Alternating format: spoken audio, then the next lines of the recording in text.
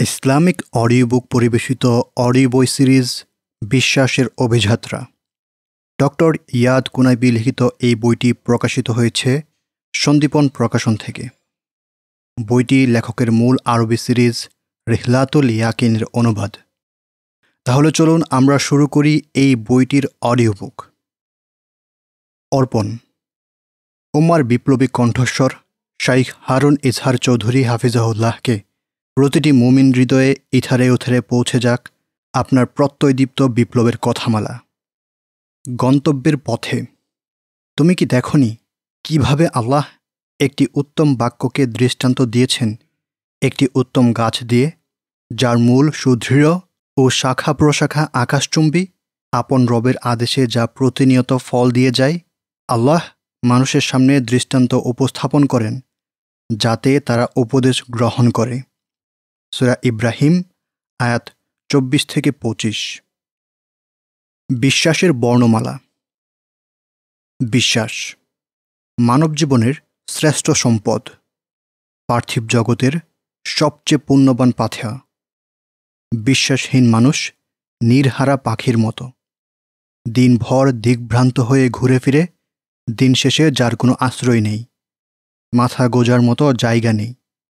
অবিশ্বাসী মানুষেরা অসহায়।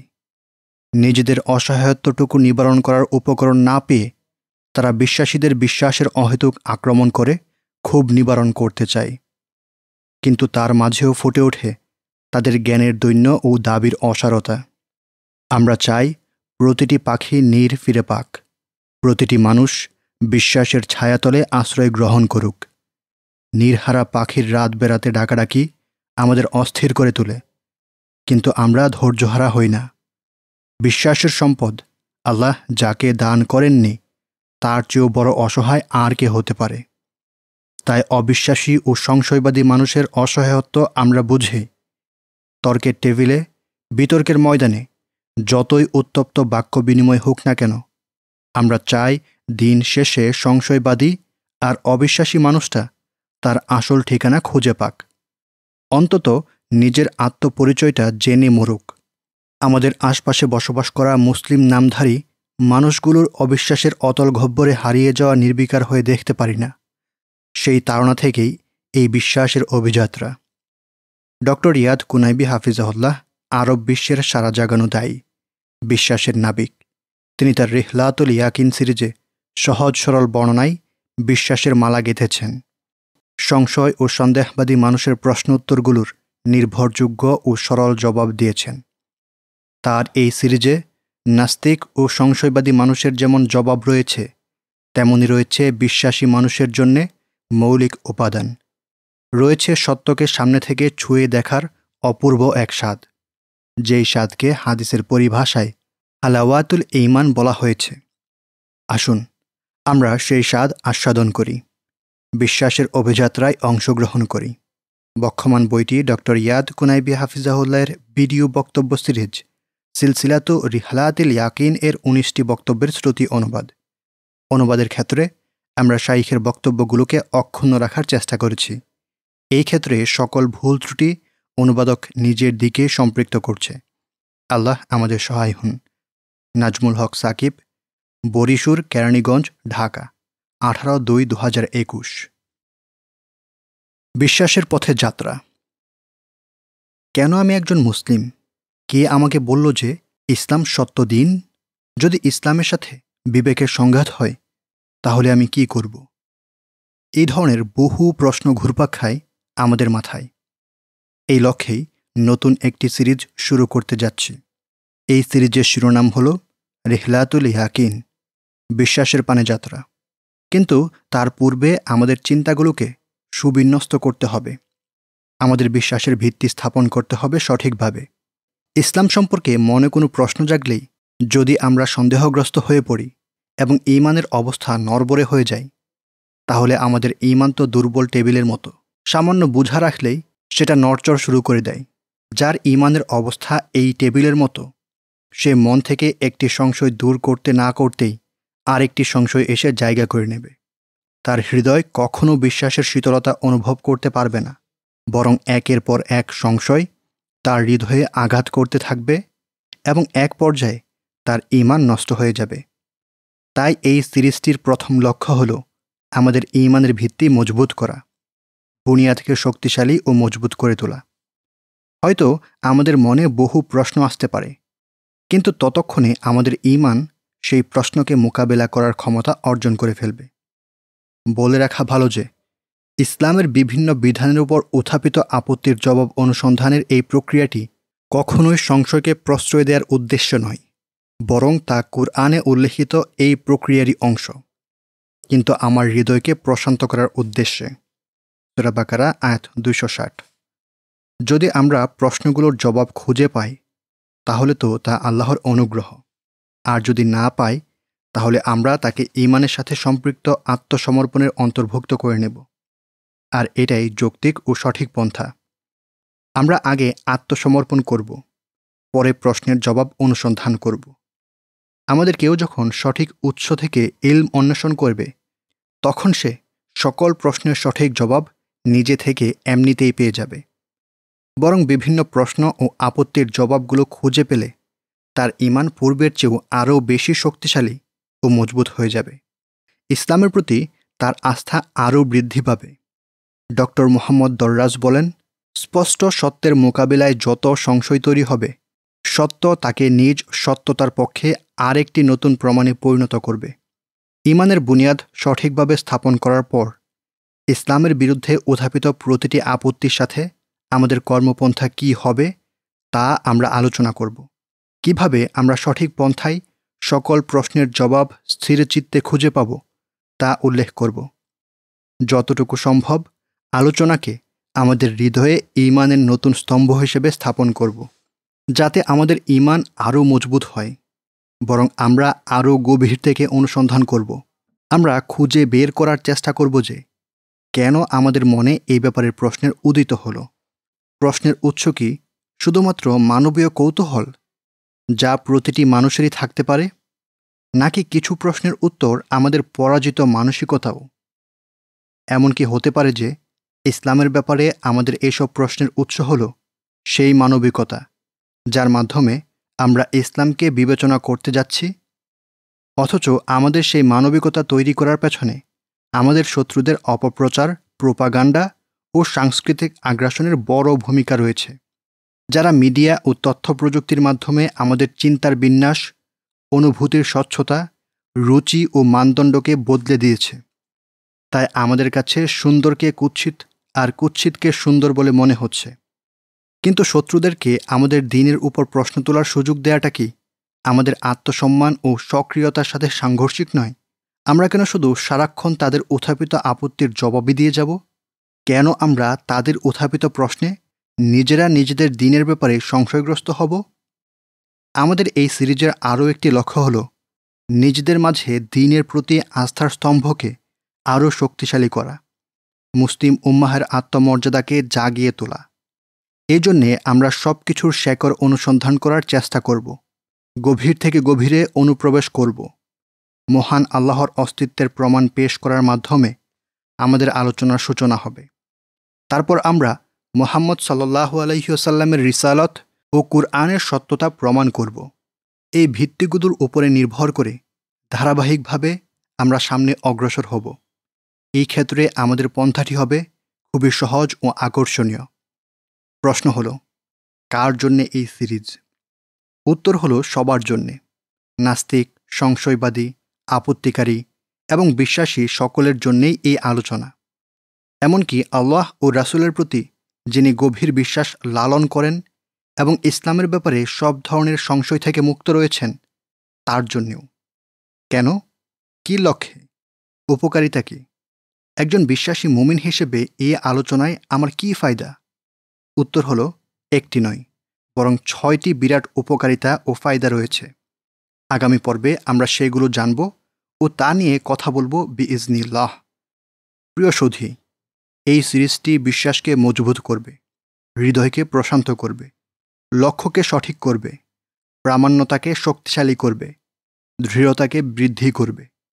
আমাদেরকে হৃদায়তের একটি মিনারে পরিণত করবে ইনশা আল্লাহ তাই সাথেই থাকুন। মহান আল্লাহর অস্তিত্ব। প্রিয় সুধী, বিশ্বাসের স্তম্ভ সুদৃঢ় করার লক্ষ্যে আমরা এই সিরিজে সর্বপ্রথম মহান আল্লাহর অস্তিত্ব নিয়ে আলোচনা করব। কারণ এটাই হলো ইমানের মূল স্তম্ভ, যার উপর ভিত্তি করে প্রতিষ্ঠিত ইসলামের প্রতিটি বিষয়। জন্মসূত্রে মুসলিম এমন অনেককে কখনো কখনো বলতে শোনা যায়, আমি মহান আল্লাহর অস্তিত্বে বিশ্বাস করি। কিন্তু এই কথাটি আমার নিজের নয়। বস্তুত যেই মানুষটি আল্লাহর প্রতি গভীর ইমান লালন করে, এই আলোচনাগুলো তারও কাজে আসবে। কেন? এর ছয়টি গুরুত্বপূর্ণ উপকারিতা আমি আপনাদের সামনে তুলে ধরছি, যাকে আমরা ছয়টি শিরোনামে এভাবে ব্যক্ত করতে পারি। এক ইমানের শেকর গভীরকরণ। দুই, আল্লাহর প্রতি সুধারণা পোষণ। তিন, প্রতিরোধ শক্তি অর্জন। চার, নিজে দৃঢ় থাকা ও অন্যকে সুদৃঢ় করা। পাঁচ, নিয়ামত লাভের অনুভূতি। ছয়, আত্মমর্যাদা অর্জন।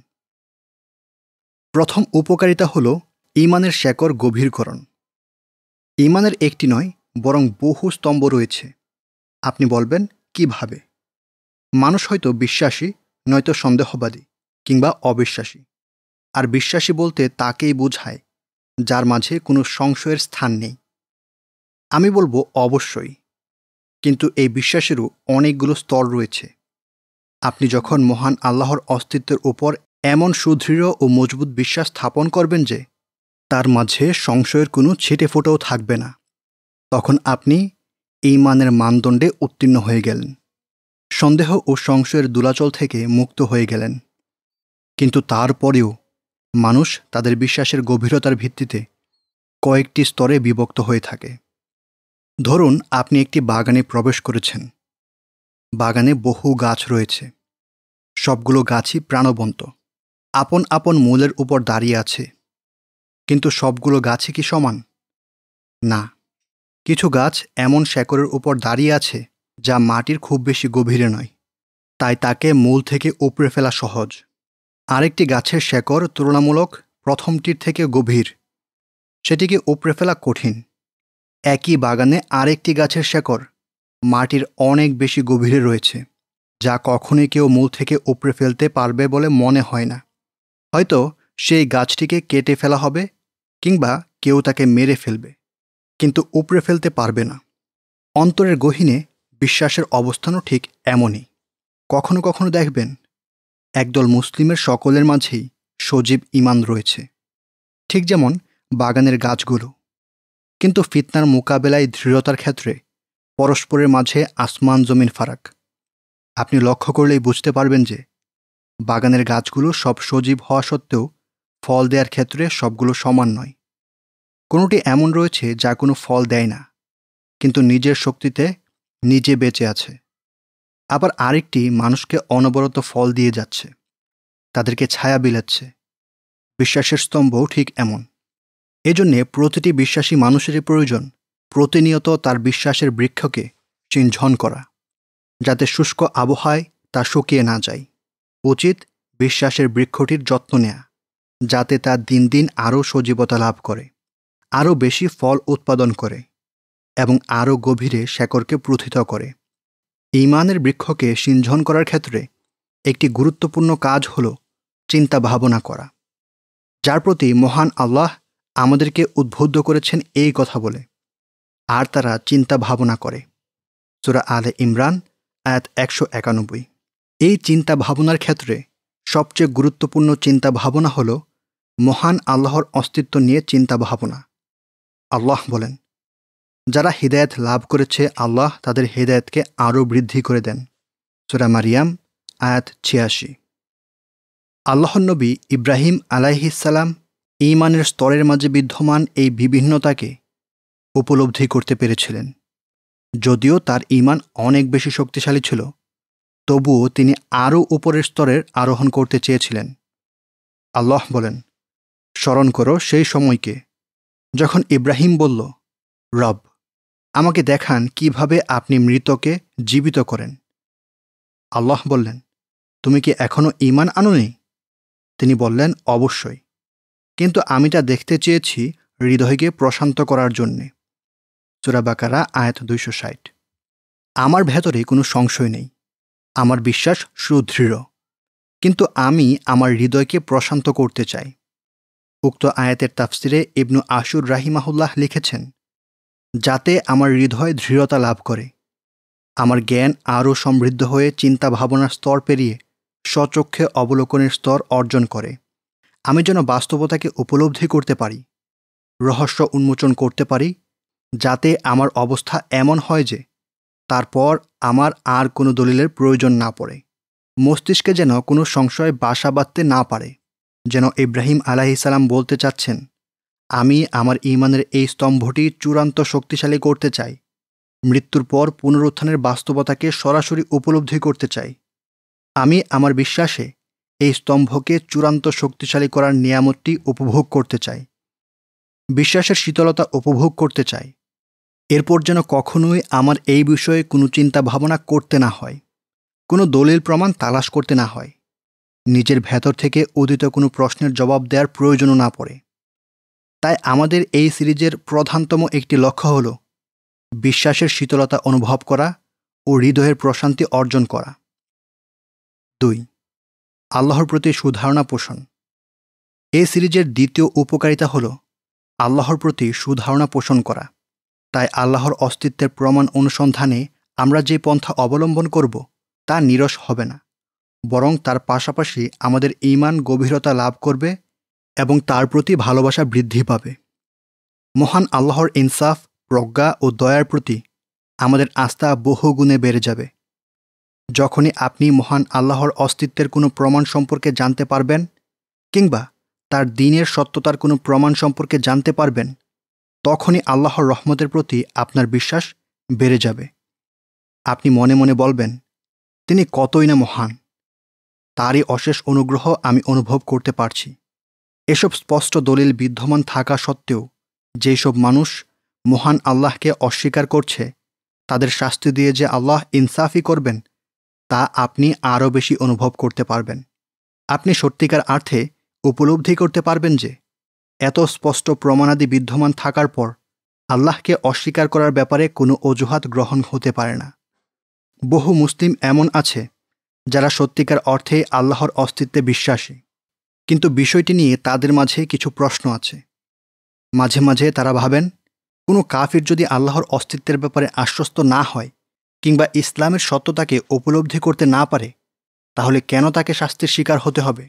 এই প্রশ্ন আল্লাহর অস্তিত্বে বিশ্বাসী একজন মানুষকে তার দয়া ও ইনসাফের ব্যাপারে কুধারণার দিকে ঠেলে দেয়। ইমান হল সত্যায়ন, অন্তরের কর্ম, মৌখিক স্বীকারোক্তি ও বাহ্যিক কর্মের সমষ্টি। সত্যায়নেরও বহু স্তর রয়েছে। তাই তাকে প্রতিনিয়ত আল্লাহর অস্তিত্বের প্রমাণাদি নিয়ে চিন্তা করার মাধ্যমে যত্ন নিতে হয় এবং সিঞ্চিত করতে হয়। অন্তরের কর্ম হল মহান আল্লাহকে ভালোবাসা তার ইনসাফের প্রতি বিশ্বাস রাখা, তার দয়া ও প্রজ্ঞার প্রতি সুধারণা পোষণ করা ইত্যাদি। এর জন্যও আল্লাহর অস্তিত্বের প্রমাণাদি নিয়ে চিন্তা ভাবনা করা প্রয়োজন। যদি কেউ সত্যায়ন করে, কিন্তু অন্তরের কর্মগুলোর ব্যাপারে দ্বিধাগ্রস্ত থাকে, আল্লাহর প্রতি সুধারণা না থাকে এবং অন্তরে সংশয় বিদ্যমান থাকে, তাহলে তার সত্যায়নের আলোটি এসবের নিচে ঢাকা পড়ে যায়। তাই আজ আমরা যে বিশ্বাস সম্পর্কে কথা বলব তাকে দুটি ভাগে বিভক্ত করা যায়। এক, আল্লাহর অস্তিত্বের প্রতি বিশ্বাস। দুই, আল্লাহর অস্তিত্বের প্রমাণাদির যথার্থতা, স্পষ্টতা, পর্যাপ্ততা ও আবশ্যকীয়তার বিশ্বাস, যার মাধ্যমে সৃষ্টির সকলের বিরুদ্ধে প্রমাণ সাব্যস্ত হয়ে যায়। তিন, প্রতিরোধ শক্তি অর্জন। এই সিরিজের তৃতীয় উপকারিতা হল আত্মরক্ষার শক্তি অর্জন করা।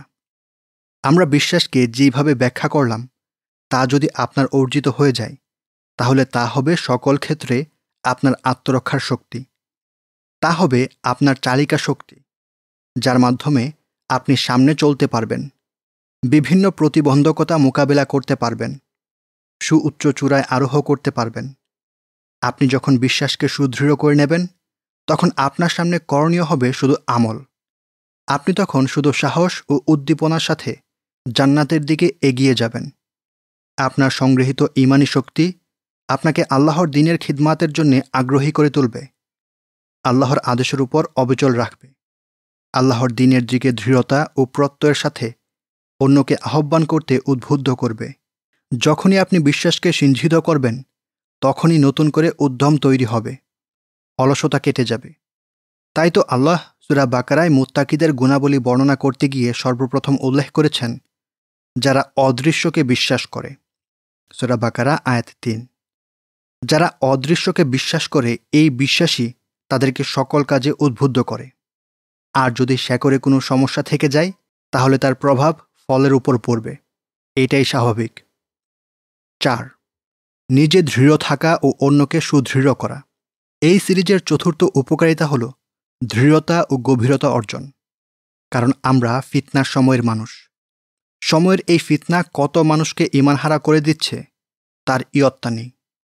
তাই প্রতিটি মুসলিমের উচিত নিজেকে রক্ষা করা ও নিজের বিশ্বাসের শেকরকে মাটির গভীরে অনুপ্রবেশ করানো, যাতে ফিতনার ঝড় তাকে বিচলিত করতে না পারে এবং তার কারণে আশেপাশের সবাই ফিতনা থেকে বেঁচে যায়।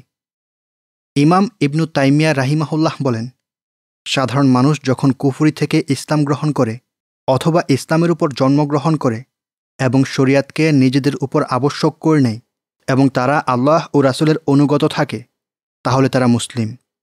তাদের মাঝে সংক্ষিপ্ত ইমান রয়েছে, কিন্তু ইমানের বাস্তবতা আল্লাহ যদি দান করেন, একটু একটু করে তাদের হৃদয়ে প্রবেশ করবে, নতবা বহু মানুষই দৃঢ় বিশ্বাস পর্যন্ত পৌঁছতে পারে না। এমনকি জিহাদ পর্যন্তও তারা পৌঁছতে পারে না। যদি তাদেরকে সন্দেহগ্রস্ত করার চেষ্টা করা হয় তাহলে তারা সন্দেহগ্রস্ত হয়ে পড়ে। যদি তাদেরকে জিহাদের আদেশ করা হয়, তাহলে জিহাদ থেকে পিছপা হয়ে যায়। অথচ তারা কাফিন নয়, মুনাফিকও নয়। কিন্তু তাদের এতটুকু অন্তরের জ্ঞান, পরিচয় ও বিশ্বাস অর্জিত হয়নি, যা সংশয়ের মোকাবেলা করতে পারে। তাহলে বোঝা গেল, এই ধরনের মানুষের নিকট সংক্ষিপ্ত ইমান রয়েছে। কিন্তু তা তাদের অন্তরের গভীরে নয়। তারা বিপদসীমার অভ্যন্তরে অবস্থান করছে। এমনকি আপনি যদি আপনার ইমান নিয়ে পরিতুষ্ট হয়ে থাকেন, তাহলে আপনার সন্তানদের ব্যাপারে কি বলবেন? আপনি কি তাদেরকে ইমানের দৃঢ়তা ও পরিতুষ্টি অর্জনে সহায়তা করতে পারবেন?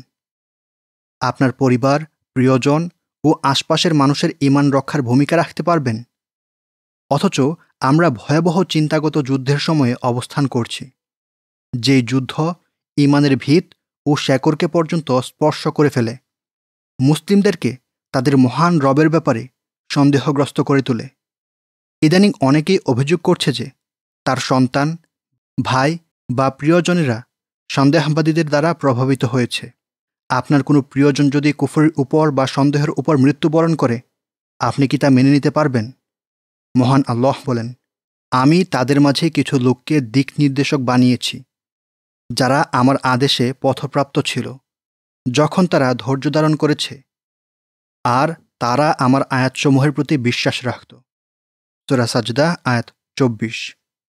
আপনি যখন ইমানের উচ্চ স্তরে আরোহ করবেন, তখন আল্লাহ আপনাকে ইমাম ও দিক নির্দেশক বানিয়ে দেবেন। আপনার মাধ্যমে আল্লাহর দিন সাহায্যপ্রাপ্ত হবে। কখনো কখনো আপনার সামনে আল্লাহর অস্তিত্বের ব্যাপারে প্রশ্ন উপস্থাপন করা হবে।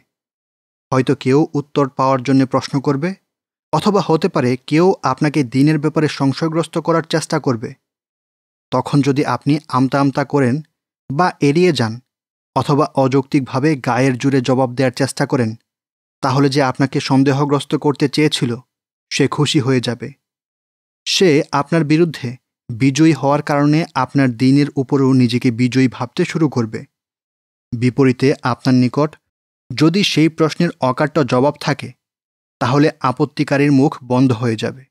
যদি সেই ব্যক্তি জানার জন্য প্রশ্ন করে থাকে, তাহলে সে সঠিক পথের দিশা পাবে। তাই আসুন, আমরা আরও সমৃদ্ধ হই। এই সিরিজের মাধ্যমে বিশ্বাসের পথে আমরা একসাথে কিছু পথ চলি। পাঁচ, নিয়ামত লাভের অনুভূতি। এই সিরিজের পঞ্চম উপকারিতা হল আল্লাহর নিয়ামতের অনুভূতি। আমাদের আলোচনার মাধ্যমে আপনি দেখতে পাবেন আল্লাহর অস্তিত্বে বিশ্বাসী একজন মানুষ ও একজন অস্বীকারী মানুষের মাঝে কি বিরাট পার্থক্য বিদ্যমান রয়েছে। আপনার সামনে তখন বহু আয়াতের অর্থ স্পষ্ট হয়ে যাবে। কোরআন ও সুন্নাহের বহু বিষয়ের বাস্তবতা তখন আপনি নিজ থেকেই অনুভব করতে পারবেন। আল্লাহ বলেন, অন্ধ ও চক্ষুষ্মান কখনো সমান হয় না। সমান হয় না কখনো আলো ও আধার, ছায়া ও রোদ। সমান হয় না কখনো মৃত ব্যক্তি ও জীবিত ব্যক্তি। সুরাফাতির আয়াত উনিশ থেকে বাইশ। আপনি অনুভব করতে পারবেন, আল্লাহকে অস্বীকারী ব্যক্তি কীভাবে সংকীর্ণ জায়গার মাঝে ঘুরপাক খাচ্ছে। এসব অনুভূতি দিনের প্রতি আপনার দৃঢ়তাকে আরও বাড়িয়ে দিবে। আপনি তখন মহান আল্লাহর অনুগত হয়ে যাবেন। আপনার প্রতি তার অসীম নিয়ামত রাজিকে উপলব্ধি করতে পারবেন। ইমাম ইবনু তাইমিয়া রাহিমহুল্লাহ মিনহাজুস সুন্নাহ গ্রন্থে উল্লেখ করেছেন যে, উমার ইবনুল খত্তাব রাদিয়াল্লাহানহু বলেছেন, জাহিলিয়াত সম্পর্কে জানে না এমন কোনো ব্যক্তি যখন ইসলামের উপর বেড়ে ওঠে, তখন ইসলামের বন্ধনগুলো তার থেকে একটি একটি করে খুলে যায়। সে ইসলামের নিয়ামতের মহাত্ম উপলব্ধি করতে পারে না, কারণ তার দৃষ্টিতে সত্য ও মিথ্যার মাঝে দূরত্ব খুবই সামান্য। তাই খুব সহজেই ইসলামের বন্ধনগুলো তার থেকে খুলে যায়। ফলে সে সন্দেহ ও সংশয়ের অতল গহ্বরে তলিয়ে যেতে থাকে। ছয়, আত্মমর্যাদা অর্জন। এই সিরিজের ষষ্ঠ উপকারিতা হল আত্মমর্যাদাকে জাগিয়ে তোলা। যখন আপনি আল্লাহর অস্তিত্বের প্রমাণাদি নিয়ে চিন্তা ভাবনা করবেন, তখন আপনার মাঝে আত্মমর্যাদা অনুভব করবেন। নিজের অস্তিত্বকে তখন আপনার কাছে সার্থক মনে হবে। আপনার দিন নিয়ে আপনার গর্ব হবে। আপনি তখন মানুষকে দিনের দিকে আহ্বান করার আগ্রহ অনুভব করবেন। উপলব্ধি করতে পারবেন যে, আপনি নিশ্চিত সত্যের উপর প্রতিষ্ঠিত রয়েছেন। দিনের পথে মানুষকে আহ্বান করা তখন আপনার কাছে সবচেয়ে আনন্দের কাজ বলে মনে হবে। আপনি তখন সৎ কাজে আদেশ ও অসৎ কাজের নিষেধের ব্যাপারে অগ্রসর হবেন। আপনি অনুভব করবেন যে, আপনার লক্ষ্য ও মিশন সত্যের মানদণ্ডে অকাট্য। তার মাঝে সংশয়ের ন্যূনতম অবকাশ নেই। আপনি তখন কারও সামনে নিজের আদর্শকে গোপন করতে চাইবেন না। ইসলামী মতাদর্শ নিয়ে কখনো হীনমন্যতায় ভুগবেন না। কেউ আপনাকে গ্রহণ করুক বা বর্জন করুক, তাতে আপনি বিচলিত হবেন না। আপনি যদি নারী হন, তাহলে সমাজের মাঝে হিজাব ও নিকাব পরে চলাচল করতে আপনার ইতস্থবোধ হবে না। স্রোতের বিপরীতে চলেও আপনার নিজেকে বিচ্ছিন্নবাদী মনে হবে না। কারণ আপনি অনুভব করতে পারবেন যে আপনি সঠিক পথে আছেন। আপনার আদর্শের মাঝে কোনো সংশয় বা সন্দেহের স্থান নেই। আপনার অবস্থা দেখে মনে হবে, আপনি বলছেন, হায় হায় আমার সমাজ, আমি যা দেখছি তোমরা কেন তা দেখতে পাচ্ছ না? তোমরা কি দ্বীপ্রহরীর মধ্যগগনে উদিত সূর্যটাকেও দেখতে পাচ্ছ না? ব্যক্তিগতভাবে যখন আমি মহান আল্লাহর অস্তিত্বের প্রমাণসমূহ নিয়ে চিন্তা ভাবনা করি, তখন আমার মাঝে এই আত্মমর্যাদা ও তৃপ্তিবোধ জেগে ওঠে। মানুষকে আল্লাহর আনুগত্যের দিকে আহ্বান করার ব্যাপারে তখন আমি অনেক বেশি আগ্রহ অনুভব করি। তাই উল্লেখিত বিষয়গুলোকে সামনে রেখে আমরা এই সিরিজে মহান আল্লাহর অস্তিত্বের প্রমাণাদি নিয়ে কথা বলব। এই আলোচনাগুলো শুধু সন্দেহগ্রস্ত বা সত্য অনুসন্ধানী মানুষদেরই কাজে আসবে না, বরং প্রতিটি মুসলিমেরই তা কাজে আসবে। বিশ্বাসী শেকর গভীর হবে, রবের প্রতি ধারণা সুন্দর হবে, আত্মরক্ষার শক্তি অর্জিত হবে দৃঢ়তা ও গভীরতা অর্জন হবে। নিজের প্রতি আল্লাহর নিয়ামত রাজির বাস্তব উপলব্ধি অর্জিত হবে। একজন মুসলিম হিসেবে নিজের মাঝে গর্ভ ও আত্মমর্যাদা জেগে উঠবে। আগামী পর্বে আল্লাহর ইচ্ছায় আমরা মহান আল্লাহর অস্তিত্বের স্বভাবগত প্রমাণাদি নিয়ে আলোচনা করব। সাথেই থাকুন ইনশা আল্লাহ কম্পিউটার ও ফিতরাত। আজ আমরা আলোচনা করব মৌলিক মূলনীতি নিয়ে। সাব্যস্ত করব আল্লাহর অস্তিত্বকে। এই স্তম্ভটির উপর ভিত্তি করেই আমরা সামনে অগ্রসর হব। প্রথম কথা হলো, কোন জিনিস আমাকে আল্লাহর অস্তিত্বের প্রমাণ দেবে? উত্তর হলো, ফিতরাত ও বিবেক। তাই সর্বপ্রথম আমরা ফিতরাত সংক্রান্ত প্রমাণাদি নিয়ে আলোচনা করব। ফিতরাত কি? ফিতরাত শব্দটি আমরা অনেক শুনে থাকি, কিন্তু এটা কি বোঝায়? আর তা কীভাবেই বা আল্লাহর অস্তিত্বকে প্রমাণ করে? ফিতরাত হলো একটি শক্তি ও আবেগ, যা মানুষের আত্মার ভেতরে বিদ্যমান রয়েছে। মানুষের প্রবৃদ্ধির সাথে সাথে ফিতরাতের প্রভাব তার কর্মের মাঝে প্রকাশ পায়। জন্মের পর মায়ের স্তন পান করা থেকে মানুষের উপর ফিতরাতের প্রভাব শুরু হয়, যার ফলে সে বাস্তবতাকে উপলব্ধি করতে পারে এবং সুন্দর চরিত্রের প্রতি আকর্ষণ বোধ করে। মানুষের এই ফিতরাতকে কম্পিউটারের অপারেটিং সিস্টেমের সাথে সাদৃশ্য দেয়া যেতে পারে। ফিতরাত নামক এই অপারেটিং সিস্টেমের সাথে কিছু উপাদান রয়েছে, যা পরস্পরকে সহায়তা করার মাধ্যমে একজন মানুষকে সঠিক মানুষে পরিণত করতে সাহায্য করে। আপনি আল্লাহর এই আয়াতের প্রতি লক্ষ্য করুন। আর আমি মানুষকে সৃষ্টি করেছি সবচেয়ে সুন্দর কাঠামোতে। সুরা তিন, আয়াত চার। এই সুন্দর কাঠামোর মাঝেই ফিতরাতের সেই উপাদানগুলো রয়েছে। যা মানুষকে তার সৃষ্টির মূল লক্ষ্য অর্জনে সহায়তা করে। এমনটি বুঝে আসে মুসা আলাহিসাল্লামের ব্যাপারে মহান আল্লাহর অবতীর্ণ এই আয়াত থেকে। আমাদের রব সেই মহান সত্তা, যিনি প্রতিটি জিনিসকে দান করেছেন তার আকৃতি, তারপর তাকে পথ প্রদর্শন করেছেন। সুরা তহা আয়াত পঞ্চাশ। ফিতরাতের মাধ্যমে পথ প্রদর্শন। আল্লাহ যাদেরকে পথ প্রদর্শন করেছেন তাদের মাঝে মানুষও রয়েছে। আল্লাহ মানুষের কাঠামোকে সবচেয়ে সুন্দর করেছেন এবং তাকে ফিতরাতের মাধ্যমে পথ প্রদর্শন করেছেন। তিনি ফিতরাতের মাধ্যমেই মানুষকে নিম্নোক্ত বিষয়গুলোর ব্যাপারে পথ প্রদর্শন করেছেন। এক, এই স্বীকৃতি দিতে পথ প্রদর্শন করেছেন যে এই মহাবিশ্বের একজন সৃষ্টিকর্তা ও নিয়ন্ত্রণকারী রয়েছেন। প্রয়োজনে তার দ্বারস্থ হতে হয় এবং কঠিন পরিস্থিতিতে তার আশ্রয় গ্রহণ করতে হয়। দুই, সেই মহান সত্তার সামনে নিজের বিবেককে আত্মসমর্পণ করে দিতে পথপ্রদর্শন করেছেন। তাহলে সে তার সম্বোধন ও তার পক্ষ থেকে বার্তানো দায়িত্বগুলো বুঝতে সক্ষম হবে। তিন পিতরাতের মাধ্যমে আল্লাহ মানুষকে নিজের অস্তিত্বের লক্ষ্য ও মৃত্যুর পর নিজের পরিণতি সম্পর্কে প্রশ্ন করার প্রতি পথপ্রদর্শন করেছেন। এই প্রশ্নের জবাব সে তার রবের কাছে অনুসন্ধান করবে এবং তারই দেখানো পন্থায় নিজের করণীয় নির্ধারণ করবে। চার, আল্লাহ মানুষকে ফিতরাতের মাধ্যমে সুন্দর চরিত্র, কল্যাণের প্রতি ভালোবাসা, ইনসাফ ও সৎকর্মের প্রতি অনুরাগ ও অকল্যাণ, অবিচার ও বিশৃঙ্খলা ইত্যাদির প্রতি বিদ্বেষ ইত্যাদি বিষয়ে প্রথপ্রদর্শন করেছেন। মানুষ তখন কিছু বিষয়ের প্রতি আগ্রহবোধ করে এবং কিছু বিষয়কে এড়িয়ে চলে। পাঁচ ফিতরাতের মাধ্যমে আল্লাহ তাকে স্বাধীন ইচ্ছাধিকারের প্রতি পথপ্রদর্শন করেছেন, যার মাধ্যমে সে তার রবের আনুগত্য বা অবাধ্যতা যে কোনো একটি বেছে নিতে পারে।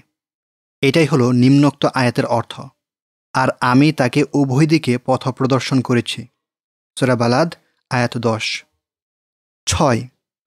আল্লাহ মানুষকে ফিতরাতের মাধ্যমে তার জীবিকা নির্বাহের জন্য আবশ্যকীয় বিষয়গুলোর প্রতি আগ্রহ অনুভব করতে পথ প্রদর্শন করেছেন, যেমন মাতৃত্বের প্রতি আগ্রহ, বেঁচে থাকার প্রতি আগ্রহ ইত্যাদি। ফিতরাতের এই বিস্তারিত ব্যাখ্যার কাছাকাছি বক্তব্য আপনি ইবনু আশুরের আত্মিউর ওয়াত্তানউইর গ্রন্থে পেয়ে যাবেন। ফিতরাত হল কিছু শক্তির সমষ্টি যা মানুষকে অদ্ভুতভাবে তার সৃষ্টির লক্ষ্যে বেঁচে থাকতে সহায়তা করে।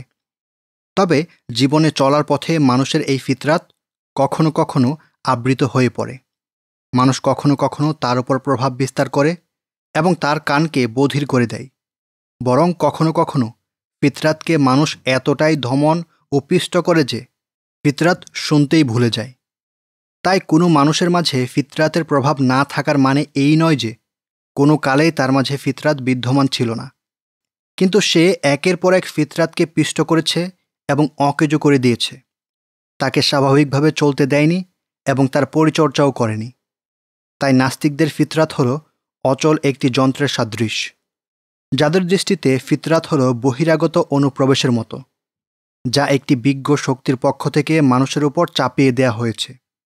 সেই শক্তিটি এলোমেলো জৈব রসায়নের প্রভাব থেকে বহু ঊর্ধ্বে।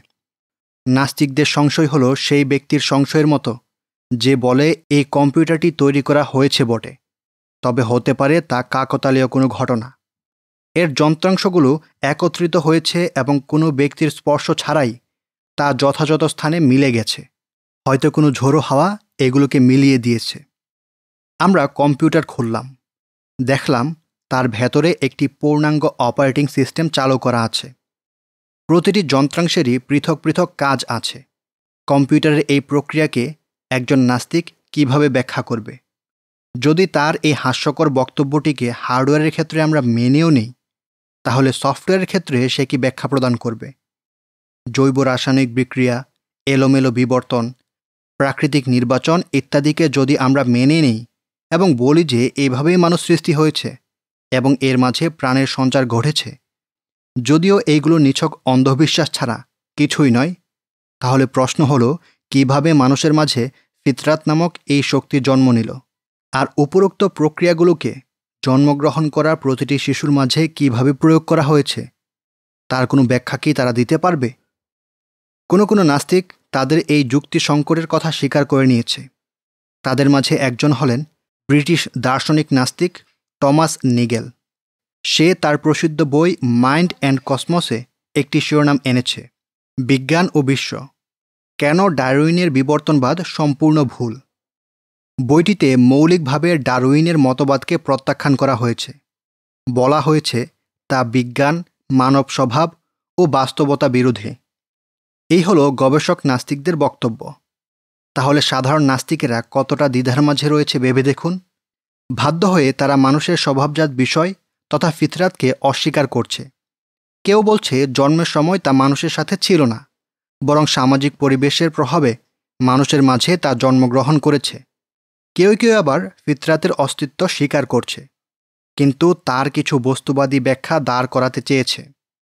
উভয় দলই পরস্পর বিরোধী ও সাংঘর্ষিক এমন কিছু অবস্থানে রয়েছে, যা হাস্যকর ও অযৌক্তিক। আমরা ধারাবাহিকভাবে সেগুলো সম্পর্কে জানব ইনশা আল্লাহ আজকের পর্বটিতে আমরা ফিতরাত সম্পর্কে জানলাম। ফিতরাতের ব্যাপারে নাস্তিকদের অস্পষ্ট অবস্থান সম্পর্কে জানলাম। সামনের পর্বে ফিতরাতের ব্যাপারে হতাশাগ্রস্ত নাস্তিকদের কিছু সংশয় সম্পর্কে জানব। তাদের ওইসব অনর্থক বক্তব্য সম্পর্কে জানার পর আপনার বুক ভরে নিঃশ্বাস নিয়ে বলতে ইচ্ছে হবে, সকল প্রশংসা সেই মহান আল্লাহর, যিনি আমাদেরকে এই পথের দিশা দিয়েছেন। যদি আল্লাহ আমাদেরকে হৃদায়ত দান না করতেন, তাহলে আমরা এই পথের দিশা পেতাম না। সুরা আরাফ, আয়াত তেতাল্লিশ। উল্লেখ্য, এই পর্বটি তৈরি করার ক্ষেত্রে আমি অনেক বেশি উপকৃত হয়েছি ইঞ্জিনিয়ার আবদুল্লাহ উজাইরি হাফিজাহুল্লাহের সুমু উন নাহার গ্রন্থ থেকে। আমাদের আগামী পর্বের আলোচ্য বিষয়, ধর্মের প্রতি স্বভাবজাত আকর্ষণ। তাই আমাদের সাথেই থাকুন। আল্লাহর দাসত্ব কি আমাদের স্বভাবজাত? গত পর্বে আমরা ফিতরাত তথা মানুষের সৃষ্টিগত স্বভাব বৈশিষ্ট্য নিয়ে আলোচনা করেছি। এই ব্যাপারে নাস্তিকদের মনোভাব ও পালায়নপর মানসিকতার কথা তুলে ধরেছি। ফিতরাতের বস্তুবাদী ব্যাখ্যা দিতে গিয়ে তাদের হাস্যকর ও পরস্পর সাংঘর্ষিক বক্তব্যগুলোর কথা উল্লেখ করেছি। আজ আমরা কথা বলব ধর্ম পালনের স্বভাবজাত আগ্রহ ও এই ব্যাপারে নাস্তিকদের মনোভাব নিয়ে। এখানে আমরা ধর্ম পালন বলতে বুঝাবো মানুষের ওই উপলব্ধিকে যে তার ও এই বিশ্বের একজন স্রষ্টা ও নিয়ন্ত্রক রয়েছে। সেই সৃষ্টিকর্তার দাসত্বের ব্যাপারে মানুষের আগ্রহ, তার নৈকট্য লাভের ইচ্ছে, নিজের প্রয়োজনকে তার কাছে পেশ করার মানসিকতা এবং কঠিন পরিস্থিতিতে তার স্বর্ণপন্ন হওয়ার আগ্রহ ইত্যাদি বিষয়েও ধর্ম পালনের স্বভাবজাত আগ্রহের অন্তর্ভুক্ত। একজন মানুষের মাঝে সৃষ্টিগতভাবে এইসব বিষয় বিদ্যমান থাকাকে ইসলামী দর্শন স্বীকৃত বাস্তবতা বলেই মনে করে। বিষয়টি কুরআনের বহু স্থানে উল্লেখ রয়েছে। যেমন, যখন মানুষকে দুর্দশার স্পর্শ করে, তখন সে আমাকে ডাকে। সোরা ইউনুস, আয়াত বারো। এটাই মানুষের সামগ্রিক অবস্থা, কারণ তা সৃষ্টিগতভাবেই তার মাঝে স্থাপন করে দেয়া হয়েছে। ধর্মপালন মানুষের সহজাত বিষয়। এই কথা বলে আমরা বুঝতে চাই যে এই স্বভাবটি হৃদয়ের গহীনে স্থাপন করে দেয়া হয়েছে। এটা তার সৃষ্টির মৌলিক উপাদান। জন্মের পর থেকে তার শেকরের অস্তিত্ব মানুষের মাঝে বিদ্যমান থাকে। প্রথমত, নাস্তিকেরা ধর্ম পালনের স্বভাবজাত আগ্রহকে অস্বীকার করে। তারা বলে, পরিবেশের প্রভাবেই মানুষ সৃষ্টিকর্তার অস্তিত্বে বিশ্বাস করতে শুরু করে। যুগের পর যুগ চলে আসা এই প্রথাটিকে সে অস্বীকার করার সাহস পায় না। কিন্তু মানুষকে যদি এসব প্রভাব থেকে মুক্ত করে দেয়া যেত, তাহলে সে সৃষ্টিকর্তার অস্তিত্বের বিশ্বাস করত না। নাস্তিক আপনাকে বলবে, পৃথিবীতে এমন বহু বিশ্বাসের প্রচলন রয়েছে, যা মানুষ বিশ্বাস করে যাচ্ছে, অথচ তা নিছক কুসংস্কার ছাড়া কিছুই নয়। যেমন বড়দিনে সান্তাক্লোজ আকাশ থেকে একটি ট্রলিসহ নেমে আসে। ড্রাগন আগুনে ফুক দেয় ইত্যাদি। এই কথার জবাবে আমরা বলি, পৃথিবীতে দলিলবিহীন বহু কুসংস্কার মানুষ বিশ্বাস করে যাচ্ছে। এই কথা আমরা অস্বীকার করি না। কিন্তু সৃষ্টিকর্তার অস্তিত্বের বিষয়টি তেমন নয়, বরং জগতের সকল কিছুই তার অস্তিত্বের প্রমাণ বহন করছে। এই বিষয়টি আমরা আজকের পর্বে স্পষ্ট করার চেষ্টা করব ইনশা আল্লাহ কুসংস্কারচ্ছন্ন বহু বিশ্বাস মানুষ শিশুকাল থেকে লালন করে। কিন্তু একটু বড় হওয়ার সাথে সাথেই বিশ্বাসটির অসারতা তার সামনে স্পষ্ট হয়ে যায়। তারা বুঝে ফেলে যে সেই বিশ্বাসটির কোনো দলিল ও ভিত্তি নেই।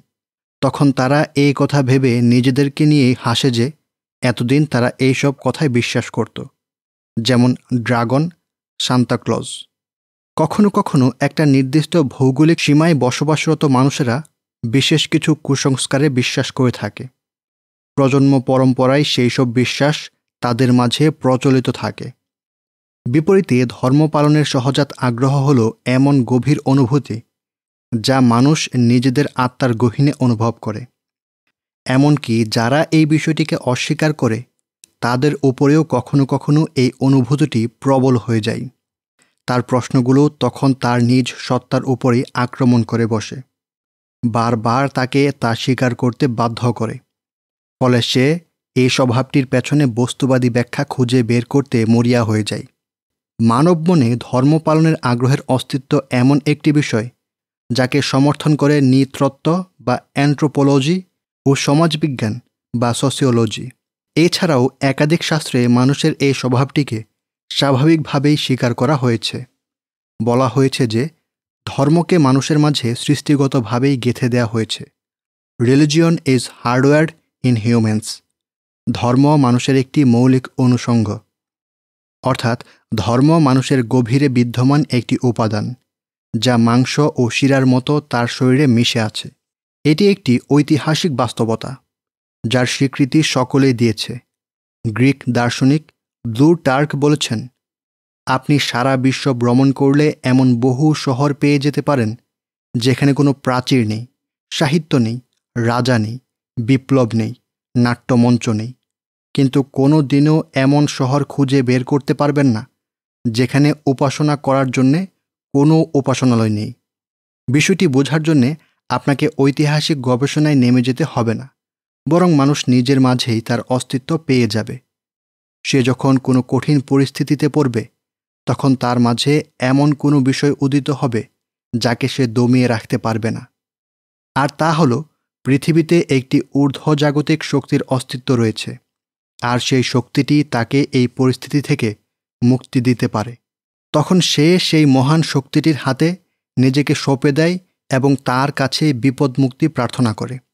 পাশ্চাত্যের একটি প্রচলিত উপমা রয়েছে there are no atheist in foxholes shelter কোটরে কোনো নাস্তিক পাওয়া যাবে না। অর্থাৎ যুদ্ধের সময় শত্রুদের আক্রমণ থেকে বাঁচতে যেই গর্ত খনন করা হয়, তার মাঝে অবস্থানরত অবস্থায় কেউই আর নাস্তিক থাকে না। জীবনের ঝুঁকিতে পড়ে তারা তখন সব যুক্তিতর্ক ভুলে যায় এবং মানবীয় স্বভাবে তাদের উপর প্রাধান্য বিস্তার করে। এই প্রবাদকে ভুল প্রমাণ করার জন্যে কোনো বড় নাস্তিক হয়তো একদল ভীরু লোককে সৈন্য হিসেবে তার পাশে পেয়ে যেতে পারে। যারা মানুষকে হত্যা করতে পারবে, লুণ্ঠন করতে পারবে। কিন্তু ঝুঁকিপূর্ণ পরিস্থিতি মোকাবেলা করতে পারবে না। তারপর হয়তো তারা একটি প্লে কার্ডে লিখে রাখবে, দেখো, শেল্টার কোটরে থেকেও আমরা নাস্তিক আছি। এর চেয়ে বেশি কিছু তাদের পক্ষে সম্ভব হবে না। আপনি দেখবেন, নাস্তিকেরা একটা কথা খুব বেশি বলে বেড়ায়, আর তা হলো, স্রষ্টার কাছে তাদের কোনো প্রয়োজন নেই। অর্থাৎ তারা অনেক সময় স্রষ্টাকে গালমন্দও করে, বরং তারা অনেক সময় আল্লাহকে গালমন্দও করে, অথচ তারা আল্লাহর অস্তিত্বকেই বিশ্বাস করে না। তাহলে কীভাবে তারা এমন কাউকে গালমন্দ করে, যার অস্তিত্বই নেই?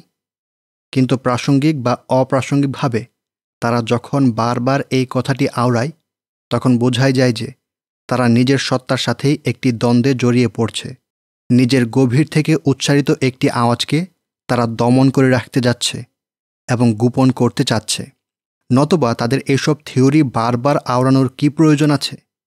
বিশেষত নাস্তিক তো আখিরাতের প্রতিদানে বিশ্বাস করে না।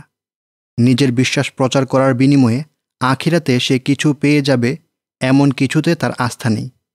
তাহলে কেন সে মানুষকে নিজের বিশ্বাসের দিকে আহ্বান করে বেড়ায়? তার তো কোনো আদর্শিক শক্তিও নেই, যার ভিত্তিতে মানুষকে সে স্রষ্টার অস্তিত্বের বিশ্বাস থেকে মুক্ত করতে চাই। ধর্ম পালনের স্বভাবজাত এই বিষয়টিকে অস্বীকার করার পর বহু নাস্তিকই একটি মানসিক শূন্যতায় ভুগতে শুরু করে। নিজের ভেতরে বিদ্যমান মানবীয় এই স্বভাবকে দমন করতে গিয়ে তারা বেশ সমস্যায় পড়ে যায়। তখন তারা সম চিন্তার কিছু নাস্তিক নিয়ে এমন একটি আচার পালন করতে শুরু করে, ধর্মীয় বিধানের সাথে যার দূরতম সম্পর্ক নেই। তাই পাশ্চাত্যের বিভিন্ন স্থানে আপনি নাস্তিকদের গির্জা বা অ্যাথিস্ট চার্চ পেয়ে যাবেন। এই ধরনের গির্জা এখন বিভিন্ন দেশে প্রতিষ্ঠিত হয়েছে, যেমন আমেরিকা, কানাডা ও ব্রিটেন। এসব প্রতিষ্ঠার পেছনে তাদের উদ্দেশ্য স্পষ্ট হোক বা অস্পষ্ট, অবশ্যই তা তাদের মাঝে বিদ্যমান, মানবীয় উপাদান থেকেই নিঃসৃত হয়েছে। এইসবের মাধ্যমে তারা একটু স্বাভাবিক নিঃশ্বাস গ্রহণ করতে চায়। আল্লামা ইবনুল কাইয়িম রাহিমাহুল্লাহ বড় সত্য বলেছেন। হৃদয়ের মাঝে একটি শূন্যতা রয়েছে, যা আল্লাহ ছাড়া কেউ পূর্ণ করতে পারে না। তার মাঝে কিছু বিচ্ছিন্নতাও রয়েছে, যা আল্লাহর দিকে অভিমুখী না হলে বিন্যস্ত হয় না। তার মাঝে কিছু ব্যাধিও রয়েছে, নিষ্ঠার সাথে এক আল্লাহর দাসত্ব করা ছাড়া তা সুস্থতায় পরিণত হয় না। আমরা ড্রাগন বা সান্তা ক্লজ নিয়ে কথা বলছি না। আমরা কথা বলছি একটি গভীর অনুভূতি সম্পর্কে। যুগের পর যুগ প্রতিটি মানুষই যা নিজের মাঝে অনুভব করতে পারে। যারা মুখে মুখে তা অস্বীকার করতে চায়, এই অনুভূতিটি বারবার তাদের উপর আক্রমণ করে। একের পর এক তার উপর প্রভাব বিস্তার করে যায়। অবশেষে বাধ্য হয়ে তাকে সেই অনুভূতির ডাকে সাড়া দিয়ে বিকল্প কিছু খুঁজে নিতে হয়। আমরা কথা বলছি এমন সব বিশ্বাস নিয়ে, যাকে মেনে নেয়া ছাড়া এবং যার যত্ন নেয়া ছাড়া মানবীয় স্বভাব পূর্ণতা লাভ করে না। যেমনটি আমরা গত পর্বে আলোচনা করেছি। আমরা কোনো কুসংস্কারচ্ছন্ন বিশ্বাস সম্পর্কে কথা বলছি না। মানবীয় স্বভাবের সাথে সেই সবের কোনোই সম্পর্ক নেই। আত্মার পূর্ণতার জন্যে কখনও সেই সব বিশ্বাসের স্বর্ণপন্ন হতে হয় না। নাস্তিক আপনাকে বলবে মানুষ তো কখনো কখনো স্বৈরাচারী হতেও পছন্দ করে। পুরুষ কখনো কখনো লিঙ্গগত কারণে নারীর উপর জুলুম করতে আগ্রহবোধ করে। কিন্তু তোমরা স্রষ্টায় বিশ্বাসী মানুষেরা তখন এসবকে খারাপ স্বভাব বলে গণ্য করো। তার এই কথার জবাবে বলুন, কুপ্রবৃত্তির ও কামনার প্রতি মানুষের আগ্রহ আমাদের দাবির সাথে সাংঘর্ষিক কিছু নয়। মানুষ কখনো কখনো প্রবৃত্তির তাড়নায় খারাপ কাজ করে ফেলে, কিন্তু সেই কাজগুলোকে তারা সঠিক মনে করে করে না। কাজগুলোকে প্রশংসাযোগ্য ও ন্যায়নিষ্ঠভাবেও না, বরং সেগুলোকে খারাপ কাজ ও বিশৃঙ্খলা হিসেবেই দেখে। পিতরাত তাদেরকে কুপ্রবৃত্তির তাড়নায় করে ফেলা কাজগুলোর নিকৃষ্টতা স্বীকার করতে বাধ্য করে। মানুষ নিজেও জানে, সে যা করছে তা অপরাধ।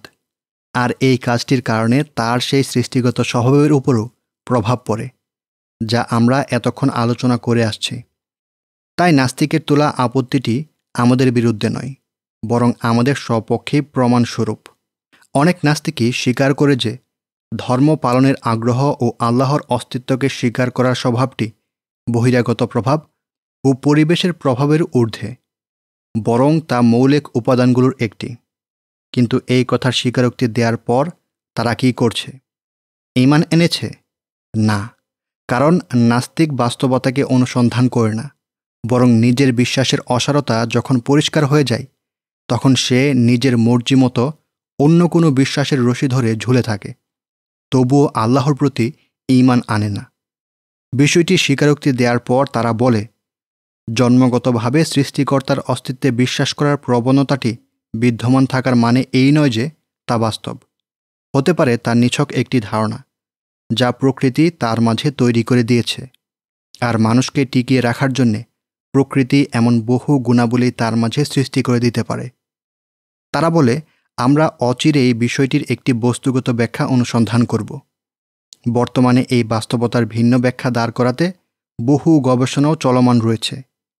তাই স্নায়ুবিজ্ঞান বা নিউরোসায়েন্স থেকে আরেকটি শাখা পৃথক করা হয়েছে, যার নাম স্বভাবগত ধর্মতত্ত্ব বা নিও থিওরোলজি এটি একটি গবেষণামূলক শাখা, যার মাঝে স্নায়ুতত্ত্বের সাথে ধর্ম পালনের আগ্রহের সম্পর্ক ও তার বাস্তবতা অনুসন্ধান করা হয়।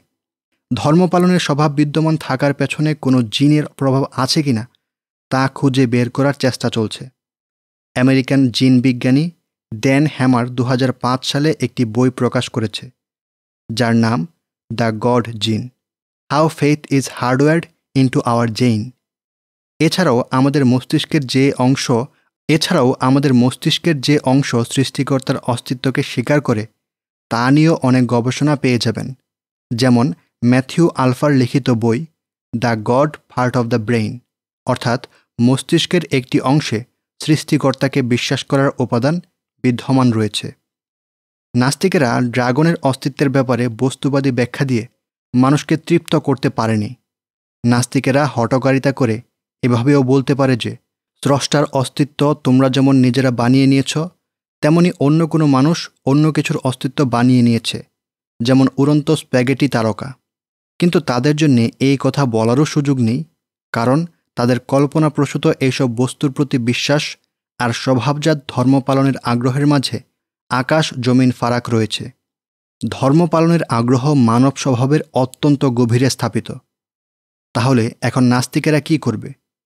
তারা এখন ধর্ম পালনের আগ্রহের একটি বস্তুবাদী ব্যাখ্যা দাঁড় করাবে। যদি আমরা ধরেই নিই যে নাস্তিকরা ধর্ম পালনের স্বভাবজাত আগ্রহের কোনো বস্তুবাদী ব্যাখ্যা পেয়ে গিয়েছে, তাহলে তো তাদেরকে এবার অন্য সব স্বভাবজাত আগ্রহেরও বস্তুবাদী ব্যাখ্যা বের করতে হবে।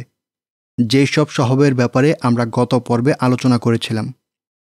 আমরা সামনে কোনো এক পর্বে যে কোনো বিষয়কে জিনগত বলে ব্যাখ্যা করার অসারতা নিয়ে আলোচনা করব।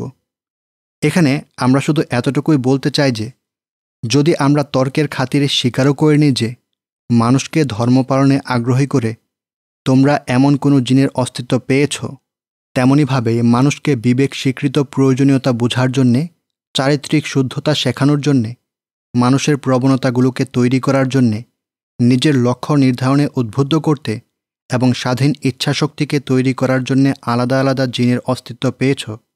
যদিও বাস্তবেতা অসম্ভব। যেমন কেউ যদি বলে, কিছু জিন আপনাকে স্বাধীন হতে বাধ্য করছে। তাহলে এটা হবে হাস্যকর। কারণ যদি বাধ্যই করা হয়, তাহলে স্বাধীনতা রইল কোথায়? তবুও যদি আমরা ধরে নিই যে, তোমরা এসব কিছুর পেছনে কোনো না কোনো জিনের অস্তিত্ব পেয়ে গেছ, কিন্তু তোমরা সেই সব স্বভাবের সামগ্রিক কী ব্যাখ্যা দেবে, যা মানুষকে সৃষ্টিকর্তার প্রতি বিশ্বাসী করে তোলে? এসব স্বভাব সৃষ্টিকর্তার দাসত্বকে ভালোবাসতে, তার প্রতি ধাবিত হতে, তার আদেশ নিষেধকে পালন করতে, তার নির্ধারিত লক্ষ্যপথে চলতে তার আনুগত্য ও অবাধ্যতাকে নির্ণয় করতে মানুষকে উদ্বুদ্ধ করে। এখানেও কি তোমরা বলবে যে, প্রকৃতি তা মানুষের মাঝে তৈরি করে দিয়েছে? তাহলে তোমাদের সেই কল্পিত প্রকৃতি কি আমাদের রবেরই দাসত্ব করে? যদি তোমরা মানুষের মাঝে এসব স্বভাব ও প্রবণতা পেয়ে যাও, তাহলে সেটা সৃষ্টিকর্তার মহিমার আরও একটি প্রমাণ। তিনি মানুষের মাঝে এসব কিছুকে স্থাপন করে দিয়েছেন এবং এইগুলোকে তার আদৃষ্ট শরিয়াতের অনুগামী করে দিয়েছেন। এভাবে যখন কোনো নাস্তিককে ধরাশায়ী করে ফেলবেন, তখন সে চিৎকার করে বলে উঠবে, মানুষের মাঝে এসব প্রবণতা থাকা মানে এই নয় যে তার সবগুলোই সঠিক ও বাস্তব। যদিও বাস্তবতা হলো, আমরা এতক্ষণ যা আলোচনা করলাম, হৃদায়তের জন্যে এতটুকুই যথেষ্ট। তবুও আমরা নাস্তিকদের সাথে আরেকটু বোঝাপড়া করতে চাই, কারণ এই বোঝাপড়ার মাঝে আমাদের জন্যে উপকারিতা রয়েছে।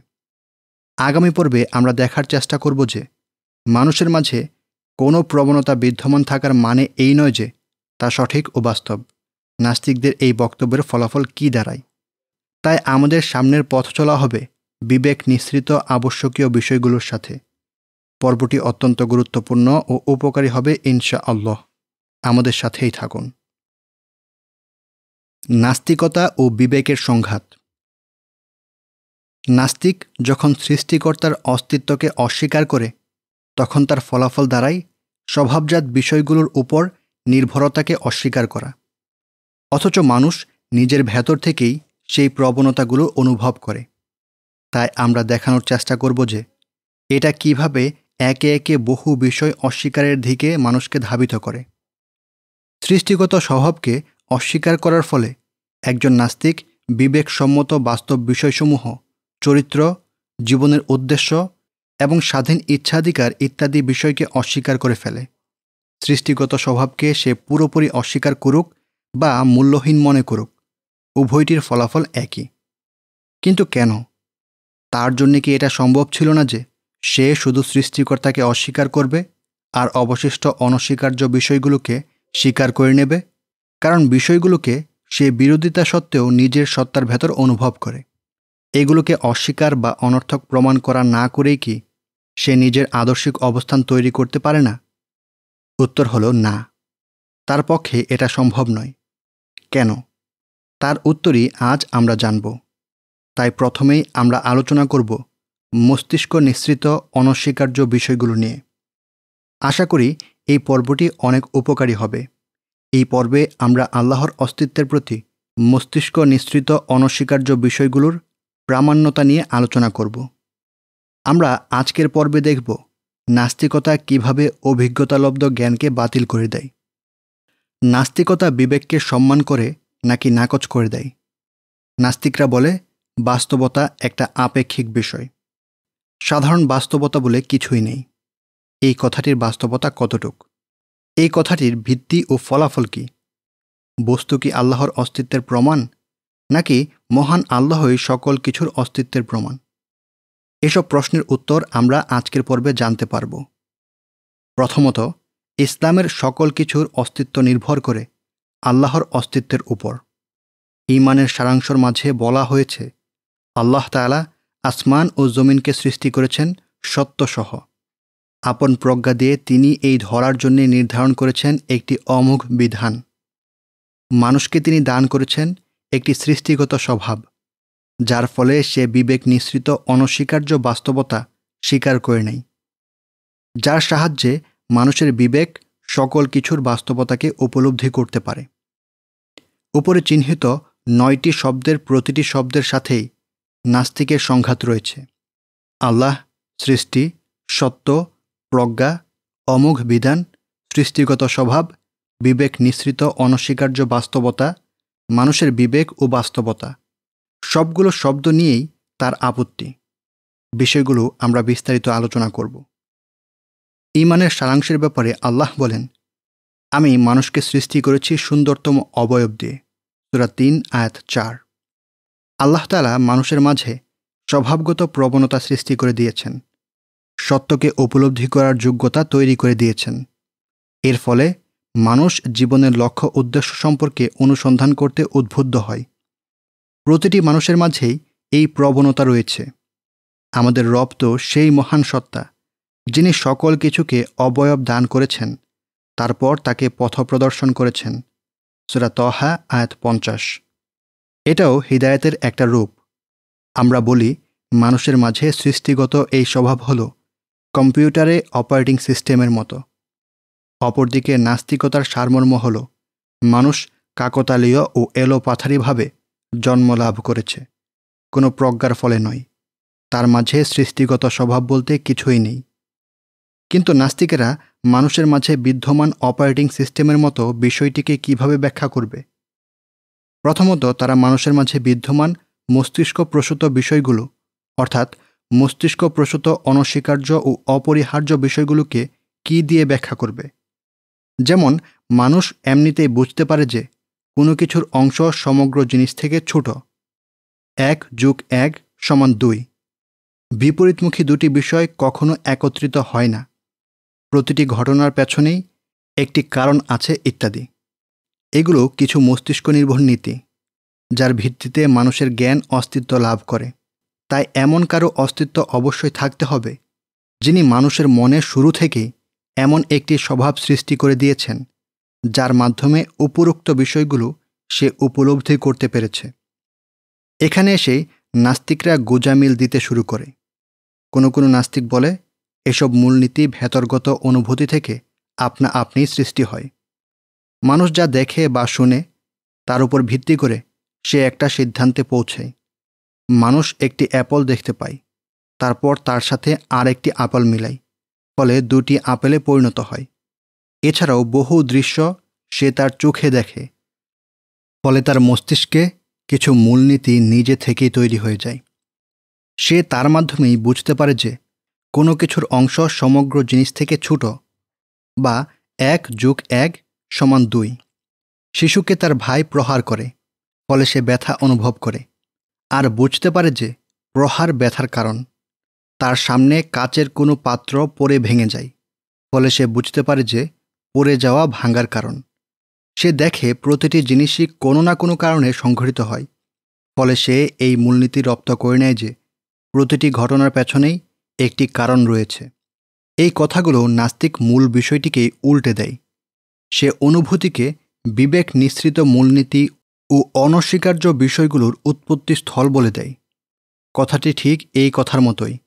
বাহির থেকে প্রচুর পরিমাণের ডেটা কম্পিউটারের ভেতরে প্রবেশের কারণে তার মাঝে একটি প্রোগ্রাম তৈরি হয়ে যায়, যা বিভিন্ন ডেটাকে বিশ্লেষণ করতে এবং ফলাফল বের করতে সক্ষম। ধরুন, আমরা মাইক্রোসফট এক্সেলে একটা শিট তৈরি করলাম।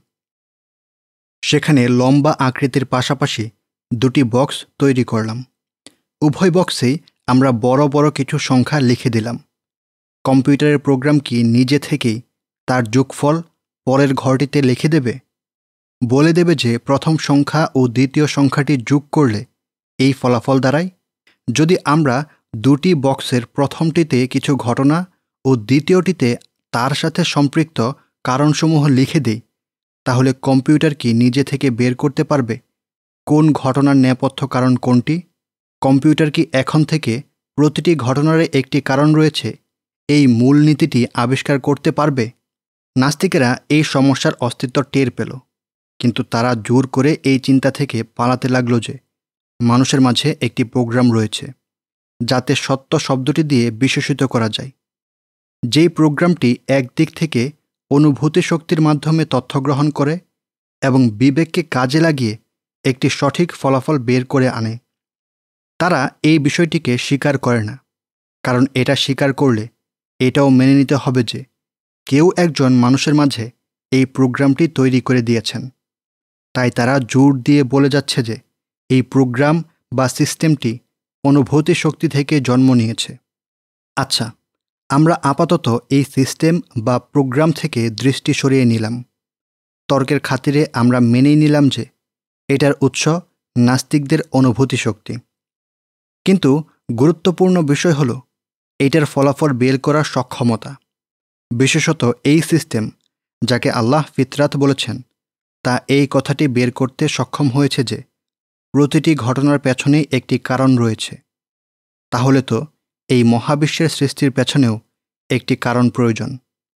এখানে এসে কিছু নাস্তিক বাধ্য হয়ে বলছে যে মানুষের মাঝে বিদ্যমান প্রোগ্রামটি কোনো ফলাফল বের করার মানে এই নয় যে সেটাই বাস্তবতা। এসব বিষয় হলো অনুমানের ফলাফল। আর অনুমান কখনো কখনো ভুলও হয়। অর্থাৎ মানুষ তার অনুভূতি থেকে বুঝে নেয় যে প্রতিটি জিনিসের পেছনে একটি কারণ রয়েছে। তার মানে এই নয় যে এই মহাবিশ্ব সৃষ্টির পেছনেও একটি কারণ থাকতে হবে। বরং কোনো কারণ ছাড়াই তা সৃষ্টি হতে কোনো প্রতিবন্ধকতা নেই। একজন বিশ্বাসী মানুষ হিসেবে আমরা বলি, প্রতিটি ঘটনার পেছনেই একটি কারণ রয়েছে। আমাদের মতে এটি একটি নিশ্চিত ও ব্যাপক বাস্তবতা। প্রতিটি দৃশ্যমান বস্তুর পেছনে এই বাস্তবতা রয়েছে। কিন্তু নাস্তিকেরা বলে, আমরা যে সকল ঘটনার পেছনে কারণ দেখতে পাই, প্রকৃতপক্ষে তার পেছনে কোনো কারণ নাও থাকতে পারে। আমরা তাদেরকে জিজ্ঞাসা করতে চাই, তাহলে কি এই মহাবিশ্ব সৃষ্টির পেছনেও কোনোই কারণ নেই? কেউ কি তাকে সৃষ্টি করেনি? নাস্তিকেরা হয়তো বলবে, না সব কিছুর পেছনে একটি কারণ রয়েছে, এই মূলনীতিকে আমরা সাধারণ ও ব্যাপক বাস্তবতা বলে মানি না। ও ব্যাপক বাস্তবতা মনে করি না। ব্যাপকভাবে সব কিছুর পেছনেই একটি মূলনীতির অস্তিত্ব আমরা স্বীকার করি না। আসলে এইসব নাস্তিকেরা নিজের বক্তব্যের স্ববিরোধিতা উপলব্ধি করতে পারে। তারা দৈনন্দিন জীবনে সব ক্ষেত্রেই সব কিছুর পেছনে একটি কারণ রয়েছে এই মূলনীতিকে মেনে চলে। অনুমান, উপলব্ধি সব কিছুকেই তারা তাদের দৈনন্দিন জীবনে সঠিকভাবে মূল্যায়ন করে। কিন্তু যখনই এই মূলনীতিটি সবচেয়ে বড় বাস্তবতা তথা মহাবিশ্বের সৃষ্টির ক্ষেত্রে প্রয়োগ করা হয়, তখনই তারা তাকে অস্বীকার করে বসে। অথচ এই মহাবিশ্বের সৃষ্টি সকল কিছুর কারণ, সকল কিছুর মূল উৎস। এই স্ববিরোধী অবস্থান থেকে বের হতে তারা কি করে? বিবেক নিঃসৃত অনস্বীকার্য বিষয়গুলোকে অস্বীকার করে ফেলে, যার ফলে সব কিছুর পেছনেই একটি কারণ রয়েছে এই মূলনীতিটিকে ছুঁড়ে ফেলা দেয়। তারা বলে, আমরা যে সকল বস্তুকে কোনো ঘটনার পেছনে কারণ মনে করি, তা আসলে যুগপদ সংঘটিত হয়, যার ফলে আমরা একটিকে আরেকটির ফলাফল মনে করি। আসলে বাস্তবতা হলো, সেগুলো পরপর সংঘটিত হয়, কিন্তু তাদের পরস্পরের মাঝে আসলে কোনো সম্পর্ক নেই। এভাবেই তারা মহাবিশ্বের সৃষ্টির পেছনে বিদ্যমান কারণটিকে এড়িয়ে যেতে চায়। তারা বলে মহাবিশ্ব মৌলিকভাবে কোনো কারণ ছাড়াই সৃষ্টি হওয়া সম্ভব, কিংবা তা নিজেই নিজেকে সৃষ্টি করে থাকতে পারে। এমন কথা যারা বলছে, তাদের অন্যতম হল ব্রিটিশ দার্শনিক বার্ট্রান্ড রাসেল, পদার্থবিজ্ঞানী স্টিফেন হকিং ও লরেন্স ক্রাউস। লরেন্স ক্রাউস বলছে, সামগ্রিকভাবে এমন কোনো মূলনীতির অস্তিত্ব নেই, যাকে বিবেক নিঃসৃত অনস্বীকার্য বিষয় বলে বিবেক নিঃসৃত অনস্বীকার্য বিষয় বলা যেতে পারে। এই কথাটি সে তার বই এ ইউনিভার্স ফ্রম নাথিং এর ভূমিকায় উল্লেখ করেছে।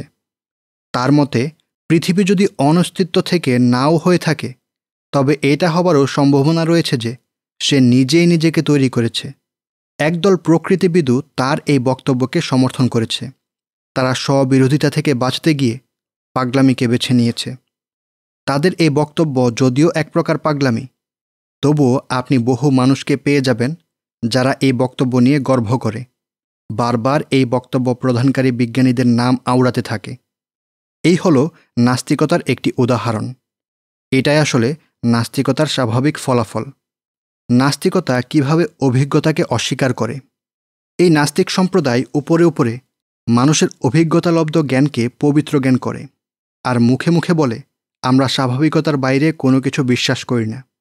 কারণ সেই ব্যাপারে মানুষের কোনো অভিজ্ঞতা নেই। কিন্তু তাদের বক্তব্য মানুষের অভিজ্ঞতালব্ধ জ্ঞানকে মৌলিকভাবে বাতিল করে দেয়। কেননা, আমরা যা কিছু অনুসন্ধান করে বের করি, তার পুরোটাই সব কিছুর পেছনে একটি কারণ রয়েছে, এই মূলনীতির উপর নির্ভরশীল। আমরা সেইগুলোকে বের করি বিবেক নিঃসৃত অনস্বীকার্য মূলনীতির সাহায্যে। নাস্তিকদের কথা অনুযায়ী, যদি পানি ও লবণ মিশিয়ে বিশেষ পদ্ধতিতে এসিড তৈরি করার হাজার অভিজ্ঞতাও পৃথিবীবাসীদের থাকে তবুও তা এসিড তৈরির সাধারণ নিয়ম নয়। এটাকে ব্যাপক মূলনীতি ও সাধারণ বাস্তবতা হিসেবে তারা মেনে না নেয়ার কথা। কারণ তাদের মতে, এক হাজারবার এই প্রক্রিয়ায় এসিড তৈরি হওয়ার পরেও পরের বার ভিন্ন কিছু হওয়ার সম্ভাবনা রয়েছে। তারা যদি এই প্রক্রিয়াকে ব্যাপক মূলনীতি ও সাধারণ বাস্তবতা বলে স্বীকার করে নেয়, তাহলে তাদেরকেও এই কথা স্বীকার করে নিতে হবে যে, মানুষ এই মূলনীতিটি বিবেক নিঃসৃত অপরিহার্য বিষয়গুলোর সাহায্যেই আবিষ্কার করেছে। মানুষ তার বিবেক ব্যবহার করে বুঝতে পেরেছে যে এই মহাবিশ্বের একটি অমোঘ বিধান রয়েছে, আর তা হল প্রতিটি ঘটনার পেছনে একটি কারণ বিদ্যমান থাকা। আর এই অ্যাসিডটি তৈরি হওয়ার পেছনে কারণ হল পানি ও লবণ এই দুটি উপকরণ। এই হলো নীতি। তাহলে কে এই নীতি প্রণয়ন করল?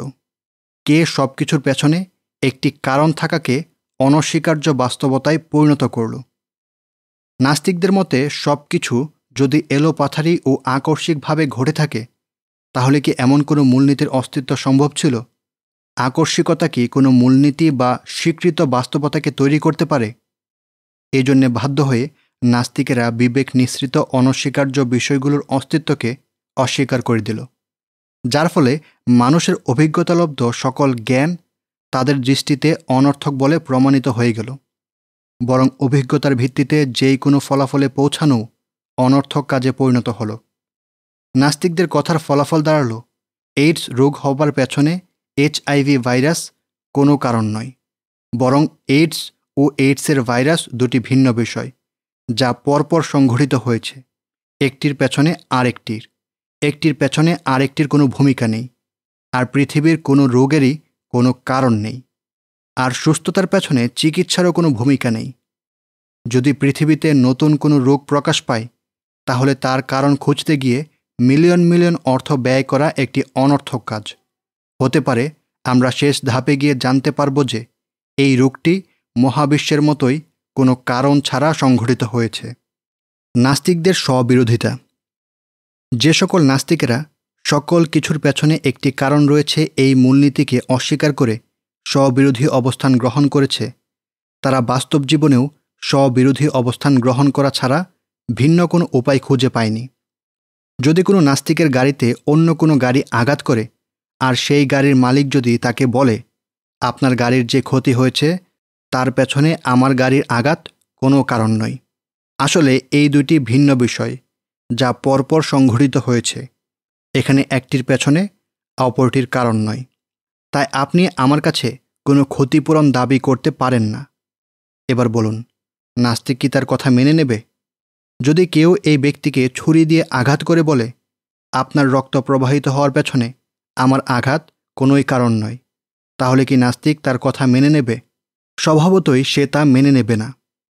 তাহলে বোঝা গেল নাস্তিকেরা বিবেক নিঃসৃত অনস্বীকার্য বিষয়গুলোর স্বীকারোক্তি বাস্তব জীবনে দিচ্ছে ঠিকই। কিন্তু যখন মহান আল্লাহর অস্তিত্ব নিয়ে কথা আসছে, তখনই তারা এটাকে অস্বীকার করছে। নাস্তিকতা কি বিবেককে মূল্যায়ন করে? নাস্তিকদের উদ্দেশ্যে আমাদের প্রশ্ন হল, যদি বিবেক নিঃসৃত বিষয়গুলোর কোনো অস্তিত্ব না থাকে, তাহলে কীভাবে সব মানুষ এটাকে পরিতৃপ্ত হয়ে গ্রহণ করে নিল? তাদের আচরণ দেখে তো মনে হয় এটা তাদের কাছে স্বীকৃত সুদৃঢ় বাস্তবতা। এমনকি নাস্তিকেরাও বাস্তব জীবনে এইসব মূলনীতি মেনে চলে। নাস্তিকদের পক্ষ থেকে এই প্রশ্নের জবাব আসবে, ডারউইনের আবিষ্কৃত বিবর্তনের ধারা অনুযায়ী মানুষ পৃথিবীতে এসেছে, আর তার অস্তিত্বের পেছনে ভূমিকা রেখেছে বিবর্তন ও এলো পাথারি সংঘটিত হয়ে যাওয়া কিছু ঘটনা, যা মানুষকে পৃথিবীতে বাঁচিয়ে রাখার ব্যবস্থাপনা সচল রাখছে। সেই বিবর্তনের ধারাই মানুষের মাঝে বিবেক নামক একটি বস্তুর অস্তিত্ব ঘটিয়েছে, যে বিবেক এখন আমাদেরকে বিভিন্ন বস্তুর বাস্তবতার সন্ধান দিচ্ছে। কিন্তু কে দায়িত্ব নিয়ে বলতে পারবে যে বিবর্তনের ধারায় জন্ম নেয়া এই বিবেক ও তা থেকে নিঃসৃত মূলনীতি আসলে সঠিক ও বাস্তবসম্মত? হতে পারে এই বিবেক আমাদেরকে বিভ্রান্ত করছে, কিছু বিষয়কে আমাদের সামনে স্বীকৃত বাস্তবতা হিসেবে উপস্থাপন করবে অথচ বাস্তবে তা ভ্রান্ত ধারণা ছাড়া কিছুই নয়। আমাদের বিবেক আমাদেরকে জগতের বুকে টিকিয়ে রাখার জন্যেই এভাবে ধোকা দিয়ে যাচ্ছে। মোট কথা, নাস্তিকতা তার ধারককে বিবেক নিঃসৃত অনস্বীকার্য বিষয়গুলোকে অস্বীকার করার চূড়ান্ত পর্যায়ে ধাবিত করে। নাস্তিক এভাবেই মানুষের বিবেক ও মস্তিষ্কের সত্যায়নের ব্যাপারে সন্দিহান হয়ে পড়ে। এই পর্যায়ে এসে আমরা নাস্তিকদের উদ্দেশ্যে বলতে চাই আপনার বক্তব্য অনুযায়ী এই কথা সাব্যস্ত হয় যে, আপনার বিবেক আপনাকে বিভ্রান্ত করার সমূহ সম্ভাবনা রয়েছে। নাস্তিকতার থিওরি অনুযায়ী, আপনার মস্তিষ্ক যে বাস্তবতাকে উদ্ধার করতে পারবে, তার কোনো নিশ্চয়তাই নেই। তাহলে কীভাবে আপনি আপনার মস্তিষ্কের উপর আস্থা রাখছেন? আপনার নাস্তিকতার সব বক্তব্যই তো আপনার মস্তিষ্কের উপর ভিত্তি করে। আর সেই নাস্তিকতাই আপনার মস্তিষ্ককে সত্যায়ন করছে না। অথচ আপনি বলতে চাচ্ছেন, আমি আমার মস্তিষ্ককে সত্যায়ন করছি, কারণ আমার বিবেক তাকে সত্যায়ন করতে বলছে। অথচ দেখুন, নাস্তিকতার দৃষ্টিতে বিবেককে সত্যায়ন করার কোনো ভিত্তিই নেই। এমনকি মানুষের মস্তিষ্কের সত্যায়নের ক্ষেত্রে এই গভীর সন্দেহ প্রবণতা ডারউইনের মাঝেও ছিল। ডারউইন নিজেই তার থিওরির ব্যাপারে অস্থিরতা ও অনাস্থা ব্যক্ত করেছে। সে বলেছে, মানব মস্তিষ্ককে সত্যায়নের ব্যাপারে সবসময় গভীর সন্দেহ আমাকে অস্থির করে তোলে। কারণ যেই মস্তিষ্ক বিবর্তনের ফলে অস্তিত্ব লাভ করেছে, তার উপর কি কোনোভাবে আস্থা রাখা যায়? তা থেকে নিঃসৃত বিষয়গুলো কি আসলেই কোনো মূল্য রাখে? তাই নাস্তিকেরা মানব মস্তিষ্ককে সম্মান করে এমনটি দাবি করা সম্পূর্ণ অমূলক ও ভিত্তিহীন কথা। তাদের এই দাবি সম্পূর্ণ অনর্থক। আর ধর্মে বিশ্বাসী মানুষের উপর তারা বিবেককে অসম্মান করার যে অভিযোগ তুলছে, তারও কোনো ভিত্তি নেই। কারণ বাস্তবতা হল, নাস্তিকতা নিজে শেষ পর্যন্ত মানব মস্তিষ্কের উপর আস্থাশীলতাকে ভেঙে দিচ্ছে। আমরা নবী সাল্লাহ আলহিহসাল্লামকে বিশ্বাস করি, তাই নাস্তিকরা আমাদের সমালোচনা করে। অথচ আমরা শুধুমাত্র তার কথা শুনেই তার প্রতি বিশ্বাস রাখি না, বরং তার সত্যতার উপর বাহ্যিক বহু দলিল প্রমাণের উপর ভিত্তি করে আমরা তাকে সত্যায়ন করি। আর আমাদের এই কাজের সমালোচনা করে নাস্তিক নিজেই তার মস্তিষ্ক ও বিবেককে সত্যায়ন করে, যার ব্যাপারে সে নিজে সন্দিহান। তার বিবেক তাকে বলছে, আমাকে তুমি সত্যায়ন করো। আর এই কথা শুনেই সে তার বিবেক ও মস্তিষ্কের সব কথা সত্য বলে মেনে নিয়েছে। এ অচল অবস্থা থেকে কীভাবে নাস্তিকেরা বের হবে? মানুষের বিবেক মানুষকে বিভ্রান্ত করতে পারে? এই চিন্তার গুহা থেকে কীভাবে তারা আলোর মুখ দেখবে? এখান থেকে বের হতে গিয়ে নাস্তিকতা আপনাকে বলবে। কে আপনাকে বলল যে প্রতিটি বস্তুর একটি সাধারণ বাস্তবতা রয়েছে, যা থেকে আমাদের মস্তিষ্ক আমাদেরকে বিভ্রান্ত করতে পারে? আপনি বলবেন, তাহলে আসল ব্যাপারটা কি? নাস্তিকতা আপনাকে বলবে, আসলে পৃথিবীতে বস্তুর বাস্তবতা বলতে কোনো বস্তুই নেই। এটা শুধুমাত্র মানুষের অনুভূতি শক্তির পাঠ। যেমন, কোনো বস্তু আসলে রঙহীন, কিন্তু প্রতিটি মানুষ তাকে নিজের বিশেষ রঙে দেখতে কোনো বাধা নেই। আর এই ক্ষেত্রে একজন মানুষের জন্যে অপরজনের দেখাকে ভুল প্রমাণিত করাও কোনো সুযোগ নেই, কারণ কেউই এটা দাবি করতে পারে না যে, অপরজন বাস্তবতার বিরুদ্ধে গিয়েছে। কারণ জগতে যা কিছুকে বাস্তবতা বলা হয়, তা শুধু মানব মস্তিষ্ক থেকে নির্গত একটি চিন্তা। সামগ্রিকভাবে যার কোনো মূল্য নেই।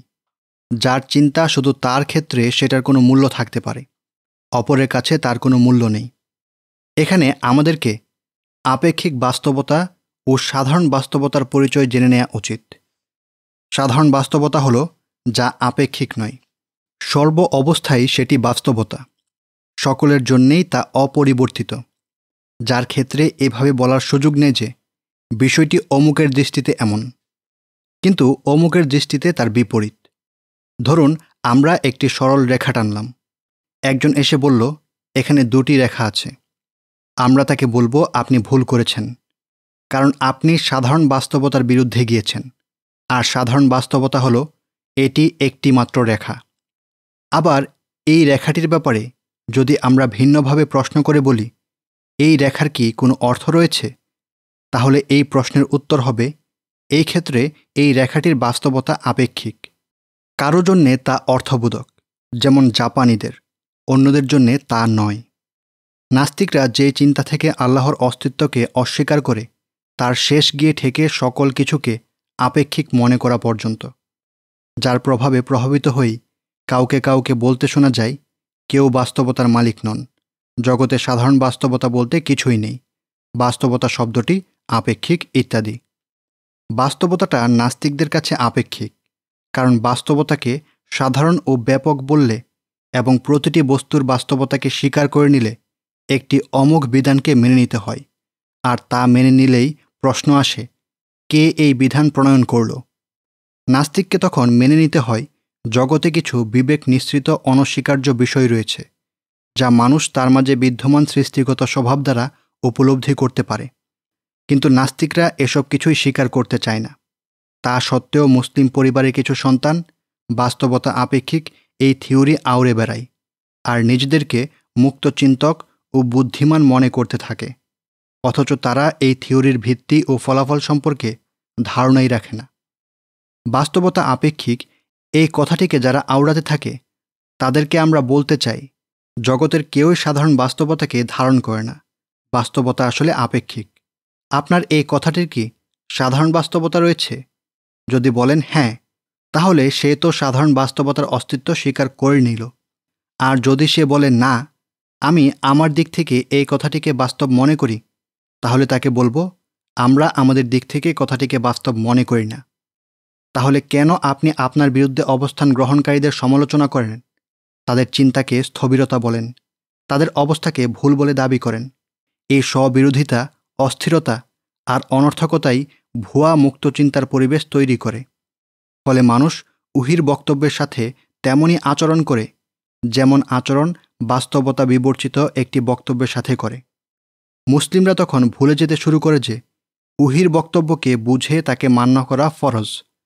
তারা ভাবতে থাকে, বুঝটা আসলে আপেক্ষিক। কারও জন্যে অন্যকে ভুল প্রমাণিত করার সুযোগ নেই। আল্লাহই সব কিছুর স্রষ্টা। নাস্তিকতা যখন ইমানের সার কথা থেকে নয়টি বিষয় অস্বীকার করছে, তখনই তার চরিত্র প্রকাশিত হয়ে গেছে, যেখানে বলা হয়েছিল, আল্লাহ তালা আসমান জমিনকে সৃষ্টি করেছেন সত্যসহ। আপন প্রজ্ঞা দিয়ে তিনি এই ধরার জন্যে নির্ধারণ করেছেন একটি অমোঘ বিধান। মানুষকে তিনি দান করেছেন একটি সৃষ্টিগত স্বভাব, যার ফলে সে বিবেক নিঃসৃত, অনস্বীকার্য বাস্তবতা স্বীকার করে নেয়। যার সাহায্যে মানুষের বিবেক সকল কিছুর বাস্তবতাকে উপলব্ধি করতে পারে। নাস্তিকের কাছে আল্লাহ বলতে কিছু নেই, তাই সৃষ্টিও নেই, প্রজ্ঞাও নেই। নেই অমুক বিধান, নেই সৃষ্টিগত স্বভাব, নেই কোনো বিবেক নিঃসৃত অনস্বীকার্য বিষয়। আশ্বস্ত হওয়ার মতো মানব মস্তিষ্কও নেই নেই কোনো সত্য, নেই কোনো সাধারণ বাস্তবতা, নেই নির্ভরযোগ্য কোনো অনুসন্ধানী ফলাফল, নেই ব্যাপক কোনো অভিজ্ঞতা বা মূলনীতি, তাই সব মস্তিষ্ককে সম্বোধন করার জন্যে নেই কোনো নির্দিষ্ট ভাষা। এভাবেই নাস্তিক সকল বন্ধনকে ছিন্ন করে ফেলল। সব কিছু থেকে বিচ্ছিন্ন হয়ে গেল সব কিছুর উপর সীমালঙ্ঘন করে বসল। আল্লাহ বলেন, আর আপনি অনুসরণ করবেন না সেই ব্যক্তিকে, যার হৃদয়কে আমি আমার স্মরণ থেকে গাফিল করে দিয়েছি, ফলে সে তার প্রবৃত্তির অনুসরণ করছে, আর তার কাজ হল সীমালঙ্ঘন। তোরা কাহাফ, আয়াত আটাশ এই যা কিছু দেখলেন, তা হলো আল্লাহকে অস্বীকার করার ফলাফল। যারা এই মস্তিষ্ক বিকৃতির যে কোনো একটি স্তরে অবস্থান করছে, তারা তাদের নাস্তিকতার ফলাফলগুলো মেনে না নিয়ে চোখ বন্ধ করে বসে আছে। নিজেদের বিশ্বাসের বিপরীতে স্ববিরোধী অবস্থান গ্রহণ করে আছে। উপরোক্ত আলোচনা থেকে বুঝে আসে যে, আল্লাহর অস্তিত্বে বিশ্বাস করা ছাড়া জগতের কোনো বাস্তবতাই সাব্যস্ত হয় না। একমাত্র আল্লাহই সকল পূর্ণতার অধিকারী। তিনিই মানুষের মাঝে সাধারণ বাস্তবতা তৈরি করে দিয়েছেন। যেই বাস্তবতা পর্যন্ত সে একা একা পৌঁছতে পারে না। এটাই হলো আলিমদের সেই গভীর বক্তব্যের বাস্তবতা। আল্লাহ সম্পর্কে জ্ঞান জগতের সকল জ্ঞানের মূল। সুতরাং যে আল্লাহর অস্তিত্বকে অনুভব করতে পারেনি, তার পক্ষে কখনোই কোনো কিছুকে প্রমাণ হিসেবে আঁকড়ে ধরে থাকা সম্ভব নয়। ইমাম ইবনুল কাইয়িম রাহিমাহুল্লাহ এই কথাটিকে বলেছেন, যার সারসংক্ষেপ হল, মহাবিশ্বের স্রষ্টাকে অস্বীকার করা এবং বিবেক ও সৃষ্টিগত স্বভাবের দ্বারা তাকে স্বীকার করে নেওয়ার প্রবণতাকে এড়িয়ে চলা জগতের সকল জ্ঞানকে অস্বীকার করার সামিল। উভয় কাজের মাঝে কোনো পার্থক্য নেই। বরং আলোকিত মেধাবী মস্তিষ্ক ও সুস্থ মানবীয় স্বভাবের কাছে সৃষ্টির প্রতি স্রষ্টার প্রমাণ, স্রষ্টার প্রতি সৃষ্টির প্রমাণের চেয়ে অধিক স্পষ্ট। অর্থাৎ সৃষ্টিকর্তাকে দিয়ে সৃষ্টির অস্তিত্বের প্রমাণ পেশ করা, সৃষ্টিকে দিয়ে সৃষ্টিকর্তার অস্তিত্বের প্রমাণ পেশ করার চেয়েও অধিক স্পষ্ট। সৃষ্টিকৃত বস্তু যতটা আল্লাহর অস্তিত্বের প্রমাণ বহন করে, আল্লাহর অস্তিত্ব তার চেয়ে বেশি সৃষ্টিকৃত বস্তুর অস্তিত্ব প্রমাণ করে।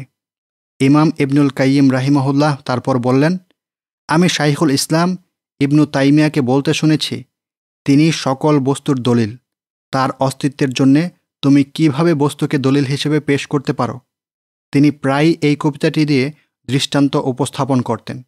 যে মস্তিষ্কের কাছে প্রকাশ্য দিবালোকের জন্যও দলিলের প্রয়োজন হয়, তার কাছে তো জগতের কোনো দলিলই গ্রহণযোগ্য নয়। আজকের পর্ব আমাদেরকে গত পর্বের প্রশ্নগুলোর জবাব খুঁজতে সাহায্য করবে। আমরা সাব্যস্ত করে দেখিয়েছি যে মানুষের মাঝে সৃষ্টিকর্তাকে স্বীকার করার একটি স্বভাবগত প্রবণতা সৃষ্টিগতভাবেই রয়েছে। কিন্তু এই স্বীকারোক্তি কি আল্লাহর অস্তিত্বকে আবশ্যক বলে প্রমাণ করে? আজকের পর্বে আমরা সৃষ্টিগত স্বভাবকে অস্বীকার করার পরিণতি আপনাদের সামনে তুলে ধরেছি। মানুষ নিজের ভেতর থেকে যা অনুভব করে, তাকে মেনে না নিলে ফলাফল কী দাঁড়ায়, তা দেখিয়েছি। এর মাধ্যমে বোঝা যায় যে, ইসলামের দৃষ্টিতে সর্বোচ্চ মূল্যবান বস্তুর নাম হল সত্য, যার অস্তিত্ব ছাড়া আসমান ও জমিন কোনো কিছুই অস্তিত্ব লাভ করতে পারে না। আজকের আলোচনা থেকে আমরা গভীরভাবে আল্লাহর এই আয়াতের অর্থ উপলব্ধি করতে পারি। আপনি কি তাদেরকে দেখেননি, যারা আল্লাহর নিদর্শন সম্পর্কে বিতর্ক করে? সত্য থেকে তাদেরকে কোথায় ফিরিয়ে নেওয়া হচ্ছে? তোরা মমিন, আয়াত ঊনসত্তর। যেন আল্লাহ বলতে চাচ্ছেন, তোমরা কি তাদেরকে দেখেছ, যারা আল্লাহর নিদর্শন ও শরিয়াতের বিধান নিয়ে অনর্থক বিতর্ক করে? দেখেছ কি তাদের পরিণতি কোথায় গিয়ে দাঁড়ায়? অস্থিরতা ও ভ্রষ্টতার কোন উপত্যকায় তারা ঘুরে বেড়ায়? দেশে হারার দল কোথায় গিয়ে তাদের আশ্রয় গ্রহণ করে? এই ছিল সৃষ্টিগত স্বভাব ও বিবেক নিঃসৃত অনস্বীকার্য বিষয়ের আলোকে আল্লাহর অস্তিত্বের প্রমাণ ও তার বিশ্লেষণ।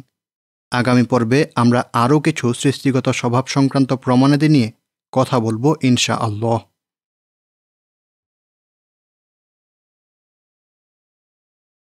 নাস্তিকতার চরিত্র। নাস্তিক পদার্থবিজ্ঞানী স্টিফেন হকিং বলছে the human race is just a chemical scum on a moderate size planet মানব প্রকৃতি মধ্যম আকৃতির কোনো গ্রহের রাসায়নিক বর্জ্য মাত্র প্রশ্ন হল, এটা কি হকিংয়ের ব্যক্তিগত মতামত বা তার পক্ষ থেকে বাড়াবাড়ি? নাকি এটাই নাস্তিকতার চূড়ান্ত ফলাফল? আল্লাহর অস্তিত্ব ছাড়া কি আসলেই মানুষের কোনো নৈতিক মূল্য রয়েছে? আল্লাহর অস্তিত্ব ছাড়া মানুষের উত্তম চরিত্রের কি কোনো নৈতিক মূল্য রয়েছে? আজকের পর্বে আমরা এসব প্রশ্নের উত্তর খুঁজব। দেখব নাস্তিকতা মানুষকে চরিত্রগত কতটা অধপতনের দিকে নিয়ে যায়, তার একটা দৃষ্টান্ত। মনে করুন, আপনার ব্যক্তিগত মোবাইল ফোনে আপনার ভাইয়ের পক্ষ থেকে একটি মেসেজ আসলো। মেসেজটিতে লেখা আছে, তোমাকে দুপুরের দাওয়াত। এই মেসেজটির কি কোনো অর্থ রয়েছে? অবশ্যই। এই মেসেজটি কি সত্য নাকি আপনার ধারণা মাত্র? অবশ্যই সত্য। এই মেসেজটির কি কোনো মূল্য রয়েছে? অবশ্যই রয়েছে। আপনি কি এই মেসেজের উপর ভিত্তি করে কোনো কাজ করবেন? অবশ্যই। আপনি আপনার স্ত্রী ও সন্তানদের বলবেন, আজ দুপুরে আমরা আমার ভাইয়ের বাসায় মেহমান হব। আজ আর বাসায় খাবার রান্না করার প্রয়োজন নেই। ইত্যাদি কথা আপনি দাওয়াতের উপর ভিত্তি করে বলবেন। বিপরীতে চিন্তা করুন। আপনি আপনার পকেটে থাকা মোবাইল ফোনটির কথা ভুলে গেছেন। মোবাইলটির লকও খোলা। মোবাইলটির সাথে আপনার পকেটে বাসার চাবিগুলো আছে। ঘটনাক্রমে আপনার উঠা বসার সময় মোবাইলের বাটনে চাবির চাপ লেগেছে।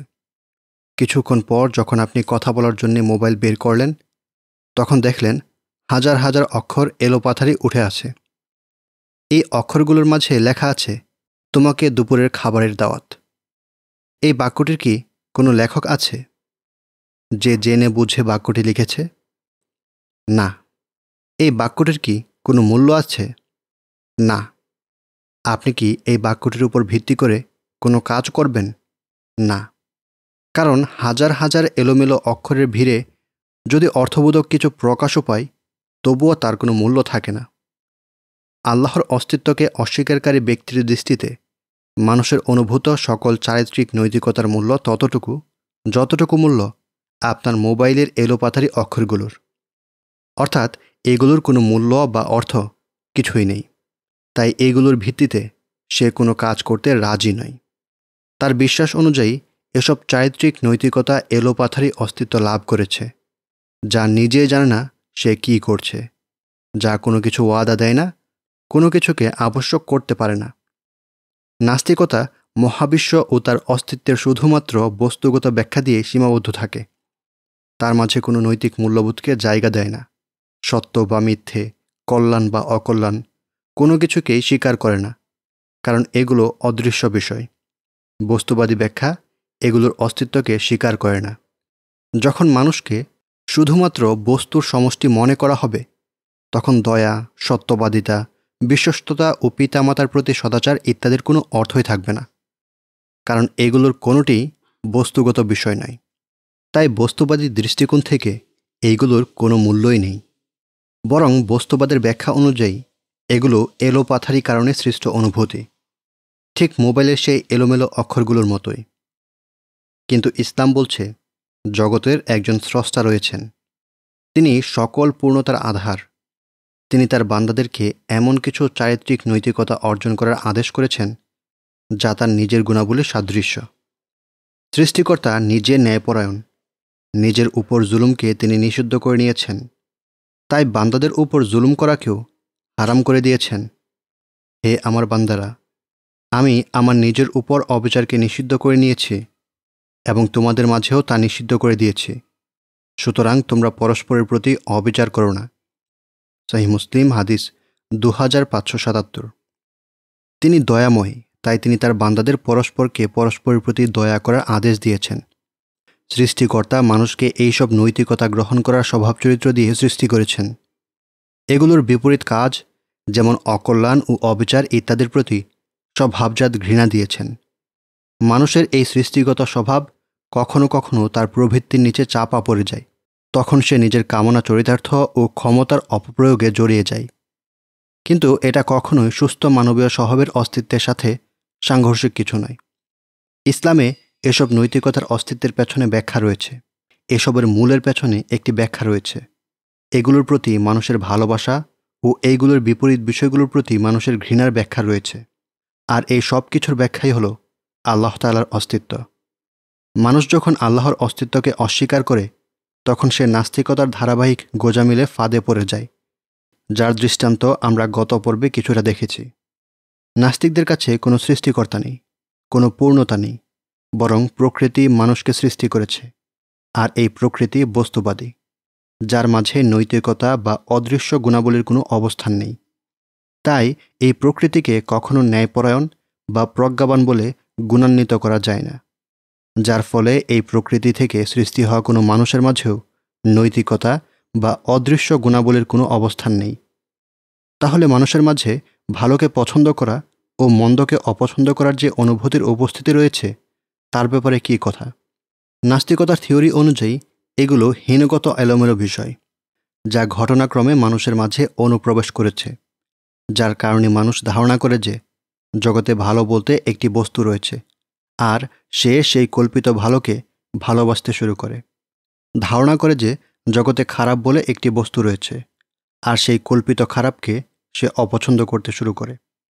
নাস্তিকদের বড় একজন গুরু রিচার্ড ডকিন্সকে বলা হলো, অবশেষে আপনার বিশ্বাস ছিনতাই করা কি ভুল, নাকি এটি একটি পরিপূর্ণ স্বভাবজাত বিষয়? ঠিক যেমন আমার ছয় আঙ্গুলের পরিবর্তে পাঁচ আঙ্গুল নিয়ে বিতর্ক করছি, ব্যাপারটা কি তেমনই? ডকিন্স বলল হ্যাঁ এমনই বলা যেতে পারে। তারা যে কাকতালীয়ভাবে সব কিছু ঘটে যাওয়ার দাবি করে, সেই কাকতালীয়তা থেকেই অন্য একটি অনুভূতি সৃষ্টি হয়। যে অনুভূতি বলে যে, ছিনতাইয়ের মাঝে ভুল কিছুই নেই, বরং বিষয়টি খুবই স্বাভাবিক। আর তাদের মনে অনুভূতি যেটাই হোক না কেন, অর্থাৎ ছিনতাইকে গ্রহণযোগ্য বা অগ্রহণযোগ্য যাই বলা হোক না কেন, উভয় অনুভূতির কোনোটিকেই সত্য বা মিথ্যা বলা সম্ভব নয়। এই অনুভূতি শুধু কাকতালীয়তা থেকেই জন্ম লাভ করেছে। মোট কথা, আল্লাহর অস্তিত্ব অস্বীকারীর কাছে মানুষের চারিত্রিক গুণাবলীগুলোর উৎসের কোনো সন্ধান নেই। আর সেগুলোকে সত্য বা মিথ্যা বলারও সুযোগ নেই। আর তা কোনো সুউচ্চ সত্তার গুণাবলীর সাথে সাদৃশ্যও নয়। আর এইগুলোর জন্যে আখিরাতে মানুষকে কোনো হিসেবও দিতে হবে না। যার ফলাফল দাঁড়াল, মানুষের যে কোনো ধরনের অনুভূতি ও উপলব্ধিকে ব্যাপকভাবে প্রশংসনীয় বা নিন্দনীয় বলে দেওয়ার সুযোগ নেই। এই বক্তব্যের মাধ্যমে নাস্তিকেরা কী ফলাফলে পৌঁছালো? আসুন, আমরা তাদের প্রসিদ্ধ ব্যক্তিত্ব ও গুরুদের মুখে থেকেই তার কিছু দৃষ্টান্ত জেনে নিই। ইসলাম নাকি নাস্তিকতা? কোনটি বেশি যৌক্তিক? এই শিরোনামের বিতর্ক অনুষ্ঠানে প্রফেসর লরেন্স ক্রাউসকে প্রশ্ন করা হয়েছিল। মাহারাম নারীদের সাথে যৌনতা করা নাস্তিকদের দৃষ্টিতে ভুল হবার কারণ কি? অর্থাৎ আল্লাহর অস্তিত্বের উপর ভিত্তি করে যেহেতু কোনো সাধারণ নৈতিকতার ভিত্তি স্থাপিত হয়নি, তাহলে কিসের ভিত্তিতে তোমরা মাহারাম নারীদের সাথে যৌন সম্পর্ক করাকে ভুল মনে করো? এই প্রশ্নের জবাবে কি বলেছিল ক্রাউস? সে বলেছিল, আমার কাছে এটা স্পষ্ট কোনো ভুল কাজ বলে প্রমাণিত নয়। আমাদের দৃষ্টিতে এটা কখনোই ভুল হতে পারে না। সে বলল, আমার কাছে এটা ভুল বলে স্পষ্ট নয়। সেই বিতর্ক অনুষ্ঠানে লরেন্স ক্রাউস যা বলেছিল সেই সম্পর্কে ডকিন্স একটি টুইট করেছে। সে লিখেছে, একজন ইসলামিস্ট প্রশ্ন করেছে, কেন নিকট আত্মীয় নারীদের সাথে যৌন সম্পর্ক করা ভুল? লরেন্স ক্রাউস যুক্তির জবাবে যুক্তি দেওয়ার চেষ্টা করেছেন, কিন্তু আসলে তা শুকরের সামনে মানিক ছড়ানোর মতোই কাজ হয়েছে। তাহলে ক্রাউসের কথাটি ডকিন্সের কাছে মানিক মনে হয়েছে। কিন্তু তার দৃষ্টিতে সমস্যা হলো, যে কথাটিকে খারাপ মনে করেছে, সে আসলে শুকর। সে এই কথাটির মূল্য বুঝতে সক্ষম হয়নি। এই ডকিন্সি তার বই দ্য গড ডিলিউশন বা সৃষ্টিকর্তার ভুল ধারণা নামক বই লিখেছে।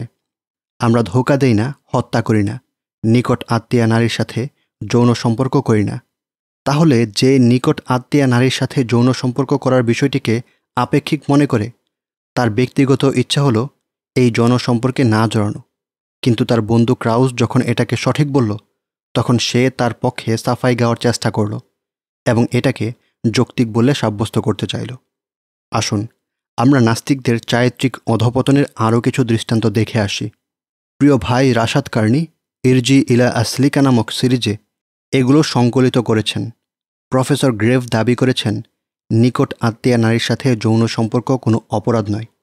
তার মতে এটাকে শাস্তিযোগ্য অপরাধ সাব্যস্ত করে যেই সব আইন প্রণয়ন করা হয়েছে তা বাতিল করা উচিত। বিস্ময়কর ব্যাপার হলো, ইউরোপের একটি দেশে এই ক্ষেত্রে আরও সীমা ছাড়িয়ে গিয়েছে। তারা পার্লামেন্টে নিকট আত্মীয়া নারীর সাথে যৌন সম্পর্ক বৈধ বলে আইন প্রণয়ন করেছে। আপনি ভাবতে পারেন, কীভাবে একজন পিতা তার কন্যার সাথে ব্যবচার করতে পারে? আর কিভাবেই বা এটা কোনো দেশের আইনে বৈধ হতে পারে? আল্লাহর শকর, তিনি আমাদেরকে ইসলাম নামক নেয়ামত দান করেছেন। বাস্তবে নাস্তিকরা নিজেদের প্রবৃত্তির চাহিদা মতো কাজের বৈধতা দিতে পারে।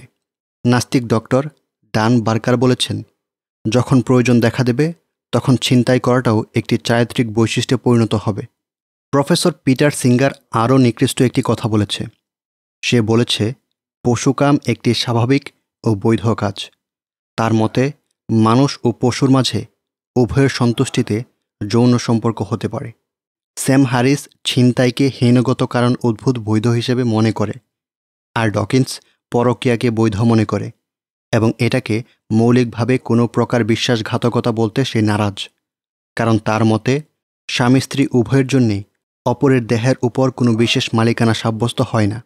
প্রফেসর পিটার সিঙ্গার হার্টের ব্লকে আক্রান্ত নবগত শিশুদের হত্যা করাকে সমর্থন করে, কারণ তার মতে, এটা শিশু ও তার মা বাবার জন্যে কল্যাণকর।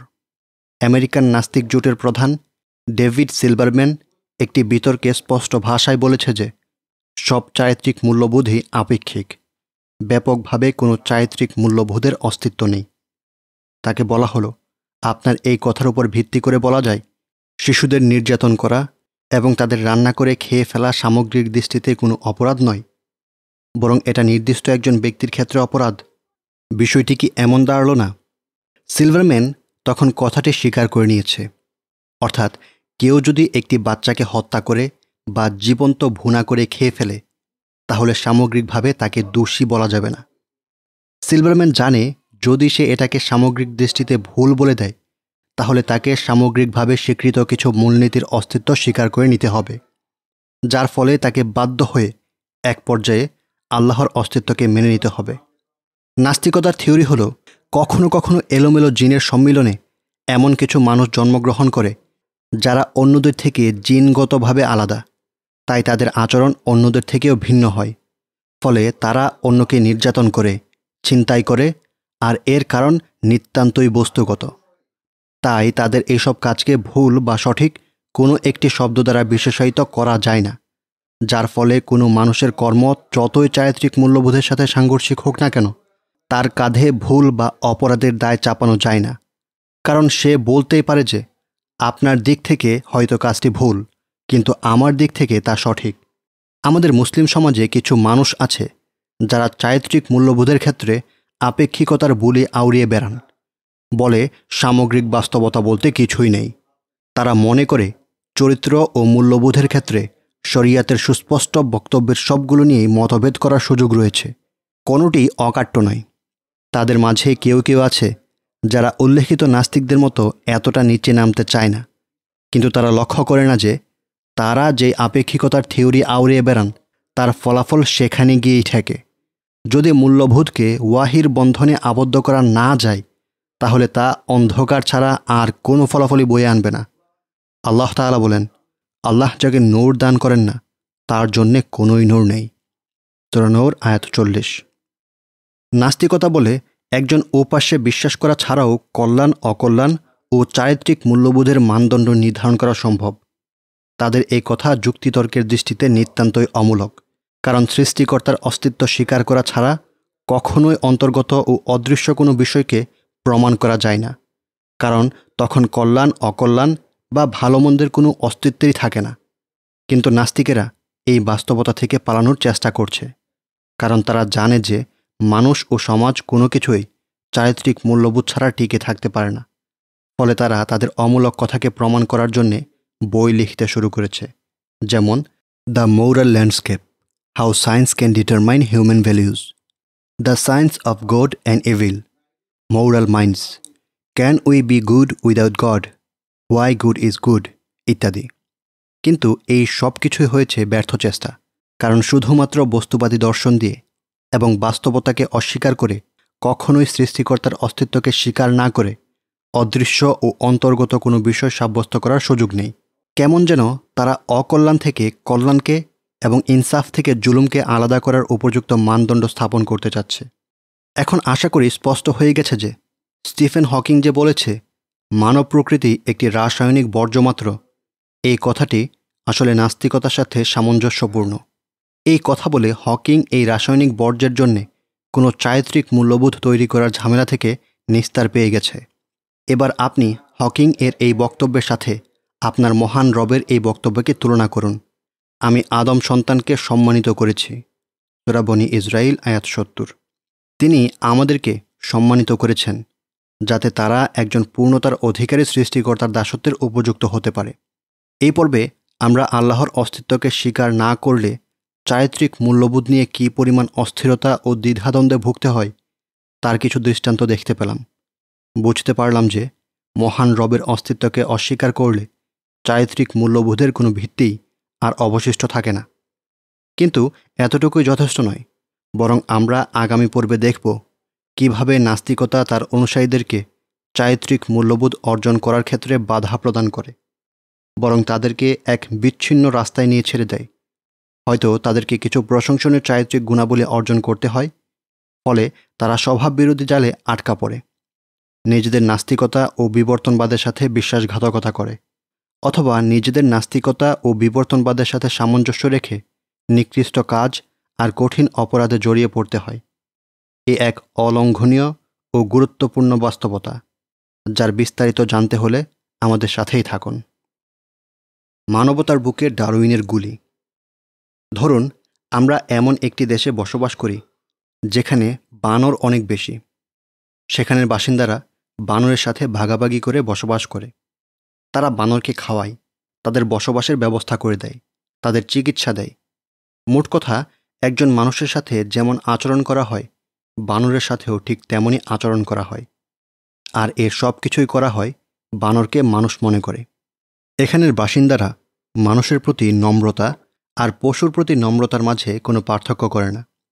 ফলে দিন দিন এখানে বানরের সংখ্যা বৃদ্ধি পেতে শুরু করে এবং মানুষ বিলুপ্ত হতে শুরু করে। আচ্ছা এখানে মানুষদের এই আচরণ কি কোনো প্রশংসাযোগ্য আচরণ? আর এটার সাথে নাস্তিকতারই বা কী সম্পর্ক?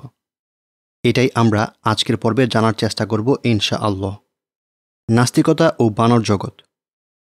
গত পর্বে আমরা দেখেছি, জগতের সকল চারিত্রিক মূল্যবোধ আল্লাহর অস্তিত্বের উপর নির্ভর করে। আল্লাহর অস্তিত্বে যেই ব্যক্তি বিশ্বাস করে না, সে চারিত্রিক মূল্যবোধের সব ভিত্তি হারিয়ে ফেলে। আজ আমরা দেখব আল্লাহর অস্তিত্বের প্রতি এই অবিশ্বাস তথা নাস্তিকতা শুধু চারিত্রিক মূল্যবোধের ভিত্তিকে অস্বীকার করে ক্ষান্ত হয়নি, বরং তা অপরাধ ও সীমা লঙ্ঘনের বড় একটি কারণ হয়ে দাঁড়িয়েছে। নাস্তিকরা যখন আল্লাহর অস্তিত্বকে অস্বীকার করে, তখন তাদের অধিকাংশই ডারউইনের বিবর্তনবাদের দিকে ধাবিত হয়। মানুষের অস্তিত্বের ব্যাখ্যা দিতে গিয়ে তারা এটিকেই বেছে নেয়। ডারউইনের এই তত্ত্ব নিয়ে আমরা ইনশা আল্লাহ উপযুক্ত স্থানে তথ্যভিত্তিক আলোচনা করব। এখানে আমরা শুধু ডারউইনের বিবর্তনবাদ, মানুষের চারিত্রিক অধপনকে কোথায় নিয়ে ঠেকিয়েছে, তার কিছু দৃষ্টান্ত দেখব। আমরা দেখব যে আল্লাহর অস্তিত্বকে স্বীকার করার পরিবর্তে যে বিবর্তন থিওরিকে একদল মানুষ বেছে নিয়েছে তা মানুষের চারিত্রিক মূল্যবোধের মাঝে কি ইতিবাচক প্রভাব ফেলেছে, নাকি তার সম্পূর্ণ বিপরীত কিছু ঘটিয়েছে? ডারউইনের বিবর্তনবাদের ভিত্তি হল, জগতের সকল জীব এলোমেলো রূপান্তর ও প্রাকৃতিক নির্বাচনের দ্বারা একটি অগ্র অধিকার ভিত্তিক কোষের বিবর্তনের মাধ্যমে জন্ম লাভ করেছে। প্রাকৃতিক নির্বাচনের অর্থ হল, এই প্রকৃতির সাথে নিজেকে খাপ খাইয়ে যে সত্তা টিকে থাকতে পারে, সেই এখানে অবস্থান করার সবচেয়ে বেশি উপযুক্ত। আর সবচেয়ে উপযুক্ত সত্তার টিকে থাকার অর্থ হল বিবর্তনের ধারায় অন্যান্য জীবের সাথে লড়াই করে টিকে থাকা। তাই ডারউইনের মতে জীবদের মাঝে পরস্পরের লড়াই প্রকৃতির নিয়ম। এই কথাটি প্রথমে সে তার দ্য অরাইজিন অফ স্পিসিস বইতে, তারপর দ্য ডেসেন্ট অফ ম্যান বইতে লিখেছেন। এই বইতে ডারউইন মানুষের সৃষ্টির ব্যাপারে তার তত্ত্বটিকে প্রত্যাহার করে নিয়েছে এবং মানুষকে বানরের সাদৃশ্য কোনো জীব থেকে বিবর্তিত হিসেবে বিবেচনা করেছে।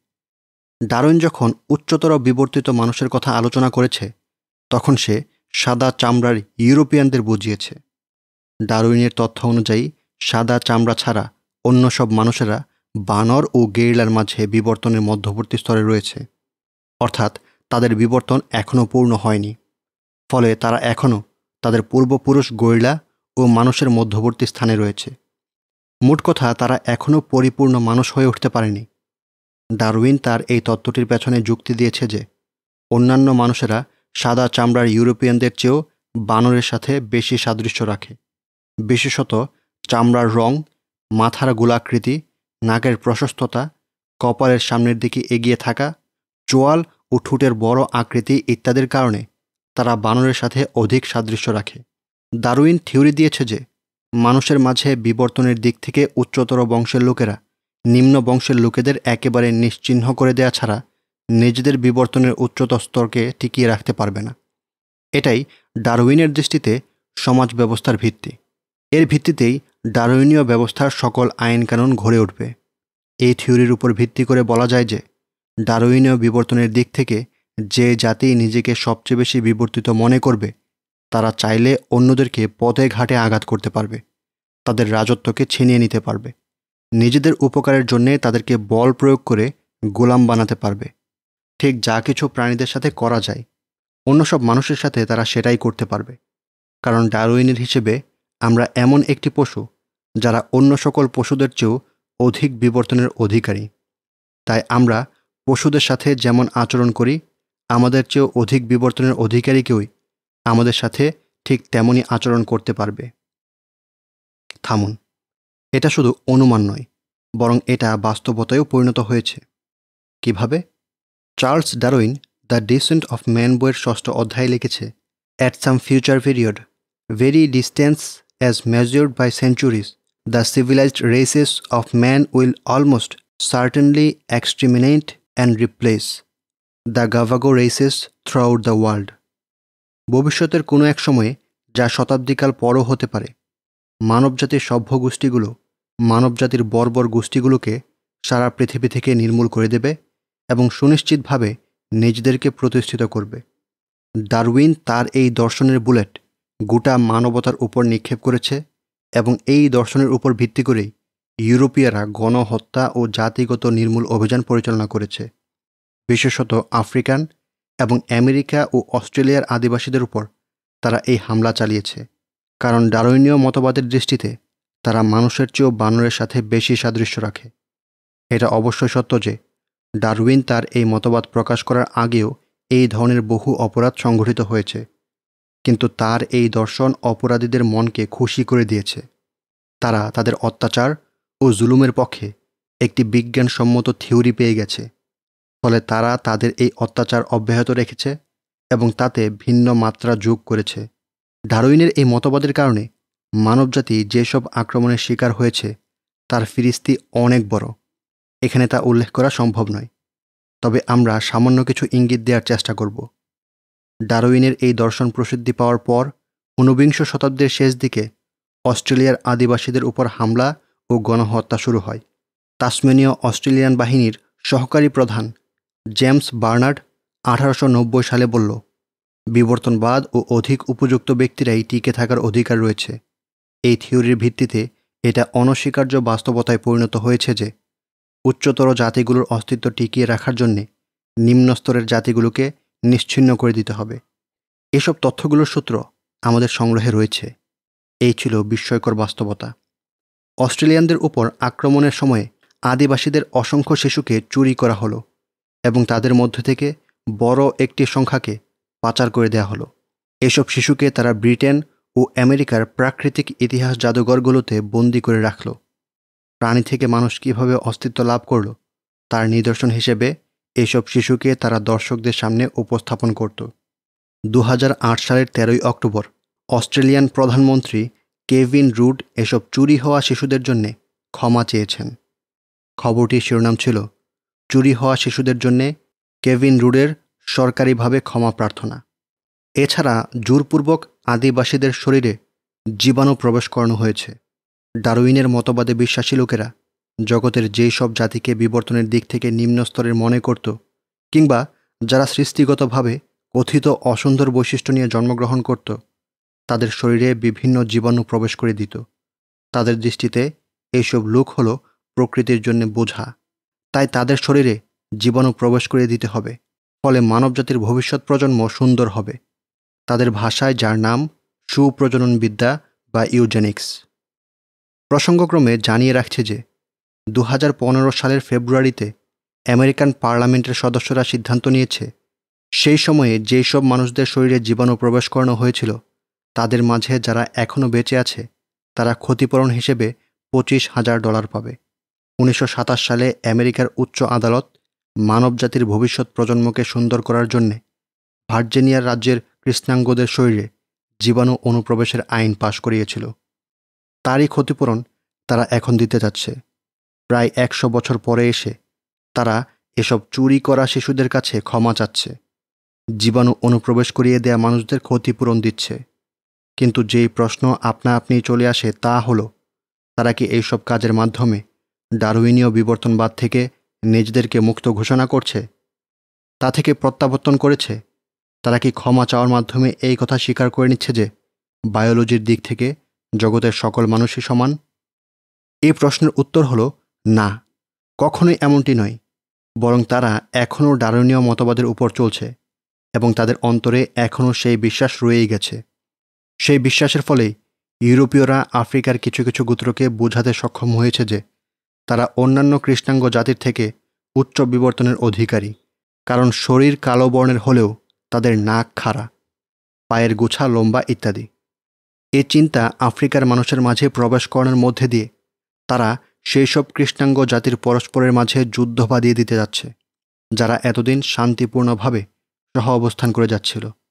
যার ফলে রুয়ান্ডায় টুটসি ও হুতি জাতির মাঝে সেই দুঃখজনক ঘটনাটি ঘটেছে। ডারউইনীয় মতবাদের দৃষ্টিতে, যাদেরকে আপনার চোখে নিম্ন স্তরের বিবর্তনের অধিকারী বলে মনে হবে তাদেরকে যদি আপনি পশু পাখির মতো চিড়িয়াখানাতে বন্দি করে রাখেন, তাহলে মোটেই দূষণীয় কিছু না। অবাক করার কথা হলো, এটা শুধু তত্ত্বভিত্তিক অনুমানই নয়, বরং তা বাস্তবেও ঘটেছে। আমেরিকা ও ইউরোপের একাধিক রাষ্ট্রে বাস্তবে এমন কিছুর অস্তিত্ব আপনি পেয়ে যাবেন। এই ব্যাপারে বহু তথ্য ও চিত্র আপনি ইন্টারনেট ঘেটে পেয়ে যাবেন। প্রয়োজনে হিউম্যান জোজ লিখে গুগলে অনুসন্ধান করুন। আপনার চোখের সামনে অনেক বেদনাদায়ক দৃশ্য ও এই বিষয়ক বহু আর্টিকেল পেয়ে যাবেন। সার্চ করুন the forgotten history of the human garden. মানব চিড়িয়াখানার ভুলে যাওয়া ইতিহাস। আপনার চোখের সামনে কিছু স্পষ্ট ছবি বেসে উঠবে। দেখবেন যে কিছু মানব চিড়িয়াখানায় আটকে রাখা মানুষদের স্বাভাবিক পোশাক পরিধান করতে দেয়া হতো না। নারী ও পুরুষ সবাইকে প্রায় উলঙ্গ রাখা হতো। তাদেরকে দর্শনার্থীদের সামনে নিজেদেরকে উপস্থাপন করার জন্য বলা হতো। আর দর্শনার্থীরা তাদেরকে এক প্রকার পশু বলেই মনে করত। এসব শিরোনামে গুগলে সার্চ করলে আপনার চোখের সামনে একটি শিশুর ছবি আসবে। বেলজিয়ামের রাজধানী ব্রুসেলে মানুষ যাকে খাঁচার বাইরে থেকে দেখার জন্য ভিড় করছে। শ্রেতাঙ্গরা তার সাথে এমনভাবে আচরণ করেছে যে সে তাদের চেয়েও বিবর্তনের দিক থেকে নিম্ন স্তরের। তারা তাকে খাঁচায় আটকে রেখেছে এবং পশুর মতো বাহির থেকে খাবার দিচ্ছে। আপনি গুগলে দেখতে পাবেন ওটা বেঙ্গাস নামে আরও একটি শিশুর ছবি। উনিশশো ছয় সালে আফ্রিকার কিছু ব্যবসায়ী তার মা বাবা ও গোত্রের লোকেদের হত্যা করে তাকে ডারউইনবাদীদের কাছে বিক্রি করে দিয়েছে। তারা তাকে বিবর্তনের একটি নিদর্শন হিসেবে উপস্থাপন করতে চেয়েছে। তাই একটি শিম্পাঞ্জির সাথে পাশাপাশি রেখে তার ছবি তোলা হয়েছে। এমন মানব চিড়িয়াখানা, ব্রক্স ও নিউ সহ বহু জায়গায় ছিল। গুগলে কয়েকটি চিত্র আপনার সামনে আসবে। একজন নারী তার সন্তানকে কুলে নিয়ে মানব চিড়িয়াখানার খাঁচার ভেতর দাঁড়িয়ে আছে। চিত্রটি ফ্রান্সের। আরও একটি চিত্র আপনি দেখতে পাবেন। সেখানে পশুদের সাথে মিলিয়ে কৃষ্ণাঙ্গরদের বিক্রি করা হচ্ছে। এই চিত্রটিও ফ্রান্সের। ডারুইনবাদের এই মর্মান্তিক থাবা মানব জাতিকে যেই পরিমাণ জখম করেছে, তার তালিকা অনেক লম্বা। এই ক্ষেত্রে ডারুইনবাদীরা নিজেরাও নিজেদের অনিষ্ট থেকে বাঁচতে পারেনি। ডারুইনবাদের নামে তারা নিজেরাও পরস্পরকে অপরের চেয়ে অধিক বিবর্তনের অধিকারী মনে করেছে এবং সংঘাতে জড়িয়েছে। ডারউইন তার দ্য ডিসেন্ট অফ ম্যান বইটি লেখার চল্লিশ বছর পর প্রথম বিশ্বযুদ্ধ সংঘটিত হয়েছে। আপনি বলতে পারেন, তার সাথে প্রথম বিশ্বযুদ্ধের কী সম্পর্ক? প্রথম বিশ্বযুদ্ধের কারণ কি সেটা নয়, যেটা আমরা পাঠ্যপুস্তকে পড়েছি। প্রথম বিশ্বযুদ্ধ কি অস্ট্রিয়ার ভবিষ্যৎ শাসক ও তার স্ত্রীকে সার্বিয়ান ছাত্র কর্তৃক হত্যা করার কারণে সংঘটিত হয়নি? উত্তরে আমি বলব, এগুলো ছিল বিচ্ছিন্ন কিছু ঘটনা, যার কারণে গোটা ইউরোপ সামান্য কয়েকদিনের ব্যবধানে একটি বিশ্বযুদ্ধে জড়িয়ে যেতে পারে না, বরং এখানে এমন কিছু বিষয়বস্তু ছিল, যার প্ররোচনায় গোটা ইউরোপ যুদ্ধে নেমে এসেছে। ছিল কিছু ধর্মীয় ও রাজনৈতিক কারণ, আর সবচেয়ে গুরুত্বপূর্ণ কারণ ছিল সামাজিকভাবে ডারউইনিজম ছড়িয়ে পড়া। ডারউইনিজমই তার প্রতি বিশ্বাসী বহু ইউরোপিয়ানকে এই যুদ্ধে নামিয়ে এনেছিল এবং তাদেরকে পশুর মতো আচরণ করতে উদ্বুদ্ধ করেছিল।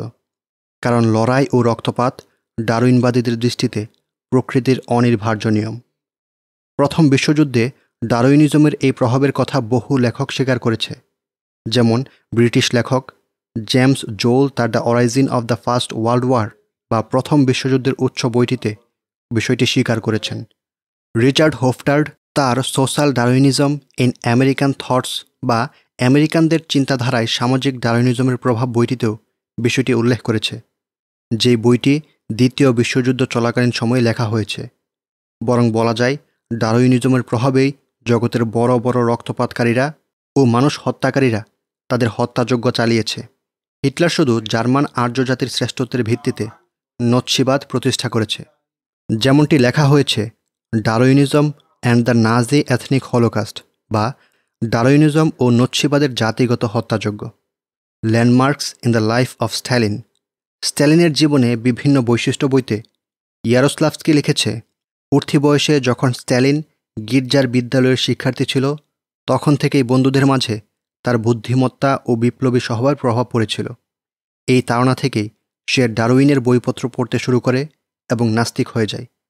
দু হাজার পনেরো সালে সিএনএন আমেরিকা একটি আর্টিকেল প্রকাশ করেছে। যার শিরোনাম, যুদ্ধ হল ডারউইনের সামাজিক দর্শনগুলোর একটি গুরুত্বপূর্ণ বাস্তবতা। এই আর্টিকেলটির সার কথা হলো, যখন ডারউইনের সামাজিক দর্শনগুলো রাষ্ট্রীয় রাজনীতির সর্বোচ্চ শিখরে পৌঁছে যাবে, তখন যুদ্ধ অনির্বার্য হয়ে পড়বে। এখানে এসে নাস্তিক আপনাকে বলবে, জগতে তো ধর্মীয় কারণেও অসংখ্য যুদ্ধ হয়েছে। প্রথমত, সকল ধর্মের মাঝে আমরা কখনো তুলনা করতে যাই না, কারণ জগতে যত ধর্ম আছে তার মাঝে সত্য, মিথ্যা, বিকৃত সব ধরনের ধর্ম রয়েছে। দ্বিতীয়ত, আমরা এখানে ডারউইনিজম সম্পর্কে কথা বলছি। আর বের হয়ে এসেছিল যে, যুদ্ধই এই মতবাদের মৌলিক একটি লক্ষ্য ও চারিত্রিক মূল্যবোধ ও নিয়মনীতি এই মতবাদের দৃষ্টিতে মূল্যহীন। বিপরীতে, ইসলামের দৃষ্টিতে যুদ্ধের অবস্থান কি, তা আমরা সামনে আলোচনা করব ইনশা আল্লাহ যুদ্ধ কি ইসলামের মৌলিক কোনো লক্ষ্য? ইসলামে যুদ্ধের নিয়ম নীতি কী? এইসব বিষয় নিয়ে আমরা এই সিরিজে বিস্তারিত আলোচনা করব। এছাড়াও এই বিষয়ে আমার একটি বক্তৃতা আপনারা ইউটিউবে পেয়ে যাবেন। কি সেই মূল্যবোধ, যার কথা এখন কিছু নাস্তিক ও ডারইনবাদকে বলতে শোনা যায়? স্বাধীনতা, সমতা মানবাধিকার ও নারী অধিকার ইত্যাদি। আসুন আমরা দেখে আসি ডারউইনীয় দর্শন অনুযায়ী নারীর অবস্থান কী। চার্লস ডারউইন নারীকে বিবর্তনের দিক থেকে নিম্ন স্তরের অধিকারী বলে নিজের দর্শন প্রকাশ করেছিল। তার বই দ্য ডেসেন্ট অফ মেনে সে একটি অধ্যায় এই শিরোনামে রচনা করেছে, পুরুষ ও নারীর মেধাগত শক্তি। এই অধ্যায়ে সে নারীর বৈশিষ্ট্যগুলো সম্পর্কে মন্তব্য করেছে। এগুলো নিম্ন স্তরের বিবর্তিত জাতির বৈশিষ্ট্য। তারপর ফরাসি বিজ্ঞানী গ্লাস্তালেভন তার একটি গবেষণাপত্রে বিস্ফোরক মন্তব্য করল। গবেষণাটি বিজ্ঞান ভিত্তিক ম্যাগাজিন রিভিউ অ্যান্থ্রোপোলজিক এটি সোসাইটিয়া এর আঠারোশো সালের দ্বিতীয় পর্বের দ্বিতীয় প্রকাশ করেছিল।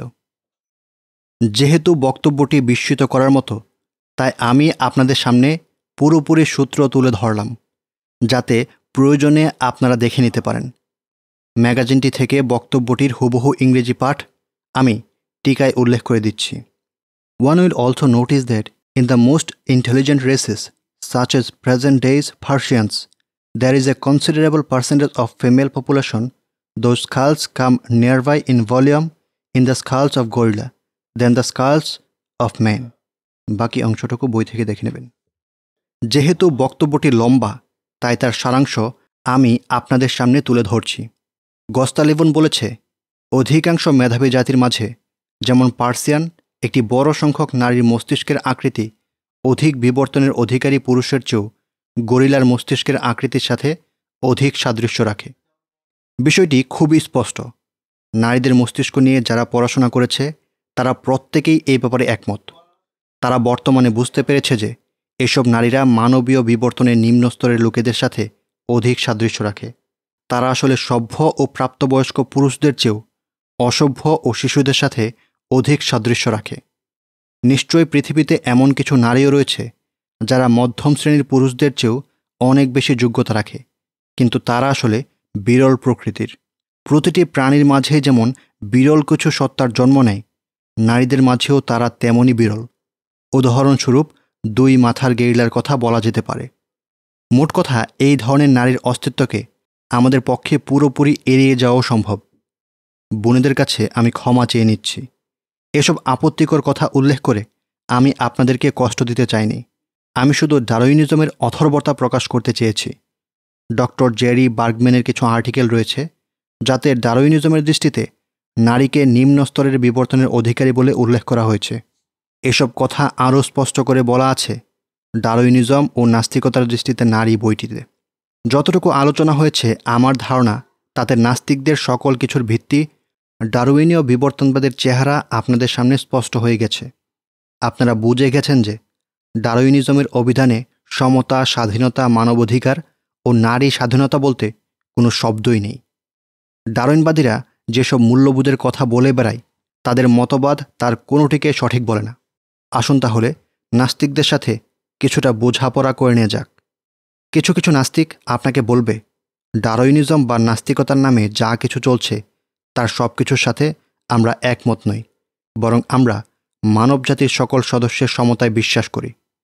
কিন্তু তখন তাদের উদ্দেশ্যে আমাদের প্রশ্ন হলো এই কথা বলে কি আপনারা ডারোইনিজমের সাথে বিশ্বাসঘাতকতা করছেন না? এই কথা বলে তো আপনারা আপনাদের ডারোইনিজমের বিজ্ঞানসম্মত ফলাফল থেকে সরে আসছেন। তথাকথিত বিজ্ঞানসম্মত ডারোইনিজম তো মানব অধিকার বা নারী অধিকার কোনোটিই স্বীকার করে না। সেই দর্শনের দাবি অনুযায়ী তো আপনাদেরকে লড়াইয়ে বিশ্বাসী হওয়া উচিত ছিল।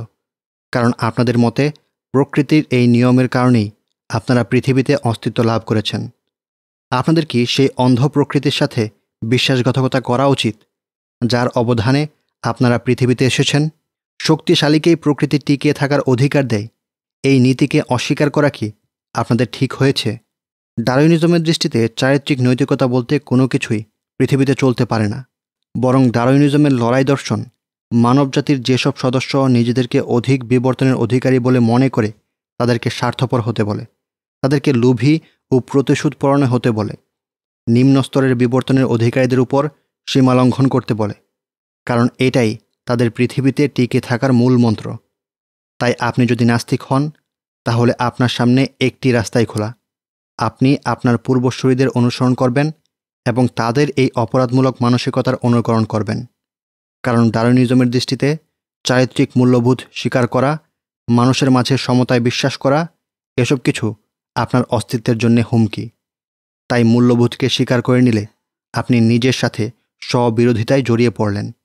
কারণ আপনি জগতের অস্তিত্বের পেছনে যেই বস্তুবাদী ব্যাখ্যা প্রদান করলেন, তা কখনোই অন্তর্গত বিষয় বা অদৃশ্য বিষয়কে স্বীকার করে নেয় না। যার বিস্তারিত বিশ্লেষণ আমরা গত পর্বেই করে এসেছি। কোনো নাস্তিক যদি বস্তুবাদী দৃষ্টিকোণ থেকে বের হয়ে চারিত্রিক মূল্যবোধ মেনে নেওয়ার চেষ্টা করে তাহলে সে নিজেই নিজের বিরুদ্ধে প্রমাণ হয়ে দাঁড়ায়। নিজের বস্তুবাদী ডারোনিজমকে সে নিজেই ব্যর্থ প্রমাণ করে দেয়। এই দর্শন মানুষের প্রয়োজন পূরণের ক্ষমতা রাখে না। এটা সে নিজেই সাক্ষ্য দিয়ে দেয়। কোনো নাস্তিক যখন সকল মানুষের সাথে সমানভাবে প্রয়োগযোগ্য মানবীয় মূল্যবোধের অস্তিত্ব মেনে নেয়, তখন সে দুর্বলের প্রতি দয়া করার মূল্যবোধকে স্বীকার করে। তখন নিজের দর্শন অনুযায়ী সে ভুল কাজে লিপ্ত হয়। তখন সে ওই জনপদের অধিবাসীদের মতো হয়ে যায়। যার দৃষ্টান্ত আমরা আলোচনায় শুরুতে পেশ করেছিলাম। সে তখন বিবর্তনের দিক থেকে নিম্ন স্তরের সত্তাকে ছেড়ে দিয়ে উচ্চ স্তরের সত্তাগুলোর উপর বাড়াভারি করে ফেলে। আমরা মানুষেরা যদি বানরের সাথে মানুষের মতো আচরণ করি, তাহলে তা কখনোই গ্রহণযোগ্য আচরণ হবে না। ডারোইনিজমের দৃষ্টিতে বিভিন্ন জাতি দুর্বল ও প্রয়োজনগ্রস্তদের সহায়তা করার ব্যাপারটিও ঠিক তেমনই। চলুন দেখে আসি সেই সব বিজ্ঞানীদের অবস্থা। যারা ডারুইনিজমের সাথে মিলেমিশে একাকার হয়ে গিয়েছে এবং স্ববিরোধিতা থেকেও বিরত থেকেছিল।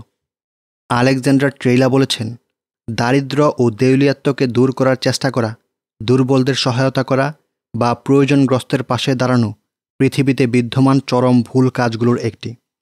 এসব ব্যক্তিদের সাধারণভাবে সাহায্য করা ডারোইনিজমের দৃষ্টিতে একটি মৌলিক ভুল। কারণ এই কাজটি মৌলিকভাবে প্রাকৃতিক নির্বাচনের থিওরির সাথে সাংঘর্ষিক। হাবার্ট স্পেন্সার লিখেছে, গণস্বাস্থ্য রক্ষার চিন্তা, রাষ্ট্রকে স্বাস্থ্যগত নিরাপত্তা নিশ্চিত করার কর্মসূচি এবং নাগরিকদের টিকা দেওয়া, এগুলো প্রাকৃতিক নির্বাচনের থিওরির সাথে স্পষ্ট সাংঘর্ষিক কাজ। একই কথা দুর্বলদের সাহায্য করা, সহায়তা করা, রোগীদের বাঁচানোর চেষ্টা ইত্যাদি সকল কাজের ক্ষেত্রে প্রযোজ্য। এই হল নাস্তিক সম্প্রদায়ের গুরুদের অবস্থা। তারা তাদের দর্শনের সাথে সামঞ্জস্য রেখে কথা বলেছে। তাদের এই বক্তব্যের কি জবাব আছে একজন সাধারণ নাস্তিকের কাছে? কোন অধিকারে তারা তাদের গুরুদের ভুল প্রমাণ করতে পারে? চারিত্রিক মূল্যবোধ ও নৈতিকতাকে প্রমাণ করতে তারা তাদের মতবাদ থেকে কোন দর্শনটিকে প্রমাণ হিসেবে পেশ করতে পারবে? রিচার্ড ওয়েকার্ড মন্তব্য করেছে ডারোইনিজম বা তার প্রকৃতি বিষয়ক ব্যাখ্যা চারিত্রিক মূল্যবোধের মানদণ্ডকে পুরোপুরি বদলে দিতে সফল হয়েছে এবং হিটলার ও তার সমগোত্রীয় লোকেদের কর্মকাণ্ডের সমর্থনে বিজ্ঞানসম্মত ভিত্তি তৈরি করে দিয়েছে। ফলে তারা ও তাদের সহযোগীরা তৃপ্তিবোধ করছে। মানবতার দৃষ্টিতে সবচেয়ে ঘৃণিত অপরাধগুলোকে তারা প্রশংসাজনক কাজ মনে করছে। ডারুইনবাদীদের দৃষ্টিতে যেহেতু অক্ষম ও সক্ষম, মেধাবী ও বোকা, নারী ও পুরুষ, সব মানুষই সমান, তাই তাদের কাছে আমাদের প্রশ্ন হলো, কোন যুক্তির ভিত্তিতে আপনারা ফলাফলে পৌঁছিয়েছেন? এই ক্ষেত্রে কেন আপনারা সবাইকে সমান বলেছেন? কেন মানুষকে আপনারা শিম্পাঞ্জি, গেরিলা ও বিবর্তনের দিক থেকে মানুষের নিকটবর্তী প্রাণীর সমান মনে করছেন না? বিশেষত আপনারা তো মানুষের এমন কোনো আত্মিক গুণাবলীর অস্তিত্বে বিশ্বাস করেন না, যার ভিত্তিতে মানুষকে পশু থেকে আলাদা করা যায়? ফ্রান্সিস ফোকোয়ামা, তার দ্য ইন্ড অফ হিস্ট্রি বইতে এই বিষয়ে যা লিখেছেন তার সর্মর্ম হল, যদি আমরা সত্যিই বিশ্বাস করি নেই যে মানুষ প্রকৃতির নিয়ম অনুসারে পশুত্বেরই একটি স্তরে রয়েছে তাহলে তার জন্যে কোনো নৈতিকতা বা মূল্যবোধ সাব্যস্ত করার প্রশ্নই আসে না। কারণ অধিকারের ক্ষেত্রে তাহলে জগতের সকল প্রাণী সমান হবে। তাছাড়া তখন আমাদেরকে সমতার অধিকার রক্ষা করারও সুযোগ দেওয়া হবে না। কারণ তখন হয়তো পশুদের প্রতিটি স্তরে হিংস্র হবে কিংবা সমতায় বিশ্বাসী হবে। আর দ্বিতীয়টি অসম্ভব। নাস্তিকরা আপনাকে বলবে, জগতে বহু নাস্তিক রয়েছে, যার চরিত্র সুন্দর। আপনি তাদেরকে বলে দিন জগতে চরিত্রবান নাস্তিক বা বদকার মুমিনের অস্তিত্ব অসম্ভব, এমনটি আমরা বলিনি। বরং আমাদের প্রশ্ন হলো, নাস্তিকতা কি কাউকে সুন্দর চরিত্রের প্রতি উদ্বুদ্ধ করে? সন্দেহ নেই যে, অনেক নাস্তিকদের মাঝে ভদ্রতা রয়েছে, কিন্তু এই সুন্দর চরিত্রের কারণ কখনোই তাদের নাস্তিকতা নয়। কারণ যেই ব্যক্তি বিশ্বাস করে যে আমাদের এই জীবনের কোনো লক্ষ্য নেই, কোনো হিসেব নেই, কোনো কর্ম প্রতিদান নেই, কোনো ভালো মন্দ নেই, তার এই বিশ্বাস কখনোই তাকে কোনো চারিত্রিক মূল্যবোধের প্রতি উদ্বুদ্ধ করে না। কিন্তু মানুষ একসময় এসে কিছু জিনিস দ্বারা প্রভাবিত হয়, যেমন শৈশবের প্রতিপালন, আশপাশের পরিবেশ ইত্যাদি। সেই সব কারণেই হয়তো কিছু কিছু নাস্তিক সুন্দর কিছু চারিত্রিক গুণাবলীর অধিকারী হয়ে থাকে, নতবা এই ক্ষেত্রে নাস্তিকতার কোনো ভূমিকাই নেই। পক্ষান্তরে আল্লাহর অস্তিত্বের প্রতি কেউ যদি ইসলামী দৃষ্টিভঙ্গির আলোকে বিশ্বাস স্থাপন করে, তাহলে তার বিশ্বাসই তাকে উত্তম চরিত্রের দিকে ধাবিত করে। কোনো মুমিনের মাঝে যদি কোনো চারিত্রিক সমস্যা থাকে, তাহলে তা তার বিশ্বাসের ত্রুটি থেকেই উচ্চারিত হয়।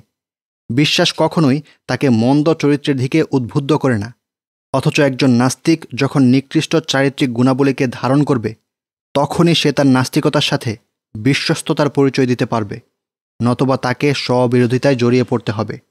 নিজের আদর্শের সাথে বিশ্বাসঘাতকতা করতে হবে। নাস্তিক আপনাকে বলবে ডারউইনিজমের যে দর্শনগুলো মানুষে মানুষে বিভেদ সৃষ্টি করে, আধুনিক বিজ্ঞান সেগুলোর অসারতা প্রমাণ করতে সহায়তা করে। এই জন্যে এই মতবাদটিকে মূল থেকে ভুল মনে করার কোনোই প্রয়োজনীয়তা নেই। এই প্রশ্নের জবাবে আমি শুরুতেই বলে নিচ্ছি যে, ডারউইনীয় অসারতা তুলে ধরার জায়গা এটা নয়। তবে এই কথাটির জবাবে আমরা বলি, ডারউইনের বিবর্তনবাদ বলে মানুষ যেই জগতে বসবাস করছে, তাতে বিদ্যমান প্রতিটি জীবই অব্যাহতভাবে বিবর্তিত হচ্ছে। এই কথার দাবি হলো সবসময় বিবর্তনের দিক থেকে উচ্চতর স্তর ও নিম্ন স্তরের মানুষের অস্তিত্ব থাকবে। এই ব্যাপারে ডারোইনবাদীদের কোনো মতভেদ নেই। তবে কে বিবর্তনের কোন স্তরে রয়েছে, তা নিয়ে তাদের মাঝে মতভেদ দেখা দেয়। মাথার খুলির আকার, চোখের রং, কপালের অগ্রসরতা, নাকের প্রশস্ততা, মেধা, দক্ষতা, মানসিক শক্তি ইত্যাদির তারতম্যের কারণে তাদের মাঝে এইসব নিয়ে মতবিরোধ হয়ে থাকে। কিন্তু সামগ্রিকভাবে ডারোইনিজমের দৃষ্টিতে মানুষের মাঝে উঁচু স্তর ও নিচু স্তরের অস্তিত্ব রয়েছে, যা অনিবার্যভাবেই মানুষে মানুষে বিভেদ ও বিভক্তির দিকে নিয়ে যায়। এত কিছু জানার পর আপনি বুঝতে পারবেন যে, ইসলাম মৌলিকভাবে মানবজাতির পরস্পরের মাঝে সমতার প্রতি জোর দিয়েছে। শুনুন আপনার রবের ঘোষণা, হে মানুষ, আমি তোমাদের এক নারী ও এক পুরুষ থেকে সৃষ্টি করেছি। আর তোমাদেরকে বিভিন্ন জাতি ও গোত্রে বিভক্ত করেছি, যাতে তোমরা পরস্পর পরিচিত হতে পারো। তোমাদের মধ্যে আল্লাহর কাছে সেই বেশি মর্যাদা সম্পূর্ণ যে লোক অধিক তাকোয়াবান নিশ্চয় আল্লাহ তো সর্বজ্ঞ, সম্যক অবহিত। সুরা হুজরাত, আয়াত তেরো। আল্লাহ প্রতিযোগিতার ক্ষেত্র বানিয়ে দিলেন এমন একটি বিষয়কে, যা অর্জনের চেষ্টা প্রতিটি মানুষই করতে পারে। তা হল তাকুয়া শরীরের বর্ণ, ঠোঁটের ধরন নাকের আকৃতি এইগুলো নয়। নাস্তিকতা ও ডারোইনিজমের এই বিবরণ শোনার পর আপনি ইসলামের নিয়ামতকে উপলব্ধি করতে পারবেন। আমাদের নবী সাল্লাহ আলহিহাসাল্লাম বলেছেন, কোনো অনারবের উপর কোনো আরবের শ্রেষ্ঠত্ব নেই। কোনো আরবের উপর কোনো অনারবের শ্রেষ্ঠত্ব নেই। কোনো কালোর উপর কোনো সাদার শ্রেষ্ঠত্ব নেই। কোনো সাদার উপর কোনো কালোর শ্রেষ্ঠত্ব নেই। শ্রেষ্ঠত্ব অর্জিত হবে শুধু তাকুয়ার ভিত্তিতে। মুস্তাদ আহমদ তেইশ হাজার চারশো উননব্বই, সাহি। তিনি আরও বলেছেন, নারী পুরুষের সহোদর। সুনন আবু দাউদ, দুইশো ছত্রিশ, সাহি। সকল প্রশংসা সেই মহান আল্লাহর, যিনি আমাদেরকে শিখিয়েছেন যে আমরা এই পৃথিবীতে বিগ্রহের জন্যে আসেনি, বরং তার দাসত্বের জন্য এসেছি। তিনি তার দাসত্বের গুরুত্বপূর্ণ অংশ হিসেবে মানুষের প্রতি সদাচারকে নির্ধারণ করেছেন, দুর্বলদের প্রতি দয়া প্রদর্শনকে তিনি তার ইবাদতের গুরুত্বপূর্ণ অংশ বলেছেন। সকল প্রশংসা সেই মহান আল্লাহর জন্যে।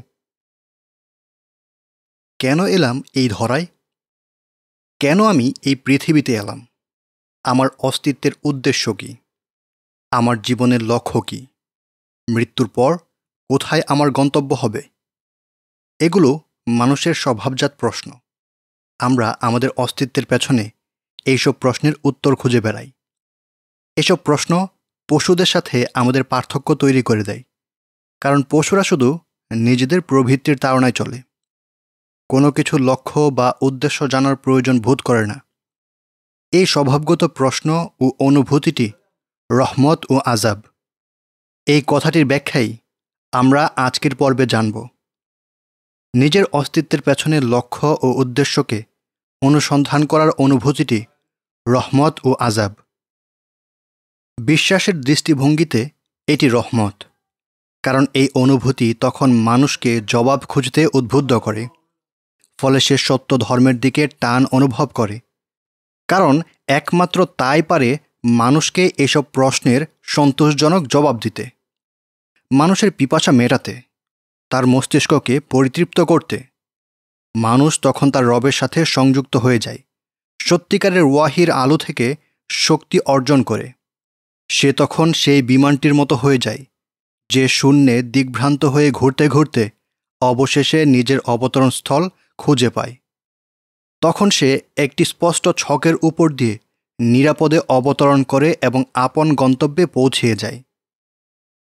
বিপরীত দিকে মানুষের স্বভাবজাত এই প্রশ্নগুলো নাস্তিকতার দৃষ্টিতে আজাব, কারণ তখন মানুষের মাঝে এমন কিছু প্রশ্ন উদিত হয়, নাস্তিকতার কাছে যার কোনো জবাব নেই।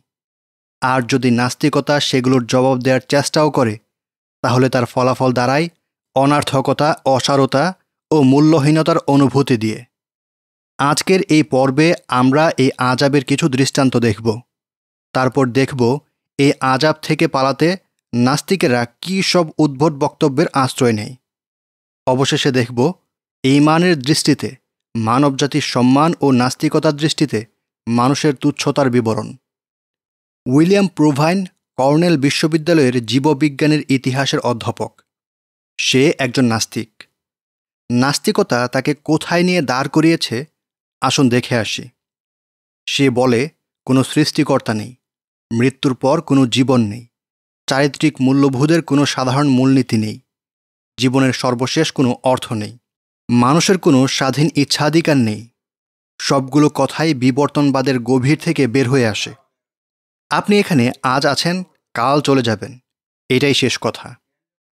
প্রোভাইন আপনাকে ঠিক তাই বলছে যা অতীতের অবিশ্বাসী লোকেরা বলেছিল। দুনিয়ার জীবনই আমাদের একমাত্র জীবন। আমরা মরি ও বাঁচি এখানেই। কালের প্রবাহ ছাড়া আর কিছুই আমাদেরকে ধ্বংস করতে পারবে না। সোরা জাসিয়া, আয়াত চব্বিশ। জীবনের অসারতা কিংবা লক্ষ্যহীনতার বিষয়টি সে স্বীকার করে নিচ্ছে। প্রোভাইন ব্রেইন ক্যান্সারে আক্রান্ত ছিল। কিছুদিন আগে সে সুস্থ হয়েছে, তবে রোগটি আবারও ফিরে আসবে বলে সে আশঙ্কা করছে। এই আশঙ্কার সাথে নাস্তিকতা তাকে কেমন আচরণ করতে শিখিয়েছে, চলুন দেখে আসি। আমি কখনোই হতাশ হয়ে বসে থাকব না, ঠিক যেমনটি গত বছর আমার বড় ভাই করেছিল। একটি রোগের কারণে সে মারা যাচ্ছিল। সে সিদ্ধান্ত নিল যে সে মরে যাবে। কিন্তু আমরা মরে যাওয়ার ব্যাপারে তাকে সহায়তা করতে সক্ষম হলাম না। আমি এভাবে মরতে চাই না। সেই পরিস্থিতি যাওয়ার আগে আমি আমার মাথায় আগুন লাগিয়ে দেব। এই দাঁড়াল ফলাফল। তার মতে, যেহেতু জীবনের কোনো লক্ষ্য বা উদ্দেশ্য নেই, সেহেতু এই জীবনটি হয়তো সুন্দর হবে।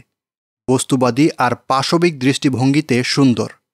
নতবা আমি নিজেই এই জীবনটাকে সমাপ্ত করে দেব। এটাই আমার জন্য ভালো। এই জন্যে আমরা বলি, জীবনের লক্ষ্য ও উদ্দেশ্যের এই প্রশ্ন আল্লাহর অস্তিত্ব অস্বীকারীদের জন্যে আজাব নাস্তিকরা জীবনের লক্ষ্য ও উদ্দেশ্যের এই প্রশ্ন ও আজাবের সাথে কেমন আচরণ করে? চলুন দেখে আসি। চলুন দেখে আসি কীভাবে তারা এই প্রশ্ন থেকে পালিয়ে বেড়ায়। নাস্তিক রিচার্ড ডকিন্সকে প্রশ্ন করা হলো বিজ্ঞান এই প্রশ্নের কি জবাব দেয়? কেন আমরা এই জীবন লাভ করলাম? সে কি উত্তর দিল? নোবেলজয়ী বিজ্ঞানী পিটার মেডওয়ার বলেছেন, আমরা কেন এই পৃথিবীতে এলাম? এই প্রশ্নের জবাব বিজ্ঞানের পক্ষে দেয়া সম্ভব নয়। আমার বুঝে আসছে না যে কীভাবে আমাদের পক্ষে এই কথাটি এতটা আত্মবিশ্বাসের সাথে বলা সম্ভব। আপনার এই কেন প্রশ্নের উত্তরে আমি যা বলি তা হল আপনি কেন ভাবছেন যে এই প্রশ্ন করার অধিকার আপনার রয়েছে? এটি একটি অর্থহীন প্রশ্ন। আপনি যদি প্রশ্ন করেন, কেন পাহাড় সৃষ্টি হলো? তাহলে এটা কেমন প্রশ্ন হলো? এমন অনেক প্রশ্ন আছে যা জবাব পাওয়ার উপযুক্ততা রাখে না। কেন পাহাড় সৃষ্টি হলো? এই প্রশ্নের জবাব, এই প্রশ্নের জবাব আপনি ভূতাত্ত্বিক বিজ্ঞান দিয়ে দিতে পারবেন। কিন্তু সে উত্তরে আপনি সন্তুষ্ট হতে পারবেন না। কারণ আপনি সে উদ্দেশ্যে প্রশ্ন করেননি।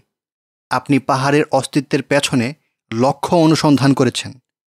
আসলে এটি একটি নির্বুদ্ধিতামূলক প্রশ্ন। এটি জবাব দেওয়ার উপযুক্ত প্রশ্ন নয়। তাহলে ডকিন্সের মতে, আমরা কেন এই পৃথিবীতে এলাম? এই প্রশ্নটি নির্বুদ্ধিতামূলক প্রশ্ন, যা জবাব দেওয়ার উপযুক্ত নয়। প্রশ্নকারীর এমন প্রশ্ন করার অধিকারই নেই। অদ্ভুত! শিশুরাও তো চোখের সামনে যা কিছু দেখে তার লক্ষ্য ও উদ্দেশ্য সম্পর্কে প্রশ্ন করে। আর নাস্তিকতার দৃষ্টিতে মানুষ তার অস্তিত্বের লক্ষ্য সম্পর্কে প্রশ্ন করলে তা হয়ে যায় নির্বুদ্ধিতা। অথচ ধরে নেওয়া যায়, এটাই আমাদের এই জীবনের সবচেয়ে গুরুত্বপূর্ণ প্রশ্ন। পরীক্ষামূলক বিজ্ঞান আমাদের আশপাশের সকল বস্তু ও প্রাকৃতিক উপাদানের লক্ষ্য ও উদ্দেশ্য সম্পর্কে জানার চেষ্টা করে। আর নাস্তিকতার দৃষ্টিতে আপনি সকল বস্তু নিয়ে যেমন ইচ্ছে অনুসন্ধান করতে পারেন যেমন ইচ্ছে প্রশ্ন করতে পারেন। কিন্তু নিজের অস্তিত্বের লক্ষ্য ও উদ্দেশ্য সম্পর্কে আপনার প্রশ্ন করার কোনো অধিকার নেই। যখন আমরা শরীয়তের কোনো বিধান নিয়ে কথা বলি, তখন অনেক সময় আমাদের উপর আপত্তি করে বলা হয়, মানুষ মঙ্গল গ্রহ আবিষ্কার করে ফেলল। আর আপনারা এখনও এমন বিষয় নিয়ে পড়ে আছেন? একই প্রশ্ন আমরা তোমাদেরকেও করতে চাই যে, হে নির্বুধের দল মানুষ চাঁদ ও মঙ্গল আবিষ্কার করে ফেলেছে, ছায়াপথ নিয়ে গবেষণা করছে, যা আমাদের থেকে কয়েক মিলিয়ন আলোকবর্ষ দূরে অবস্থিত। অথচ সে নিজের অস্তিত্বের পেছনে বিদ্যমান লক্ষ্য উদ্দেশ্য সম্পর্কে অজ্ঞ থাকবে? আসলে ডকিন্সের এই চূড়ান্ত নির্বুদ্ধিতামূলক উত্তরটি বাস্তবে তার বস্তুবাদী নাস্তিকতার দর্শন থেকে এসেছে। কারণ এলো পাথারি ও অগোছালো শক্তি কখনো কোনো লক্ষ্যে কাজ করে না। আর পরীক্ষামূলক বিজ্ঞানও বাস্তবে মানুষের জীবনের লক্ষ্য সম্পর্কে জানে না। কিন্তু নাস্তিকতা তাদের বস্তুবাদী দর্শনের অক্ষমতা স্বীকার না করে আমরা কেন পৃথিবীতে এলাম, এই প্রশ্নটিকেই নির্বুদ্ধিতামূলক প্রশ্ন বলে দিচ্ছে। কারণ তাদের বস্তুবাদের কাছে এই প্রশ্নের কোনোই জবাব নেই। ডকিন্স তার রিভার আউট অফ ইডেন বইতে লিখেছে, কোনো কিছু প্রত্যাখ্যানের দ্বারা আমরা জগৎ সম্পর্কে এমন কিছু ধারণা করে বসি যার মাঝে আমরা পুরোপুরি পতিত হই, যদিও তার বাস্তবতায় কোনো লক্ষ্য, উদ্দেশ্য ও ভালো মন্দ নেই। কিছুই নেই একটি অন্ধ ব্যাপরা শক্তি ছাড়া। তার মতো নাস্তিকের এই বক্তব্যে আসলে বিস্মিত হওয়ার কিছুই নেই। জীবনের লক্ষ্য ও উদ্দেশ্য সম্পর্কে প্রশ্ন করলে অনেক নাস্তিক ডকিন্সের এই পন্থা অবলম্বন করে। এই স্বভাবজাত অনুভূতিটিকে নির্বুদ্ধিতা বলে দেয়। আরেক দল নাস্তিক আপনাকে বলবে হ্যাঁ তাত্ত্বিক বিশ্লেষণের ভিত্তিতে বলা যায়, জীবনের কোনো বাস্তব লক্ষ্য বা উদ্দেশ্য নেই। কিন্তু এই দৃষ্টিভঙ্গি নিয়ে আমাদের পক্ষে বেঁচে থাকা অসম্ভব। তাই আমরা নিজেরাই জীবনের লক্ষ্য তৈরি করে নিই। অর্থাৎ আমাদের হৃদয়কে বোঝায় যে জীবনের একটি লক্ষ্য রয়েছে, যার ফলে আমরা বেঁচে থাকতে পারি। এই ধরনের কথা আপনি দর্শনশাস্ত্রের একটি অধ্যায়ও দেখতে পাবেন, যার শিরোনাম অস্তিত্বহীন শূন্যবাদ। মানুষ হয়তো কিছু সময় নিজেকে ধোকা দিয়ে রাখতে পারে, কিন্তু তারপর কি হয়? এই কঠিন বাস্তবতার পরিবর্তে তারা কি বেছে নেয়? অর্থাৎ মৃত্যু পরবর্তী জীবনে বিশ্বাস না করে কীভাবে তারা নিজেদের জীবনকে বোঝায়? কীভাবে তারা নিজেকে বোঝায় যে জীবনের একটি লক্ষ্য রয়েছে? আপনাকে এই প্রশ্নের জবাব দিচ্ছে আমেরিকান ফিল্ম ইন্ডাস্ট্রির একজন বড় চলচ্চিত্র নির্মাতা নাস্তিক উডি অ্যালেন। সে বলেছে এই বিষয়টিকে ভুলে থাকতে আপনি একমাত্র যেই কাজটি করতে পারেন তা হল, আপনি মানুষকে বোঝাতে চেষ্টা করবেন যে এই জীবনে আপনি বেঁচে থাকার উপযুক্ত। এই জীবনের একটি অর্থ রয়েছে, তবে আপনি তাদের ধোকা দেয়া ছাড়া এমনটি করতে পারবেন না। অর্থাৎ বাস্তবে এই জীবনের আসলেই কোনো অর্থ নেই। আমরা একটি এলোমেলো পৃথিবীতে অর্থহীন জীবনযাপন করছি। তাই মানুষকে এটা বোঝানো খুবই গুরুত্বপূর্ণ ও কঠিন কাজ যে এই জীবনের আসলে একটি অর্থ রয়েছে। আমি মনে করি এই কাজটি করার একমাত্র সহজ ও সম্ভব পদ্ধতি হল, মানুষকে বিনোদন দিয়ে এই প্রশ্ন থেকে তাদের মস্তিষ্ককে দূরে সরিয়ে রাখা। এই জন্যে আমি নিজেকে এই কাজে ব্যস্ত রাখি। ফিল্ম তৈরি করা একটি সুন্দর বিনোদনমূলক কাজ, আর এর মাধ্যমে দর্শকেরও উপকার হয়। তারা কল্পিত কিছু চিত্র দেখে নিজেদের মস্তিষ্ককে ব্যস্ত রাখে। ফিল্মের চরিত্রগুলোকে নিয়ে ভাবে ঘরে বাইরে এগুলো নিয়ে আলোচনা করে। তাদের মাথায় এই প্রশ্ন আসে না যে, এই জীবনের অর্থ কী? সে এই কথা ভাবার সুযোগ পায় না যে, একদিন আমি বয়স্ক হয়ে যাব এবং মরে যাব। তার মাথায় প্রশ্ন আসে না যে, আমি মরে যাওয়ার পর আমার প্রিয়জনেরা কি করবে?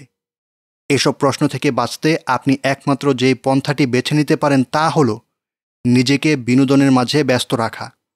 এভাবে আপনার সময় কেটে যাবে। জীবনের বাস্তবতা খোঁজার প্রতি আপনার মনোযোগ চলে যাবে। এজন্যে আমাদের উচিত নিজেদেরকে বিনোদন দেয়া এবং ব্যস্ত রাখা। তাহলে অ্যালেন বলতে চাচ্ছে, মিডিয়া মানুষকে ধোকা দিচ্ছে। তাদেরকে বোঝানোর চেষ্টা করছে যে জীবনের একটি অর্থ রয়েছে। অথচ বাস্তবে তার কোনো অর্থ নেই। আর এই প্রশ্ন ভুলে থাকার সবচেয়ে উত্তম পন্থা হল মানুষকে ব্যস্ততা ও বিনোদনের মাঝে রাখা, যাতে তাদের মাথায় জীবনের লক্ষ্য ও উদ্দেশ্য সম্পর্কে প্রশ্নই না জাগে, যাতে তারা এই তিক্ত বাস্তবতার মুখোমুখি না হয়ে যায় যে এই জীবনের কোনো অর্থ নেই। তাই আপনাকেও এই জন্যে নিজেকে বিনোদন ও ব্যস্ততার মাঝে রাখতে হবে। কারণ আপনি যদি সামান্য সময় নিজের সাথে বোঝাপড়া করতে বসেন, তাহলে অসংখ্য প্রশ্ন আপনার দিকে তেরে আসবে। আপনার জানতে ইচ্ছে হবে, মৃত্যুর পর কি হবে আমার পরিণতি? অ্যালেনের এই কথাগুলো শোনার সাথে সাথে আপনি আপনার রবের এই আয়াতটিও পাঠ করে নিন। তোমরা তাদের মতো হও না যারা আল্লাহকে ভুলে গেছে, ফলে আল্লাহ তাদেরকে ভুলিয়ে দিয়েছেন নিজেদের আত্মপরিচয়। সেরা হাসর আয়াত উনিশ। তারা আল্লাহকে ভুলে গেছে, ফলে তিনি তাদেরকে তাদের সৃষ্টির লক্ষ্যই ভুলিয়ে দিয়েছেন। তাদেরকে তাদের অস্তিত্বের উদ্দেশ্য সম্পর্কেই বেখবর করে দিয়েছেন, ফলে তারা সব কিছু নিয়ে ভাবছে কিন্তু নিজেদের নিয়ে ভাবার সুযোগ পাচ্ছে না। জীবনের লক্ষ্য ও উদ্দেশ্য সম্পর্কে জানার অনুভূতিকে দমিয়ে রাখার আরও একটি পন্থা হল সেটি, যা নাস্তিক প্রফেসর লরেন্স ক্রাউস অনুসরণ করেছেন। এই ক্রাউস কিছুদিন পূর্বে একটি বই প্রকাশ করেছে। বইটির নাম, the greatest story ever told so far why are we here? এই বইয়ের নাম আর বিষয়বস্তুর মাঝে কি পরিমাণ দূরত্ব, তা পড়লেই বুঝতে পারবেন। বইটি মূলত লেখা হয়েছে নাস্তিকদের অনিশ্চিতবাদের চিন্তাকে একটু সহজ করার উদ্দেশ্যে। জীবনের লক্ষ্য ও মৃত্যুর পরের পরিণতি সম্পর্কে যেই প্রশ্ন মানুষের মস্তিষ্কে সহজাতভাবে উদিত হয়, তাকে দমিয়ে রাখার জন্যে। ক্রাউস কনওয়ে বিশ্ববিদ্যালয়ে এই বইটির সারমর্ম নিয়ে একটি কনফারেন্স করেছে। সেই কনফারেন্সের বক্তব্যে সে তার মতে, মহাবিশ্ব যেসব নিয়ম মেনে চলে, তার রহস্য ও সূক্ষ্মতা ব্যাখ্যা করেছে। সে বলেছে, আমরা যে পৃথিবীতে বসবাস করছি, তা অন্য সব গ্রহ থেকে অনেক ভিন্ন, কিন্তু তা এলো পাথারি সৃষ্ট। ক্রাউসের এই কথার ফলাফল কি দাঁড়িয়েছে? চলুন তার মুখ থেকেই শুনে আসি। মহাবিশ্ব শুধুমাত্র কল্পনা নয়, বরং তা এলো পাথারি সৃষ্ট, আর আমাদের অস্তিত্বের পেছনেও কোনোই কারণ নেই।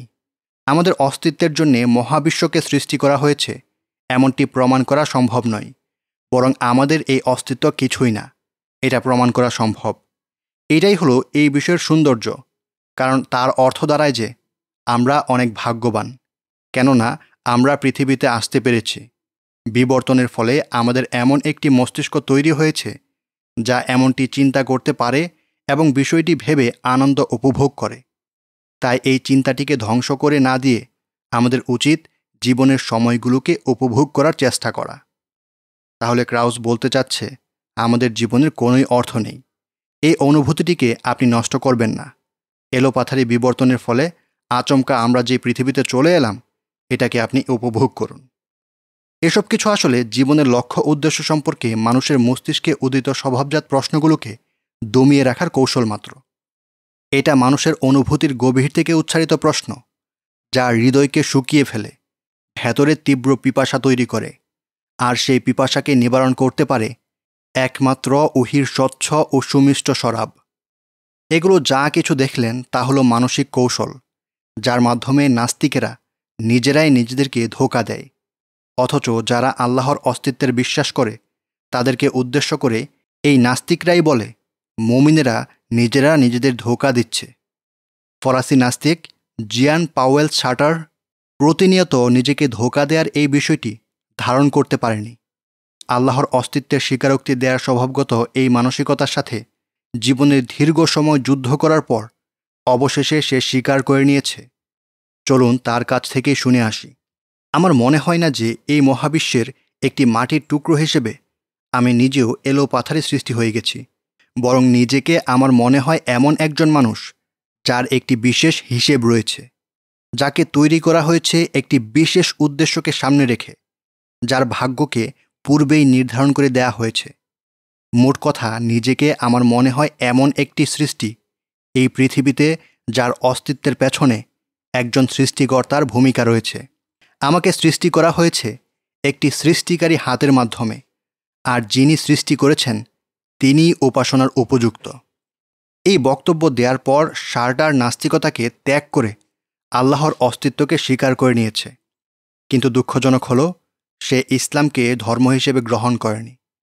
আমরা আবারও পুনরাবৃত্তি করতে বলছি, জীবনের লক্ষ্য উদ্দেশ্য সম্পর্কে প্রশ্ন করার যে অনুভূতি, তার প্রতিক্রিয়া নাস্তিকের জন্যে অনেক বেশি বেদনাদায়ক। কারণ মানুষকে যখন লক্ষ্যহীন মনে করা হয়, তখন সে মূল্যহীন হয়ে যায়। নিজেকে তুচ্ছ ও মূল্যহীন মনে করা কি খুব সহজ? নাস্তিক স্টিফেন হকিংয়ের বক্তব্য আমরা পূর্বেই উল্লেখ করেছিলাম, মানবজাতি রাসায়নিক বর্জ্য ছাড়া কিছুই নয়। সে এই কথাও বলেছে, আমরা আসলে পুরোপুরি গুরুত্বহীন একটি সৃষ্টি। কারণ আমাদের পক্ষে এই কথা বলা সম্ভব নয় যে আমাদের জন্যেই এই মহাবিশ্ব অস্তিত্ব লাভ করেছে। এছাড়াও নাস্তিকদের বিভিন্ন ওয়েবসাইটে হুবহু এই শব্দে এই কথা পেয়ে যাবেন। মহাবিশ্ব সম্পর্কে আমাদের নতুন ধারণা আমাদেরকে বলছে যে আমরা মহাবিশ্বের মাঝে একটি তুচ্ছতম বস্তু। কোনোভাবেই আমাদের কোনো মূল্য নেই। যেহেতু আমরা গুরুত্বহীন তবে কেন আমাদের জন্যে এই মহাবিশ্ব সৃষ্টি হতে যাবে? পক্ষান্তরে ইসলামের দৃষ্টিতে আমরা একটি মহান উদ্দেশ্যে সৃষ্ট, আর তা হল মহান আল্লাহর দাসত্ব।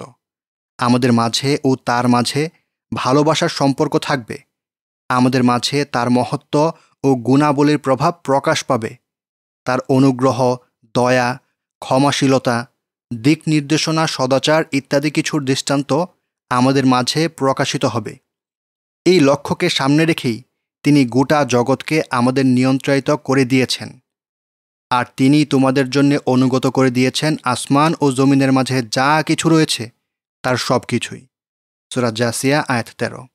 অপরদিকে নাস্তিকরা আপনাকে বলবে, না, বরং আমরা তুচ্ছ ও গুরুত্বহীন। তা সত্ত্বেও কেউ কেউ মনে করে, নাস্তিকতা মানুষকে সম্মান করে। নাস্তিকদের অবস্থা বলছে তাদের জীবনের উদ্দেশ্য হলো মানুষকে এই কথা বোঝানো যে জীবনের কোনো লক্ষ্য নেই। নাস্তিকতার দর্শনে মানুষ শুধুমাত্র একটি রাসায়নিক বর্জ্য, তুচ্ছ। মহাবিশ্ব তার জন্যে সৃষ্টি হবে, এই যোগ্যতা তার নেই। তার মূল হল নিম্ন জাতের এক পশু। তার বিবেকের সত্যায়নের ক্ষেত্রে সে নিজে সন্দেহগ্রস্ত। তার জীবনের কোনো অর্থ নেই, তার কোনো চারিত্রিক মূল্য নেই, জীবনের কোনো লক্ষ্য নেই। বরং নিজের লক্ষ্য ও পরিণতি সম্পর্কে প্রশ্ন করাই হলো তার নির্বুদ্ধিতার প্রমাণ। এর বাইরে কোনো নাস্তিক যদি কিছু বলতে যায়, তাহলে অবশ্যই সে তার নাস্তিকতার সাথে বিরোধিতা করছে। সে স্ববিরোধিতায় লিপ্ত। এত কিছু সত্ত্বেও কেউ কেউ বিশ্বাস করে, নাস্তিকতাবাদ মানুষ ও মস্তিষ্ককে সম্মান করে। সকল প্রশংসা আল্লাহর। তিনি আমাদেরকে তার দাসত্বের স্থান দিয়ে সম্মানিত করেছেন। আমাদেরকে সেই সব অপদস্থ ব্যক্তিদের অন্তর্ভুক্ত করেননি, যাদেরকে তিনি নিজের গোলামের সম্মান দান করেননি। ফলে তারা নিজেরাই নিজেদেরকে অপদস্থ করছে। আল্লাহ যাকে অপদস্থ করেন, তাকে সম্মান দান করার কেউই নেই। সুরা হাজ, আয়াত আঠারো। রক্তমাংসের রুবট। ইসলাম বলে, আল্লাহ তালা মানুষকে সৃষ্টিগত যে সকল স্বভাব দান করেছে তার মাঝে একটি হল, তার আওতাধীন কর্মগুলোর ক্ষেত্রে নিজের ইচ্ছাশক্তিকে স্বাধীন বলে অনুভব করা। আর এই স্বাধীন ইচ্ছাধিকারী আল্লাহর পক্ষ থেকে মানুষের প্রতি ইনসাফ, যার ফলে মানুষ তার ইচ্ছাধিকারের ফলাফল ভোগ করবে। যদি সে তার সদ্য ব্যবহার করে, তাহলে আল্লাহ তাকে প্রতিদান দেবেন। আর যদি সে অসদ্য ব্যবহার করে, তাহলে তাকে শাস্তির সম্মুখীন করবেন। পক্ষান্তরে নাস্তিকেরা বলে, সৃষ্টিকর্তা বলতে কিছুই নেই, সৃষ্টিগত স্বভাব বলতে কিছুই নেই, আত্মা বলতে কিছুই নেই, বরং আমরা হলাম কিছু বস্তুর সমষ্টি, কিছু অনুর সম্মিলিত রূপ।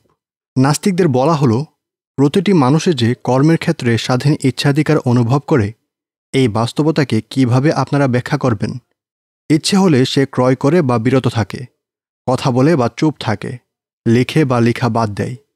অথচ আপনাদের মত অনুযায়ী যেই সব সম্মিলনে মানুষ সৃষ্টি হয়েছে, সেগুলোর তো কোনো ভূত শক্তি নেই নেই কোনো ইচ্ছাধিকারও, বরং সেগুলো প্রসিদ্ধ জৈব রাসায়নিক নিয়ম অনুসরণ করে চলে। সুতরাং আমাদের কর্মগুলো যদি হীনগত কারণেই হয়, যা এলোপাথারিভাবে আমাদের মাঝে সম্মিলিত হয়েছে, তাহলে আমরা তো রোবট ছাড়া কিছুই নই। কাজেই আমরা শুধু নির্দিষ্ট কিছু কাজই করতে পারব। আপনি কি এমন কোনো রোবট দেখেছেন যে তাকে যার জন্যে তৈরি করা হয়েছে, সেই কাজের বাইরে নিজে নিজে কোনো কাজ করতে পারে? নাস্তিকদের বস্তুবাদী নাস্তিকদের বস্তুবাদী ব্যাখ্যা অনুযায়ী আমরাও তো, নাস্তিকদের বস্তুবাদী ব্যাখ্যা অনুযায়ী আমরাও তো তাহলে যান্ত্রিক রোবটের মতো রক্ত মাংসের রোবট। কিন্তু এসব কিছুর পর মানুষের স্বাধীন ইচ্ছাশক্তিকে নাস্তিকেরা কীভাবে ব্যাখ্যা করবে? এটি এমন একটি প্রশ্ন যার উত্তর দিতে গিয়ে নাস্তিকরা প্যারেশান হয়ে যায়। বরং গোজামিল দেয়া শুরু করে। যেমনটি রিচার্ড ডকিন্স ও লরেন্স ক্রাউস উভয়ের উপস্থিতিতে একটি টক শোতে ডকিন্স বলেছিল যে, এই প্রশ্নটি তাকে ভীত করে তোলে। মানুষের স্বাধীন ইচ্ছাধিকার নেই বলে যে বস্তুবাদী ব্যাখ্যায় সে বিশ্বাস করে, এই প্রশ্ন সেই বিশ্বাসকে হুমকির মুখে ফেলে দেয়। অবশেষে নাস্তিকরা এই পরিস্থিতি থেকে নিস্তার পেতে স্পষ্ট বাস্তবতাকে অস্বীকার করে পালিয়ে যায়। বিবেক নিঃসৃত অনির্ভার্য বিষয়কেও এই ক্ষেত্রে তারা অস্বীকার করে বসে। তাদের অনেকেই তাই মানুষের মাঝে বিদ্যমান স্বাধীন ইচ্ছাধিকারের অস্তিত্বকে অস্বীকার করেছে। ঠিক যেমন তারা অস্বীকার করেছিল বিবেক নিঃসৃত অনির্ভার্য বিষয়, চারিত্রিক মূল্যবোধ, ধর্ম পালনের ফিতরাতগত প্রবণতা এবং জীবনের লক্ষ্য উদ্দেশ্য সম্পর্কে মানুষের মনে উদিত স্বভাবজাত প্রশ্নকে। আপনি দেখবেন, ডকিন্স তার রিভার আউট অফ ইডেন বইতে লিখেছে জেনেটিক কোড কোনো কিছু মনে রাখতে পারে না এবং কোনো কিছু জানেও না। এটি শুধুই কোড মাত্র। আমরা তার ছন্দ অনুযায়ী চলতে থাকি। মোট কথা, আমরা হলাম রোবট। আমাদের শরীরে বিদ্যমান জিনগুলো আমাদেরকে পরিচালিত করে। স্নায়ুবিজ্ঞানী স্যামুয়েল হ্যারিস একটি বই লিখেছে, যার নাম ফ্রি উইল বা স্বাধীন ইচ্ছাধিকার। এই বইয়ের পঞ্চম অধ্যায়ে সে লিখেছে, স্বাধীন ইচ্ছাধিকার একটি ভুল ধারণা। এই বইতে সেই মানুষকে বায়োকেমিক্যাল পুতুল বলে বিশেষায়িত করেছে। অর্থাৎ তার মতে মানুষ একটি রাসায়নিক জীবন্ত পুতুল, যার একটি চিত্র সে তার বইয়ের প্রচ্ছদেও ফুটিয়ে তুলেছে। সে গর্ব করে বলেছে, এটা বিশ্বাসবিরোধী বইগুলোর মাঝে সবচেয়ে বেশি বিকৃত হয়েছে। নাস্তিকদের দৃষ্টিতে এটা বিরাট সফলতা, কারণ তাদের ধারণা তারা এই বইয়ের মাধ্যমে তাদের অনুসারীদেরকে পরিতৃপ্ত করতে পেরেছে। তারা বোঝাতে পেরেছে যে আসলে সৃষ্টিকর্তা বলতে কেউই নেই। মানুষ একটি রক্তমাংসের পুতুল মাত্র। পরিবেশ ও বিবর্তন বিষয়ক প্রফেসর জ্যারি কুয়েন একটি প্রবন্ধ লিখেছে, যার শিরোনাম হল, আপনি স্বাধীন ইচ্ছাধিকারের মালিক নন। এটাই আসলে নাস্তিকতা ও বস্তুবাদের সাথে সামঞ্জস্যপূর্ণ দর্শন। এসবের দাবি হল, কিছুতেই মানুষের স্বাধীন ইচ্ছাধিকার থাকতে পারে না। কিন্তু নাস্তিকতা কি স্বাধীন ইচ্ছাধিকারকে অস্বীকার করে এই গর্ত থেকে পালাতে সক্ষম হয়েছে? নাকি তারা গর্ত থেকে পালাতে গিয়ে সোজা সমুদ্রে গিয়ে পড়েছে? বরং তারা এমন অসংখ্য প্রশ্নের মুখে পড়ে গেছে, যার উত্তর তাদের জানা নেই। এক, যদি কর্মের ক্ষেত্রে মানুষের কোনো স্বাধীন ইচ্ছাধিকার নাই থাকে, কেন তাকে অপরাধের কারণে শাস্তি দেওয়া হবে? হত্যা, চুরি বা ছিনতাই ইত্যাদি সকল মন্দ কাজও যদি সে করে ফেলে, তবে কোন যুক্তিতে তাকে শাস্তি দেওয়া হবে? কোন কারণের ভিত্তিতে আমরা তাকে শাস্তি দিতে পারি? সেও তো নিজের জিনের অনুগত, যা নিজের অনিচ্ছাও তাকে নিয়ন্ত্রণ করে।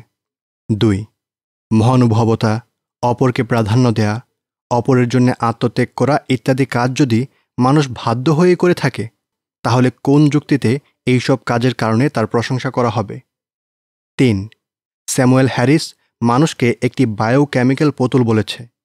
অথচ নিজেই আবার মুসলিমদের অনিষ্ট থেকে নিস্তার পেতে তাদেরকে পারমাণবিক বোমা নিক্ষেপ করে হত্যা করার পরামর্শ দিয়েছে। এটা কি বিস্ময়কর নয়? চার, সৃষ্টিকর্তার ভুল ধারণাকে দূর করার জন্যে নাস্তিকদের কত আগ্রহ? অথচ স্বাধীন ইচ্ছাধিকারের ভুল ধারণাকে দূর করার জন্যে তাদের কোনো আগ্রহ নেই। কেন? তাদের মতে এটা তো ভুল ধারণা, আর এই ধারণার কারণে জিনের নিয়ন্ত্রণে বাধ্য হয়ে অপরাধ করার নির্দোষ মানুষকে শাস্তির সম্মুখীন হতে হচ্ছে। পাঁচ, যদি জগতে মানুষের স্বাধীন ইচ্ছাধিকার নাই থাকে, তাহলে তো মুমিন বাধ্য হয়ে ইমান এনেছে, আর নাস্তিকও বাধ্য হয়ে নাস্তিকতা গ্রহণ করেছে। তবে নাস্তিক কেন মুমিনকে নাস্তিকতার দিকে আহ্বান করে বেড়াচ্ছে? কারণ নাস্তিকের মতো তো মানুষের স্বাধীন ইচ্ছাধিকার নেই। তাহলে কীভাবে সে নিজের থেকেই নিজের বিশ্বাস পরিবর্তন করতে সক্ষম হবে? ছয় মানুষকে নিজেদের প্রতি আশ্বস্ত করার জন্যে নাস্তিকরা বইপত্র লিখে বোঝাতে চাচ্ছে যে, মানুষের স্বাধীন ইচ্ছাধিকার বলতে কিছুই নেই। তাদের এই কাজটি কি স্ববিরোধী নয়? কারণ তাদের মতে কেউই তো চাইলেই বুঝতে পারে না। কারণ তার বোঝার মতো স্বাধীন ইচ্ছাধিকারী নেই। তাহলে তাকে বোঝানোর জন্যে এত সব কসরত করা কি অনর্থক ও দ্বিমুখিতা নয়? আর মানুষের মস্তিষ্ক তো এলোপাথারি রাসায়নিক বিক্রিয়ার মাধ্যমে সৃষ্টি হয়েছে। এভাবে সৃষ্টি হওয়া কোনো জিনিস কি কখনো সত্যকে অনুসন্ধান করার যোগ্যতা রাখে? সত্য গ্রহণ তো বহু দূরের কথা। সাত, মানুষের যদি স্বাধীন ইচ্ছাধিকার নাই থাকে, তাহলে শিক্ষার কি মূল্য রইল? শিক্ষার মাধ্যমেই যে সঠিক জ্ঞান অর্জন করা যায়, এই কথা তারা কেন বলে? যদি তাকে বাধ্য হয়ে একটি ফলাফলের দিকে ধাবিত হতে হয়, তাহলে সে কীভাবে বুঝবে যে কোনটি সঠিক আর কোনটি ভুল? আট, আরবি ভাষায় আকাল বা বিবেক শব্দটির মৌলিক অর্থ হল বিরত থাকা। কারণ মানুষের বিবেক তাকে পশুর মতো যে কোনো কাজ করা থেকে বিরত রাখে। স্বাধীন ইচ্ছাধিকারের অস্তিত্ব অস্বীকার করার মাধ্যমে নাস্তিকরা কি প্রমাণ করল যে তাদের মাঝে বিবেক বলতে কিছুই নেই? কারণ স্বাধীন ইচ্ছাধিকারকে অস্বীকার করার মাধ্যমে তারা বুঝিয়ে দিল যে সব কিছু তারা বাধ্য হয়েই করছে। খারাপ কাজে বাধা দেওয়ার মতো কোনো উপাদান তাদের মগজে নেই। তার মানে কি এই নয় যে তাদের বিবেকও নেই? নয়। এসব কিছুর পরও নাস্তিকেরা যে নিজেদেরকে মুক্তচিন্তক বলে উপাধি দেয়, এটা কি হাস্যকর নয়? অথচ তারা স্বাধীন ইচ্ছাধিকার, বিবেক নিশ্চিত, অনস্বীকার্য বিষয় সব কিছুকেই অস্বীকার করে। তাহলে মানুষ কীভাবে চিন্তক হতে পারে? মুক্তচিন্তা তো পরের কথা। আর সে কীভাবেই বা স্বাধীন ও মুক্ত হতে পারে? দশ। নাস্তিকতা মানুষকে সম্মান করার কথা বলে, অথচ তাদের নাস্তিকতা বলে মানুষের বিবেক, চরিত্র, জীবনের লক্ষ্য, স্বাধীন ইচ্ছাধিকার বলতে কিছুই নেই। মানুষ শুধুমাত্র একটি রাসায়নিক বর্জ্য এলোপাথরিক ক্রিয়া তাকে পুতুলের মতো পরিচালনা করে থাকে। এসব বিশ্বাস করার পর সম্মান দাবি করা কি হাস্যকর নয়? এভাবে একের পর এক প্রশ্ন আসতেই থাকবে। নাস্তিকদের মুখের উপর চপেটাঘাত চলতেই থাকবে। কারণ তারা স্বাধীন ইচ্ছাধিকারকে অস্বীকার করছে, আত্মাকে অস্বীকার করছে, দাবি করছে যে মানুষ শুধু একাধিক বস্তুর সম্মিলিত রূপ। তার মাঝে বিদ্যমান জিন তাকে পরিচালনা করে। তবে এখানে আরও কিছু প্রশ্ন রয়ে যায়, যা খুবই গুরুত্বপূর্ণ। মানুষের মাঝে স্বভাবগত কিছু বাস্তবতা রয়েছে, যেমন ধর্ম পালনের প্রবণতা, চারিত্রিক মূল্যবোধ, স্বাধীন ইচ্ছাধিকার ইত্যাদি। নাস্তিকরা যখন বস্তুবাদের আলোকে এগুলোর ব্যাখ্যা করতে অসমর্থ হয় এবং সৃষ্টিকর্তার অস্তিত্ব স্বীকার না করে পালিয়ে যায়, তখন কি তাদের কাছে কোনো গ্রহণযোগ্য যুক্তি থাকে? নাকি তারা যুক্তিহীন একটি বিষয়কে অন্ধভাবে বিশ্বাস করে নিতে চায়? তারা কি জিনের ভুল ধারণার ঢাকনা দিয়ে নিজেদের কৌতূহলী বিবেকের মুখ বন্ধ করে রাখতে চায়? নাস্তিকদের গুরুরা কি মানুষের স্বভাবগত বাস্তবতাগুলোকে জিনগত কারণ বলার পেছনে কোনো গ্রহণযোগ্য যুক্তি দেখাতে পারবে? নাকি তারা নিজেদেরকে ও মানুষকে ধোকা দিয়ে বেড়ায়? এসব প্রশ্নের জবাবই আমরা আগামী পর্বে ইনশা আল্লাহ জানব। ডারুইনিজমের অন্ধবিশ্বাস। মানুষের স্বভাবগত উপাদানের কোনোটির পেছনে কি বিবর্তনের প্রভাব প্রমাণিত? নাকি নাস্তিকরা এই ক্ষেত্রে বিবর্তনবাদের প্রতি অন্ধবিশ্বাস লালন করে? আজকের পর্বে আমরা এই প্রশ্নের জবাব দেব। নাস্তিকরা যখন আল্লাহর অস্তিত্বকে অস্বীকার করে তখন তারা ক্রমান্বয়ে এই কথাও অস্বীকার করে যে, মানুষের মাঝে একটি সৃষ্টিগত স্বভাব বিদ্যমান রয়েছে। যে স্বভাব আল্লাহ মানুষকে সৃষ্টির সময়েই তার মাঝে স্থাপন করে দিয়েছেন। বিষয়টিকে অস্বীকার করে তারা বেশ বিপত্তিতে পড়ে যায়। কারণ তখন মানুষের স্বভাবজাত উপাদানগুলোর পেছনে কোনো বস্তুবাদী ব্যাখ্যা দাঁড় করাতে পারে না। যেমন মানুষের মাঝে বিদ্যমান ধর্ম পালনের প্রবণতা, স্বভাবগত চারিত্রিক নৈতিকতা জীবনের লক্ষ্য ও উদ্দেশ্য সম্পর্কে জানার আগ্রহ, স্বাধীন ইচ্ছাধিকার এবং প্রবৃত্তি ইত্যাদি বিষয়গুলোর অস্তিত্বের পেছনে তারা কোনো বস্তুবাদী ব্যাখ্যা দিতে পারে না, কারণ এগুলো বাহ্যিকভাবে কোনো বস্তুগত বিষয় নয়। কিন্তু বাধ্য হয়ে তাদেরকে এগুলোর বস্তুবাদী ব্যাখ্যা অনুসন্ধান করতে হয়। এই জন্যে তারা দাবি করে যে এসব স্বভাবগত উপাদানের পেছনে ডারোইনিজমের বিবর্তনের বিভিন্ন পর্যায়ে কিছু বস্তুর প্রভাব রয়েছে। হয়তো এই স্বভাবগত আচরণ ও অনুভূতিগুলো নির্দিষ্ট একটি জিন থেকে এসেছে, নতবা একাধিক জিনের সমষ্টি মিলে এগুলো তৈরি করেছে। আবার হতে পারে তা জিনের সাথে সম্পৃক্ত অন্য কোনো গুণাবলী থেকে সৃষ্ট। প্রকৃতি যার সৃষ্টি করেছে। আবার হতে পারে স্বভাবগত এই আচরণ ও অনুভূতিগুলো বা নির্দিষ্ট কোনো আচরণ ও অনুভূতি ডারোইনিজমের বিবর্তনের ফলে তৈরি হয়েছে। কিন্তু মানুষের জানা নেই যে তার উৎপত্তি সর্বপ্রথম কোথায় হয়েছে। তবে তার উৎপত্তি হয়েছে এবং তা বিবর্তিত হয়ে বর্তমান রূপ ধারণ করেছে, এতটুকু জানা যায়। প্রশ্ন হলো, তাদের এসব দাবির পেছনে কি কোনো গ্রহণযোগ্য প্রমাণ রয়েছে, নাকি এসবের কোনোটির উৎসই তাদের জানা নেই, ফলে অজ্ঞাতনামা একটি বিষয়ের ওপরেই তাদের পুরো দাবিটার ভিত্তি। মানুষের স্বভাবগত এসব আচরণ ও অনুভূতির ব্যাপারে মুমিনেরা যে ব্যাখ্যা প্রদান করে, নাস্তিকেরা তা মানতে নারাজ। ফলে তাদের সামনে এইগুলোর অস্তিত্বের পেছনে জিনের সম্পৃক্ততা প্রমাণ করা ছাড়া আর কোনো পথ খোলা থাকে না। মোট কথা তাদেরকে স্পষ্ট করতে হবে যে, মানুষের একটি সুনির্দিষ্ট আচরণ বা অনুভূতির সাথে সুনির্দিষ্টভাবে কোন জিনটি সম্পর্ক রয়েছে। এই ক্ষেত্রে এই ধরনের সম্পর্ক প্রমাণ করতে হলে কিছু নির্দিষ্ট পদ্ধতি অবলম্বন করতে হয়। প্রথম পদ্ধতি হল, কোনো জিনকে নিষিক্ত ডিম্বাণুর দিকে সম্পৃক্ত করে দেয়া। বিজ্ঞানের পরিভাষায় যাকে জিন ইনসার্শন বা জিন সন্নিবেশন বা জিন ডিলেটিং, অর্থাৎ জিন অদৃশ্যকরণ বলা হয়। এই পদ্ধতি অনুসরণ করা হয় যখন নির্দিষ্ট কোনো গুণ প্রকাশ পায় বা বিলুপ্ত হয়ে যায়। এই ধরনের জিন সন্নিবেশন বা অদৃশ্যকরণ পশুদের মাঝে সম্ভব। যেমন জিন অদৃশ্য হয়ে গেছে এমন ইঁদুরকে নক আউট মাইস বলা হয়। কিন্তু এই পদ্ধতিটি মানুষের মাঝে প্রয়োগ করা যায় না। ফলে মানুষের ক্ষেত্রে প্রয়োগ করার জন্যে সম্ভাব্য যেই পদ্ধতিটি অবশিষ্ট থাকে তা হল জেনেটিক জরিপ। এই ক্ষেত্রে প্রমাণ করতে হয় যে নির্দিষ্ট কোনো গুণের অধিকারী ব্যক্তিদের মাঝে এমন একটি সুনির্দিষ্ট জিন রয়েছে যা সেই গুণহীন ব্যক্তিদের মাঝে নেই, কিংবা তাদের মাঝে কিছু জিনের সমষ্টিগত সন্নিবেশন ঘটেছে যা অন্যদের মাঝে ঘটেনি, যাকে অ্যাপিজেনেটিক উত্তরাধিকার বলে। এই পন্থাটি মানুষের কিছু দৈহিক গুণাবলী ও রোগের জিনগত কারণ বের করার জন্য প্রয়োগ করা হয়। নাস্তিক ও ডারোইনবাদীরা সব কিছুর ক্ষেত্রেই ডারোইনিজম তথা ডারোইনপন্থিতার অনুসরণ করে, ফলে তারা মানুষের স্বভাবগত আচরণ ও অনুভূতিগুলোকেও ডারোইনীয় প্রক্রিয়ায় ব্যাখ্যা করে। এই প্রক্রিয়ার প্রতি মানুষকে আশ্বস্ত করার জন্যে তারা যেসব বই লিখেছে তার তালিকা অনেক লম্বা। যেমন, এক, দ্য গড জিন, দুই এভুলেশনারি অরিজিনস অফ মোরালিটি। তিন দ্য এভুলেশনারি অফ ফ্রিডম চার a Darwinian view of parental love পাঁচ দ্য এভুলেশনারি অফ ডিজায়ার এই ধরনের বহু বই আপনি খুঁজে পেয়ে যাবেন। এখন আমরা ডারোইনবাদীদের এই দাবি উপেক্ষা করতে পারি যে, মানুষের এসব আচরণ ও অনুভূতির পেছনে এমন কিছু গুণাবলী রয়েছে যা প্রকাশিত হওয়ার পন্থা আমাদের জানা নেই। কারণ এই দাবির মাঝে আমাদের জানা নেই এই কথাটি বিদ্যমান রয়েছে, যা কোনো গ্রহণযোগ্য বা জ্ঞান ভিত্তিক কথা হতে পারে না। বাকি থাকল মানুষের এইসব আচরণ ও অনুভূতির সাথে জিনের সম্পর্ক থাকার বিষয়টি। এখন কথা হলো, তাদের এই দাবি সাব্যস্ত করার জন্যে কি উপরোক্ত পন্থাগুলোর কোনো একটি প্রয়োগ করা সম্ভব? এখন পর্যন্ত কি তারা নির্দিষ্ট কোনো জিনের সাথে নির্দিষ্ট কোনো আচরণ বা অনুভূতির সম্পর্ক প্রমাণ করে দেখাতে পেরেছে? উত্তর হলো না। এগুলো তাদের নিছক দাবি, যার গ্রহণযোগ্য কোনোই ভিত্তি নেই। এক কথায় এগুলো ডারোইনিজমের অন্ধবিশ্বাস মাত্র। উপরোক্ত বইগুলোতে তারা এসব স্বভাবগত আচরণ ও অনুভূতিগুলোর কোনো বস্তুগত কারণ দেখাতে পারেনি। এই প্রশ্নকে পুরোপুরি এড়িয়ে গেছে।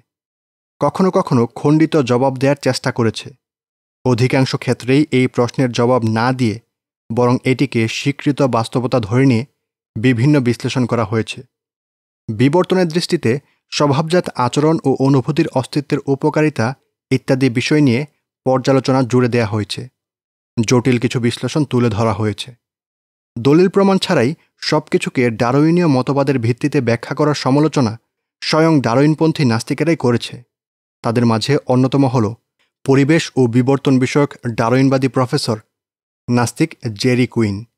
সে তার হোয়াই এভুলেশন ইজ ট্রু বইয়ের দুইশো আটচল্লিশ নং পৃষ্ঠায় লিখেছে, এই ক্ষেত্রে একদল মনোবিজ্ঞানী রাসায়নবিদ বিজ্ঞানী ও দার্শনিকের মাঝে মানুষের আচরণগত সব কিছুকে ডারোইনিজমের দৃষ্টিতে দেখার বিরক্তিকর প্রবণতা রয়েছে।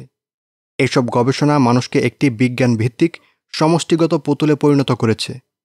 যে সকল পদ্ধতি অবলম্বন করে কোনো বস্তুর বিবর্তনের চিত্রায়ন করা হয়, তা বিজ্ঞানের দৃষ্টিতে গ্রহণযোগ্য কোনোই ব্যাখ্যা নয়, বরং তা শুধুই গল্প, স্বভাবগত অনুভূতি ও আচরণের সাথে জিনের সম্পর্ক নিয়ে যারা বই লিখেছে তাদের মাঝে ড্যান হ্যামার কিছুটা ভিন্ন। সে মানুষের মাঝে বিদ্যমান ধর্ম পালনের প্রবণতার জেনেটিক ব্যাখ্যা দেওয়ার চেষ্টা করেছে। অন্য কেউ যা করেনি। কাজটি করতে গিয়ে হ্যামার দলিলহীন বহু দাবিকে ভুল প্রমাণিত করেছে। সে তার বই দ্য গড জিনকে শুধুমাত্র একটি গবেষণার উপর ভিত্তি করে লিখেছে। যেই গবেষণাটি প্রকাশিত হয়নি এবং তার ফলাফলও পুনরাবৃত্তি হয়নি। আর পরবর্তী সময়ে আর কোনো গবেষক সেই গবেষণাকে মানুষের সামনে উপস্থাপন করার চেষ্টা করেনি, যেমনটি লিখেছেন কার্ল জিমার। এমনকি কিছু কিছু নাস্তিক হ্যামারের দাবি নিয়ে উপহাস করেছে। তারা বলেছে, কোনো সৃষ্টিকর্তা নেই, আর সৃষ্টিকর্তাকে স্বীকার করার জন্যে কোনো জিনের অস্তিত্ব মানবদেহে নেই। বাস্তবতা হলো, যারা দাবি করে যে মানুষের নির্দিষ্ট স্বভাবগত আচরণ ও অনুভূতির সাথে নির্দিষ্ট জিনের সম্পর্ক রয়েছে, এই ধরনের লোকেরা হয়তো জেনেটিক বিজ্ঞান সম্পর্কে ভয়ঙ্কর রকম অজ্ঞ। তারা যতই ডক্টরেট ডিগ্রির ধারক হোক না কেন, এই ক্ষেত্রে তারা অজ্ঞ, নতবা তারা সাধারণ নাস্তিকদের ধোকা দিয়ে বেড়াচ্ছে। গত কয়েক বছরে জেনেটিক বিজ্ঞানীদের গবেষণা অনুযায়ী আমরা জানতে পারি, কোনো গুণ বা অনুভূতির সাথে জিনের সম্পর্ককে আমরা যতটা সহজ মনে করি, তা ততটা সহজ নয়, বরং বিষয়টি অত্যন্ত জটিল। যেমনটি দু হাজার আট সালে নেচার ম্যাগাজিনে প্রকাশিত একটি গবেষণাপত্রে দেখা যাচ্ছে। গবেষণাটি বলছে, মানুষের জিনের কোষগুলোর মাঝে স্বভাবগত প্রভাবের বিষয়টি আমাদের আশাকে নষ্ট করে দিয়েছে। যেই সব শারীরিক গুণাবলীকে আমরা সাধারণ বংশীয় বা জন্মগত ব্যাপার বলে মনে করে থাকি, এইগুলোকেও কোনো নির্দিষ্ট জিন বা সমষ্টিগত জিনের দিকে সম্পৃক্ত করা সম্ভব নয়। যেমন, শারীরিক দৈর্ঘ্য ও মানসিক রোগ। বিষয়টি এর চেয়ে বহুগুণে জটিল। আজকাল কলেজ বা বিশ্ববিদ্যালয়ে বিষয়টি যেভাবে পড়ানো হচ্ছে, তা আসলে এতটা সরল নয়। আরেকটি গবেষণা বলছে, নির্দিষ্ট একটি আচরণত গুণ হাজার হাজার জিনের সম্মিলনে তৈরি হতে পারে। যেই জিনগুলোর প্রতিটি ওই গুণটি সৃষ্টির ক্ষেত্রে সামান্য পরিমাণ ভূমিকা রেখেছে। এই জিনগুলো নির্দিষ্ট করা কখনো সম্ভব নয় বলেও গবেষণাটি স্বীকার করে নিয়েছে।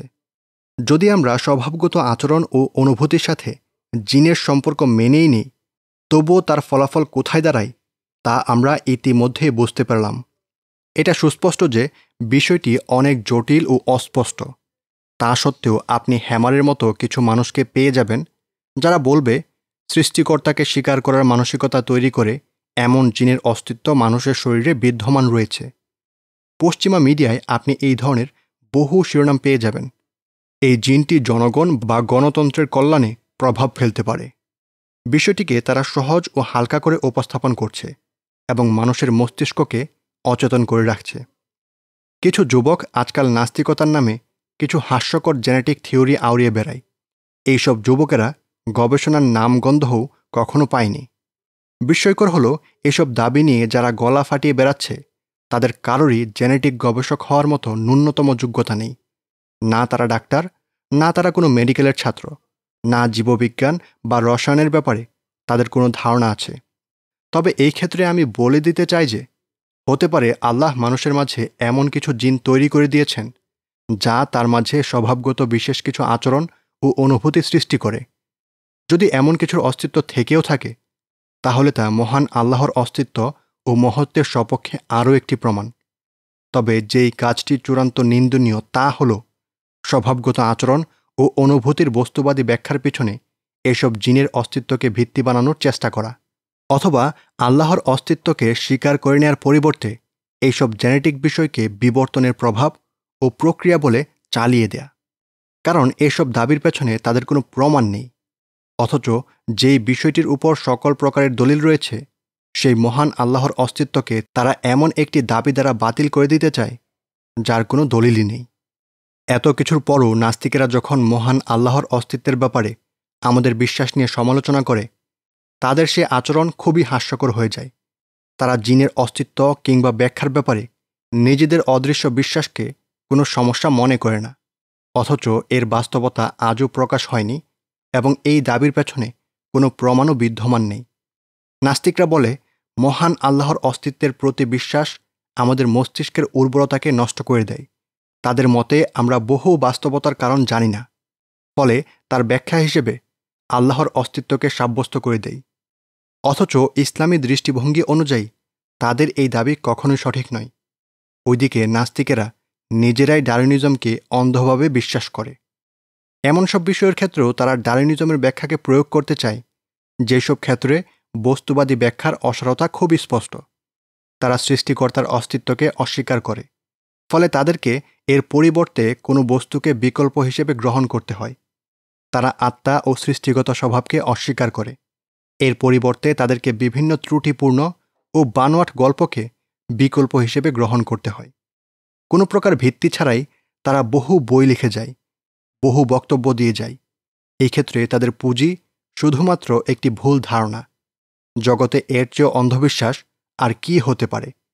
মস্তিষ্কের এর চেয়েও বড় অপব্যবহার আর কি হতে পারে? এর চেয়েও বড় অনর্থক ও অসারতার কাজ আর কি হতে পারে? মুসলিমদের ব্যাপারে তারা বহু অপবাদ দেয়। কিন্তু এসব নাস্তিক ও ডারইনবাদীদের মাঝে কেউ কি এমন আছে যে কিনা বিজ্ঞান ও বিশ্বাসের ক্ষেত্রে মুসলিমদের চেয়েও উন্নত? ইসলাম ও বাস্তবতার মাঝে তারা সংঘাত সাব্যস্ত করতে চায়।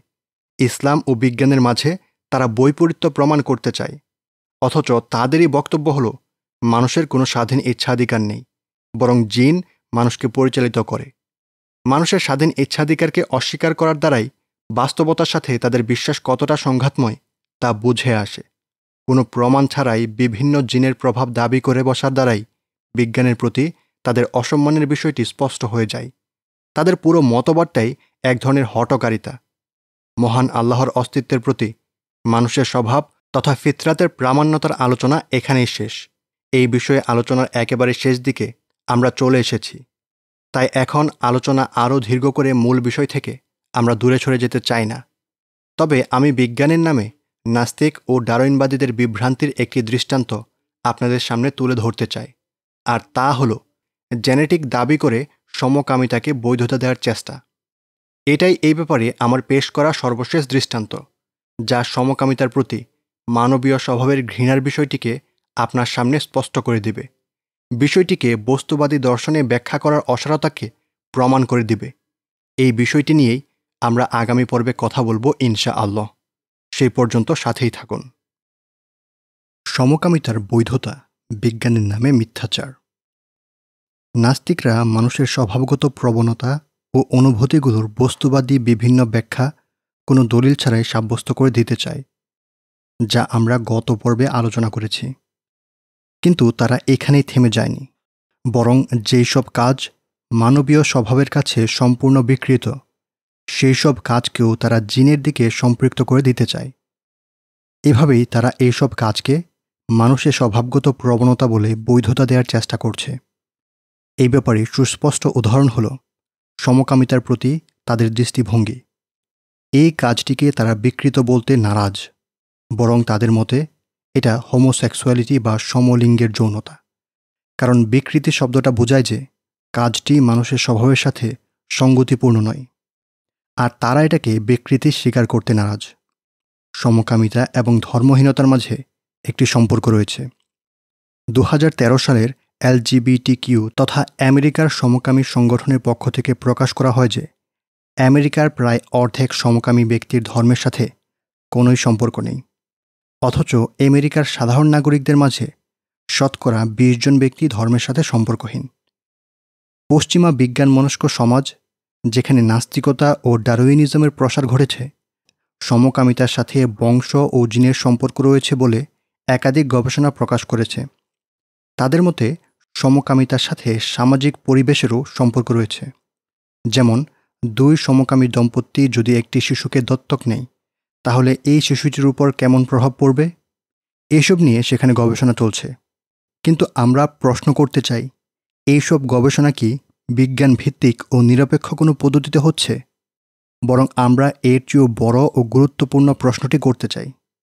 তা হল, পশ্চিমা বিশ্বের লিবারাল পরিবেশে সংঘটিত হওয়া এসব গবেষণা কি আসলেই নিরপেক্ষ? নাকি কখনো কখনো এইগুলো রাজনৈতিক হাতিয়ার হিসেবে ব্যবহৃত হয়?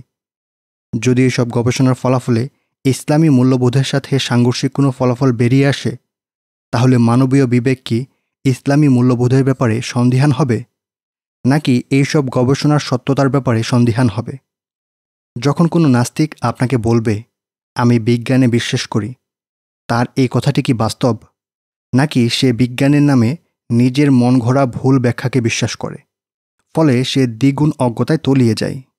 এটাই আজ আমাদের আলোচনার মূল ও সম্পূর্ণ লক্ষ্য। সমকামিতা একটি উদাহরণ মাত্র। এর মধ্যে দিয়ে আমরা পশ্চিমা বিজ্ঞানের বিশ্বাসযোগ্যতা যাচাই করব।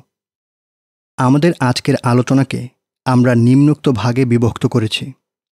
সমকামিতার জেনেটিক ব্যাখ্যা, সমকামিতার সাথে জিনের সম্পর্ক সাব্যস্ত করার ব্যাপারে পশ্চিমা গবেষকদের অবস্থান ও তার বিশ্বাসযোগ্যতা, চারিত্রিক মূল্যবোধ সংক্রান্ত ব্যাপারে এই ধরনের গবেষণা কি বিশ্বাসযোগ্য?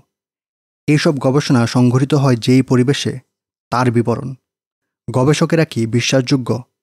এসব গবেষণার পেছনে কারা অর্থায়ন করে? গবেষণার ফলাফলের সাথে মিডিয়ার আচরণ।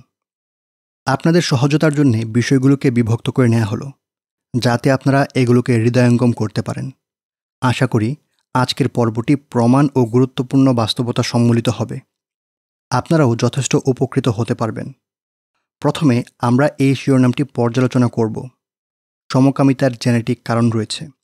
তারপর আমরা আরও মৌলিকভাবে জানার চেষ্টা করব যে চারিত্রিক মূল্যবোধ সংক্রান্ত বিষয়ে পশ্চিমা গবেষণা আসলেই বিশ্বাসযোগ্য কিনা। এই প্রশ্নের জবাব আমরা তিনটি ধাপে দেওয়ার চেষ্টা করব। প্রথমত, যেসব পরিবেশে এইসব গবেষণা সংঘটিত হয়, সেই পরিবেশ সম্পর্কে আপনাদের ধারণা দেব। আপনারা বুঝতে পারবেন যে এমন পরিবেশে কি স্বাধীনভাবে গবেষণা সম্ভব? নাকি আইনের সন্ত্রাস সব কিছুকে নিয়ন্ত্রণ করে? দ্বিতীয়ত, আপনাদেরকে জানানোর চেষ্টা করব, এইসব গবেষণা সম্পাদনকারী গবেষকেরা কি বিশ্বস্ত? নাকি তাদের পারিপার্শ্বিক বিষয় কখনো কখনো তাদেরকে মিথ্যা প্রতিপন্ন করছে? তৃতীয়ত, কারা এসব গবেষণার পেছনে অর্থায়ন করছে? গবেষণার ফলাফলের উপর তাদের প্রভাব কেমন? অবশেষে আমরা দেখার চেষ্টা করব এইসব গবেষণার ফলাফলকে মিডিয়া কীভাবে প্রচার করে বেড়াচ্ছে, তারা কি সত্য বলছে নাকি মিথ্যে? প্রথমত, সমকামিতার জেনেটিক কারণ রয়েছে এই চটকদার বাক্যটির অর্থ কী দাঁড়ায়? এর অর্থ কি এটা যে, সমকামীর ভেতরে কিছু জিন আছে যা তাকে সমকামিতার প্রতি উদ্বুদ্ধ করে? এই ক্ষেত্রে কি তার নিজের কোনো ইচ্ছাশক্তি থাকে না? ঠিক যেমন ধুলো উড়ে আসলে মানুষ বাধ্য হয়ে চোখ বন্ধ করে ফেলে কিংবা হঠাৎ গরম কিছুতে হাত পড়ে গেলে হাত সরিয়ে ফেলে। ব্যাপারটি কি এরকম? না, কথাটির অর্থ স্বাভাবিকভাবেই এমনটি নয়। তাহলে কি কথাটির অর্থ? সমকামীর মাঝে এমন কিছু জিন রয়েছে যা সমলিঙ্গের প্রতি আকর্ষণ তৈরি করে? হ্যাঁ এটাই হলো তাদের কথার অর্থ। যদি আমরা এই ধরনের জিনের অস্তিত্বের কথা স্বীকারও করে নিই, তবুও কি সমকামিতা বৈধতা পাওয়ার যোগ্য? সমকামী ব্যক্তি কি শাস্তি ও নিন্দা থেকে মুক্ত? এটি একটি মৌলিক ও গুরুত্বপূর্ণ পয়েন্ট। অর্থাৎ, যদি ধরেও নেওয়া হয় যে, কোনো ব্যক্তির মাঝে কোনো খারাপ বা বিকৃত অনুভূতির অস্তিত্ব রয়েছে, তাহলে তার উপর ভিত্তি করে কি তার সেই খারাপ ও বিকৃত কাজটিকে বৈধতা দেয়া যায়? যদি কোনো পুরুষের মাঝে নারীদের প্রতি মাত্রা অতিরিক্ত আকর্ষণ থাকে, তাহলে তার এই অনুভূতি কি তাকে ধর্ষণের বৈধতা প্রদান করবে? নাকি তাকে তার নিজের প্রবৃত্তিকে নিয়ন্ত্রণ করার কথা বলা হবে। নিজের চাহিদাকে বৈধ উপায়ে পূরণ করার আদেশ করা হবে। তাহলে কেন পশ্চিমা নাস্তিকেরা এই ধরনের শিরোনাম ব্যবহার করে?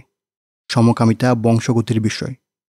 কথাগুলো তারা এমনভাবে বলে যেন সমকামী ব্যক্তিকে তার মাঝে বিদ্যমান জিন এই বিকৃত কাজটি করতে বাধ্য করছে। আচ্ছা পশ্চিমা নাস্তিকেরা কি তাদের এই কথাটিকে নিজেদের ক্ষেত্রে অপরিহার্য করে নিতে প্রস্তুত?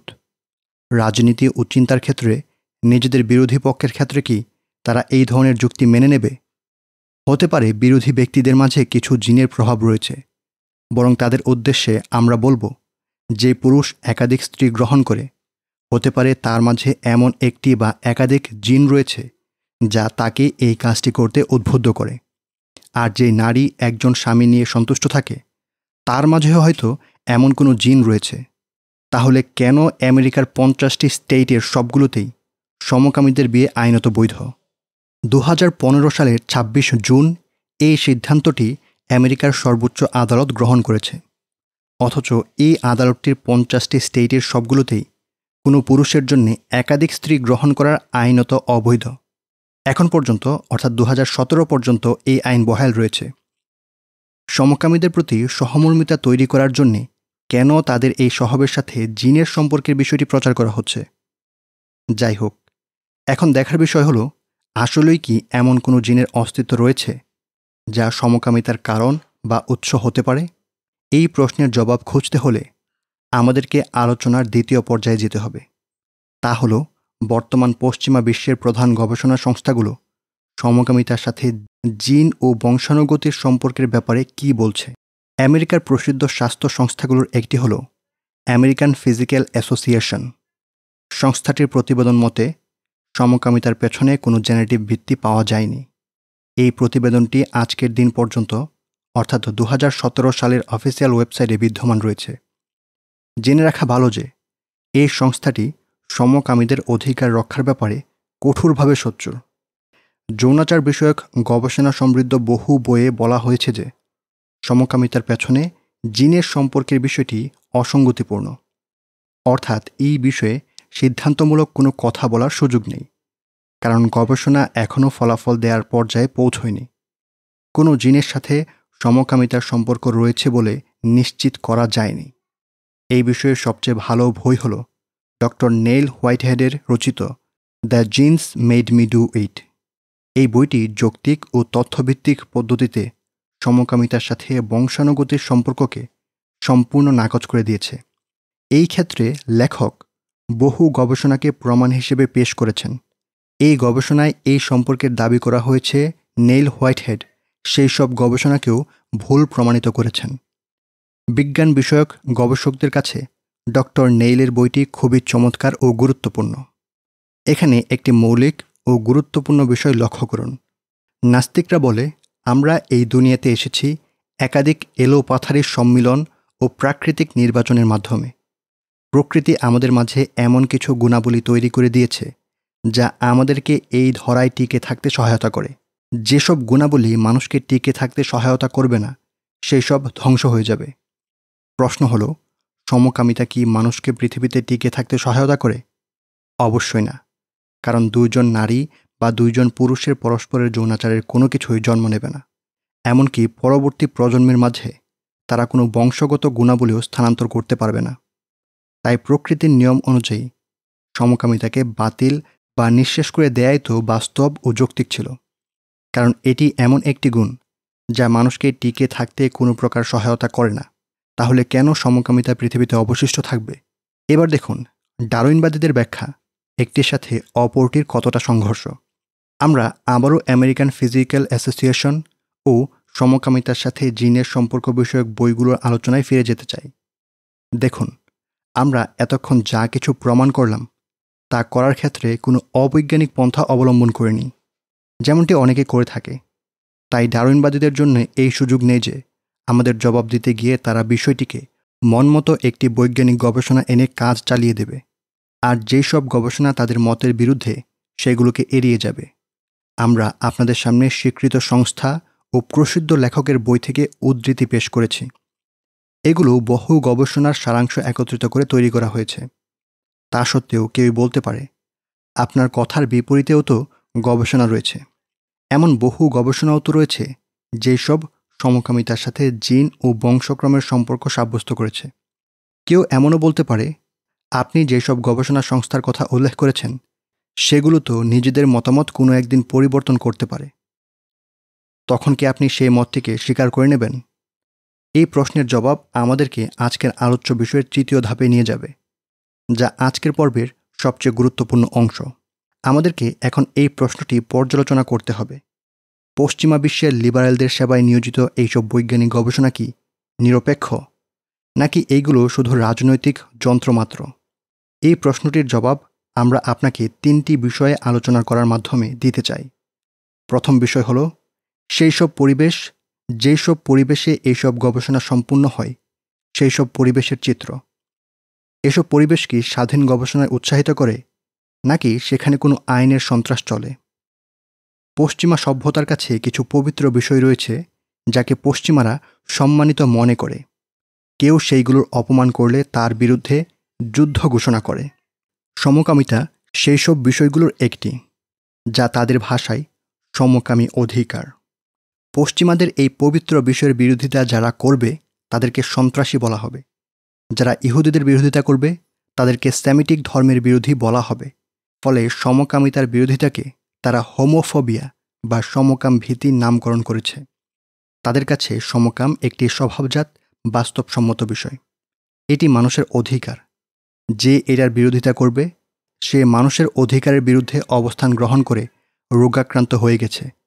কিন্তু এই রোগী তাদের কাছে নির্দোষ নয়, বরং সে অপরাধী। পশ্চিমা বিশ্বে তাই বহুল প্রচলিত শব্দ হল, সন্ত্রাসের বিরুদ্ধে যুদ্ধ। স্যামেটিক ধর্মবিদ্বেষীদের বিরুদ্ধে যুদ্ধ। একইভাবে তাদের ব্যবহৃত আরেকটি শব্দ হল, হোমোফোবিকদের বিরুদ্ধে যুদ্ধ। তাই সমকামিতার বিরোধিতা করার ফলে জাতিসংঘ বহু রাষ্ট্রকে সতর্ক করেছে।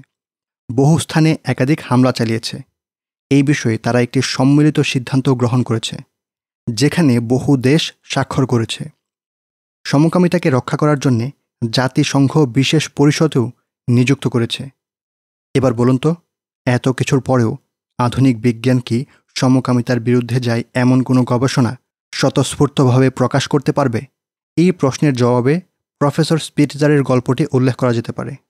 প্রফেসর রবার্ট স্পিটজারকে বলা হয় আধুনিক মনোবিজ্ঞানের জনক। তিনি একটি অফার্মাকোলজিক্যাল চিকিৎসা সম্পর্কে গবেষণা প্রকাশ করেছিলেন, যা সমকামীদের তাদের সমকামিতা থেকে মুক্তি দেবে। এই চিকিৎসাটিকে তিনি রিপ্রাটিভ তথা সংশোধনমূলক চিকিৎসা বলে নামকরণ করেছিলেন, অর্থাৎ সমলিঙ্গের মানুষের প্রতি আকর্ষণকে সংশোধন করবে। তিনি সেই গবেষণায় সমলিঙ্গের মানুষের প্রতি যৌন আকর্ষণ দূর করার ক্ষেত্রে তার চিকিৎসাটির সফলতার কথাও উল্লেখ করেছিলেন। দুশো সমকামী নারী ও পুরুষের মাঝে তিনি এই পরীক্ষাটি চালিয়েছিলেন। তার এই গবেষণাটি প্রকাশিত হওয়ার পর স্বাস্থ্য বিষয়ক সংস্থাগুলো ক্ষিপ্ত হয়ে উঠল। সবাই মিলে তার গবেষণার বিষদগার করতে লাগল। অথচ তারা জানত যে গবেষক স্পিটজার নিজে সমকামী অধিকার সংরক্ষণের পক্ষে অবস্থান করেন। স্বাস্থ্য সংস্থাগুলো তখন আমেরিকার মনোরোগের তালিকা থেকে সমকামিতাকে বাদ দিয়ে দিল। কোনো বিজ্ঞানী স্পিটজারের পাশে দাঁড়াল না। ফলে বাধ্য হয়ে দু হাজার বারো সালে সে নিজের গবেষণাটির জন্য ক্ষমা চাইল। মিডিয়ায় খবরটি এই শিরোনামে প্রকাশিত হল, মনোবিজ্ঞানের জনক সমকামিতার চিকিৎসার সমর্থনের ব্যাপারে ক্ষমা চাইলেন। ক্ষমা চেয়ে স্পিটজার যেই লেখাটি লিখেছিল, তার শেষে সে অবনত ও বিনয়ী হয়ে লিখেছে, আমি বিশ্বাস করি যে, আমি সমকামী সমাজের অধিকারের ব্যাপারে সোচ্চার। আমি ক্ষমা চাচ্ছি। এবার আপনি একটু কল্পনা করার চেষ্টা করুন যে স্পিটজারের উপর দিয়ে কী ঝড় অতিবাহিত হয়েছিল। পৃথিবীর সবচেয়ে বড় দুটি স্বাস্থ্য সংস্থা তার চিকিৎসার বিরোধিতা করেছিল। একটি হলো হৌ বা বিশ্ব স্বাস্থ্য সংস্থা, আরেকটি হলো পাহো বা নিখিল আমেরিকান স্বাস্থ্য সংস্থা। এই দুইটি সংস্থা দু হাজার বারো সালের সতেরো মে এই শিরোনামে একটি গবেষণাপত্র প্রকাশ করে। যেসব চিকিৎসা সমলিঙ্গের প্রতি আকর্ষণকে দূর করে দেয়, সেই সবের কোনো বৈধতা নেই। এগুলো স্বাস্থ্যের জন্য হুমকি। অফার্মাকোলজিক্যাল চিকিৎসা কীভাবে স্বাস্থ্যের জন্য হুমকি হতে পারে? সমকামী পুরুষ বা নারীর সাথে শুধুমাত্র কথা বলে ও বিভিন্ন যুক্তি দিয়ে যে চিকিৎসা চালানো হয়, তা কীভাবে স্বাস্থ্যের জন্য হুমকি হয়? এই গবেষণাপত্রের সংস্থা দুটি বলল, সমকামীদের সমলিঙ্গের প্রতি আকর্ষণ দূর করে দেয় এমন চিকিৎসাগুলো। তাদের মাঝে অপরাধবোধ জাগিয়ে তোলে, ফলে তারা নিজেদের নিয়ে লজ্জায় ভুগতে শুরু করে। এভাবে তাদের মাঝে দুশ্চিন্তা ও হতাশা তৈরি হয়, যার ফলে তারা আত্মহত্যা পর্যন্ত করতে পারে। গবেষণাপত্রটি শেষ করা হয় তথাকথিত হোমোফোবিকদের বিরুদ্ধে যুদ্ধ ঘোষণার উপদেশ দিয়ে।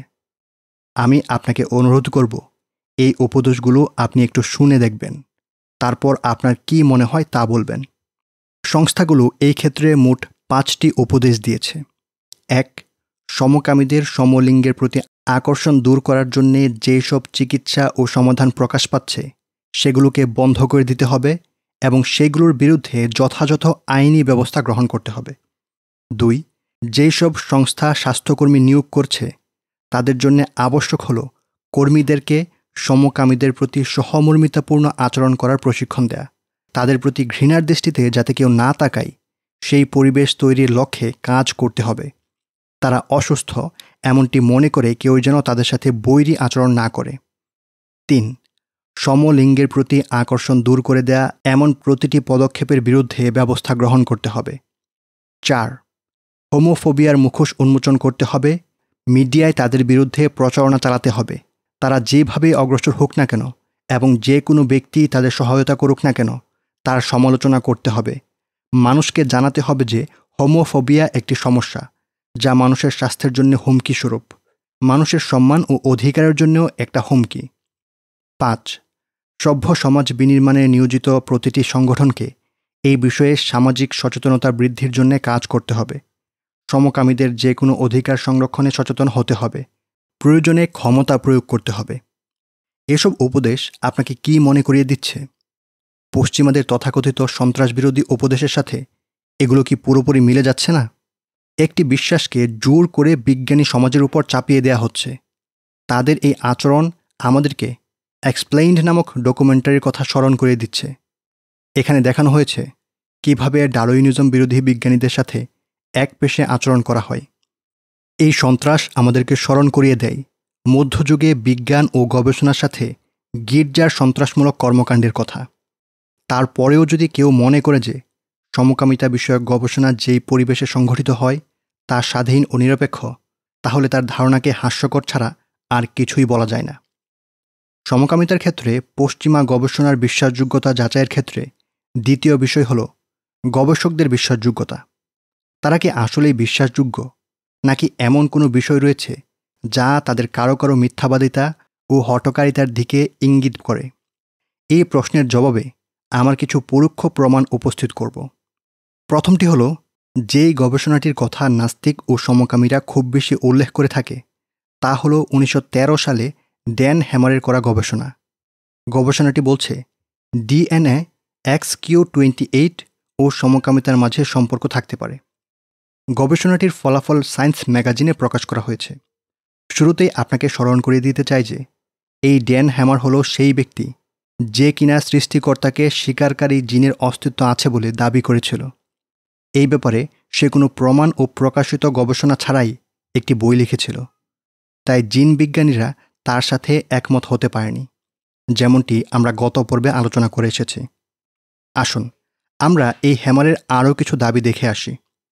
বিজ্ঞানের নিয়ম হল, কোনো গবেষণার ফলাফল গ্রহণযোগ্যতা লাভ করার জন্যে অবশ্যই রিপ্রডিউসেবল হতে হবে। অর্থাৎ একই পদ্ধতিতে যদি অন্য গবেষকেরাও একই গবেষণাটি করে তাহলে ফলাফল একই হবে, নতুবা যে কোনো গবেষক যা খুশি দাবি করে বসতে পারে, যার ফলে মিথ্যা ও বানোয়াট দাবিতে বিজ্ঞান জগৎ ভরে উঠবে। হ্যামার ও তার দলের গবেষণা পদ্ধতি অনুসরণ করে বহু গবেষক গবেষণা করেছেন। তাদের সংখ্যাও অনেক, কিন্তু কারও গবেষণাতেই হ্যামারের ফলাফলের মতো কোনো ফল বের হয়ে আসেনি। ফলে গবেষকেরা হ্যামারের গবেষণা ও তার দাবিকৃত জিনকে ভুয়া বলতে বাধ্য হয়েছে। এই ক্ষেত্রে ডক্টর জর্জ রাইস ও তার দলের গবেষণা বিশেষভাবে উল্লেখযোগ্য। এটি সায়েন্স ম্যাগাজিনে প্রকাশিত হয়েছে। সেই গবেষণায় এসেছে, কেন হ্যামারের গবেষণা পদ্ধতি অনুসরণ করে একই গবেষণা করার পরও পুরোপুরি বিপরীত ফল বের হয়ে আসছে, তা স্পষ্ট নয়। অথচ আমাদের গবেষণা হ্যামারের গবেষণা থেকে আরও অনেক বড় আকারে ছিল। এটা নিশ্চিত যে আমাদের নিকট জিনের প্রভাব আবিষ্কার করার যথেষ্ট সামর্থ্য রয়েছে। যেই গবেষণা পদ্ধতিটি প্রকাশ করা হয়েছে, তা সঠিকভাবে করার মতো পর্যাপ্ত উপকরণও আমাদের রয়েছে। তা সত্ত্বেও আমাদের গবেষণা ডিএনএ এক্স কিউ টোয়েন্টি এইটের সাথে সমকামিতার সম্পর্ক তৈরি করে দেয়, এমন কোনো জিনের অস্তিত্ব খুঁজে পাওয়া যায়নি। অর্থাৎ সৃষ্টিকর্তাকে স্বীকার করার জিনের মতো, এই জিনটির অস্তিত্বের ব্যাপারেও হ্যামারের গবেষণা ভুল প্রমাণিত হলো। প্রায় পঁচিশ বছর অতিবাহিত হয়ে যাচ্ছে। গবেষকেরা হ্যামারের মতো একই ফলাফল বের করে আনার চেষ্টা করছে, কিন্তু তার সেই ফলাফল আর বের হয়ে আসছে না। তার সাথে এই মৌলিক বিষয়টিও সম্পৃক্ত রয়েছে যে, কোনো আচরণগত গুণাবলীর ক্ষেত্রে কোনো নির্দিষ্ট জিনের প্রভাব আধুনিক জেনেটিক বিজ্ঞান অস্বীকার করে, যেমনটি দু হাজার আট সালে নেচার ম্যাগাজিনে প্রকাশিত একটি গবেষণায় বলা হয়েছে। তারা জানিয়েছে, স্বাভাবিক সব শারীরিক গুণাবলীর সাথে এক বা একাধিক জিনের সুনির্দিষ্ট সম্পর্ক সাব্যস্ত করা খুবই জটিল বিষয়। তাহলে কীভাবে সমকামিতার মতো অস্বাভাবিক আচরণের পেছনে জিনের সম্পর্ক পাওয়া যাবে? হ্যামারের দাবি করা সেই জিনটি দার্শনিক দৃষ্টিকোণ থেকেও অযৌক্তিক। যেমনটি নেচার ম্যাগাজিনে প্রকাশিত সেই গবেষণাটিতে বলা হয়েছে, আর তা পরীক্ষাগতভাবেও অসফল, যেমনটি সায়েন্স ম্যাগাজিনে প্রকাশিত গবেষণায় উঠে এসেছে। আর এই দুটি বিজ্ঞান বিষয়ক সবচেয়ে প্রসিদ্ধ ম্যাগাজিন, তাছাড়া প্রায় পঁচিশ বছর যাবৎ হ্যামারের এই গবেষণাটি মিথ্যা হিসেবে প্রমাণিত হয়ে আসছে। বারবার তাকে সঠিক করার চেষ্টা করা হয়েছে, কিন্তু কেউই তা সঠিক প্রমাণ করতে পারেনি। গবেষকদের বিশ্বস্ততা নিয়ে আরেকটি প্রমাণ পেশ করছি, যা আমরা গে প্যারেন্টিং বা সমকামীদের সন্তান দত্তক বিষয়ক গবেষকদের স্বভাব অনুসন্ধান করে পেয়েছি। আমেরিকার অধিকাংশ স্টেটে সমকামী পুরুষ বা নারীর জন্যে সন্তান দত্তক নেয়া আইনিভাবে বৈধ। বিষয়টির বৈধতা ও অবৈধতা নিয়ে যখন বিতর্ক চলছিল, তখন সন্তানের উপর এর প্রভাব পড়ার ব্যাপারে কিছু গবেষণা পেশ করা হলো। যেমন, লেখক ডেভিড ব্লিঙ্কফ সমকামীদের সন্তান দত্তক নেয়ার বিষয়ক বহু গবেষণা নিয়ে পর্যালোচনা করেছেন এবং তার ফলাফল প্রকাশ করে একটি প্রবন্ধ লিখেছেন। লেখাটির শিরোনাম, সমকামীদের সন্তান দত্তক বিষয়ক সব গবেষণা ভুল। ব্লিঙ্কফ উল্লেখ করেছেন যেই সব গবেষকেরা এই দত্তককে বৈধতা দেওয়ার পক্ষে নিজেদের গবেষণা প্রকাশ করেছে, তাদের শতকরা ষাট পার্সেন্ট গবেষক নিজেরাই সমকামী। তাদের শতকরা ষাট পার্সেন্ট গবেষক নিজেরাই সমকামী। পঁচিশ পার্সেন্ট গবেষক সম্পর্কে তথ্যই পাওয়া যায় না। তার মানে হলো তাদের মাঝেও অনেকে সমকামী থাকতে পারে। লেখক তার কথার প্রমাণস্বরূপ কিছু ঘটনা ও তালিকা উল্লেখ করেছেন। তারপর বলেছেন, এইসব গবেষণায় যে নিরপেক্ষতা বলতে কিছুই নেই তার প্রমাণ হিসেবে এতটুকুই যথেষ্ট। এইসব গবেষকরা কখনোই কনফ্লিক্ট অফ দ্য ট্রাস্ট এ বাস্তবতা প্রকাশ করে না। কনফ্লিক্ট অফ দ্য ট্রাস্ট মানে যেখানে গবেষক তার গবেষণার এমন কিছু দিক উল্লেখ করে যা তার গবেষণার নিরপেক্ষতাকে দুর্বল করে দিতে পারে। স্বাভাবিক ব্যাপার হলো কোনো পশ্চিমা গবেষক কখনোই এমন কোনো গবেষণা প্রকাশ করবে না যা সমকামিতার সাথে সাংঘর্ষিক। কারণ তাহলে সমকামিতার সাথে হটকারিতা করে ফেলবে। ফলে তাকে হোমোফোবিক বলে দেয়া হবে। সমকামী সন্ত্রাসের পক্ষ থেকে তাকে বহু আক্রমণের শিকার হতে হবে। তাই পশ্চিমের বহু গবেষণায় ইচ্ছাকৃতভাবে দেখানো হয়েছে যে, সমকামীরা কোনো শিশুকে দত্তক নিলে শিশুর উপর কোনো বিরূপ প্রতিক্রিয়া পড়বে না। এই হলো তাদের বিজ্ঞান ভিত্তিক গবেষণা, যা প্রকাশিত হচ্ছে সায়েন্টিফিক জার্নালে। এসব গবেষণাকে স্বাগত জানাচ্ছে বিজ্ঞানীরা, যা সংঘটিত হচ্ছে বিজ্ঞানময় পশ্চিমা বিশ্বে। এই পশ্চিমা বিশ্বে যদি একজন পুরুষের একাধিক স্ত্রী রাখার বিষয়ে কোনো গবেষণা করা হয়, তাহলে তার ফলাফল কেমন বের হবে বলে আপনার ধারণা? তার ফলাফল কি বিশ্বাসযোগ্য ও নিরপেক্ষ হবে বলে আপনি মনে করেন? বিশেষত আপনি যখন জানতে পারবেন যে একাধিক স্ত্রী রাখা তাদের দেশে আইনত দ্বন্দ্বনীয় তখন আপনার কি অভিমত হবে? ক্যামব্রিজ বিশ্ববিদ্যালয়ের অধীনে পরিচালিত একটি গবেষণায় বলা হচ্ছে, সমকামী দম্পতির নিকট বড় হওয়া শিশুদের বড় একটি অংশ সমকামীদের মতো আচরণ শিখে যায়। এবার বলুন তো, কীভাবে দুইজন সমকামীর বিয়ে হতে পারে? আবার তাদের সন্তানও থাকতে পারে। হয়তো সমকামী উভয় লিঙ্গের প্রতি আকর্ষণ বোধ করবে। ফলে অন্য লিঙ্গের কারোর সাথে বিয়ে বা ব্যবচার করে সন্তান জন্ম দেবে। নতবা এই শিশুটি কোনো নারী ও পুরুষের মাঝে ব্যবচারের ফলে জন্মলাভ করেছে। তারা শিশুটিকে কোথাও ফেলে রেখেছে। তারপর দুজন সমকামী তাকে সন্তান হিসেবে নিয়ে গেছে। এই হলো লিবারেল সভ্যতা। আমরা আবারও বলছি, পশ্চিমা বিশ্বে কিছু গবেষণা রয়েছে, যাতে বলা হচ্ছে সমকামীদের নিকট বড় হওয়া শিশুদের বড় একটি অংশ সমকামীদের মতো আচরণ শিখছে। কিন্তু সমকামী গবেষকরা এটিকে মৌলিকভাবে কোনো সমস্যাই মনে করছে না।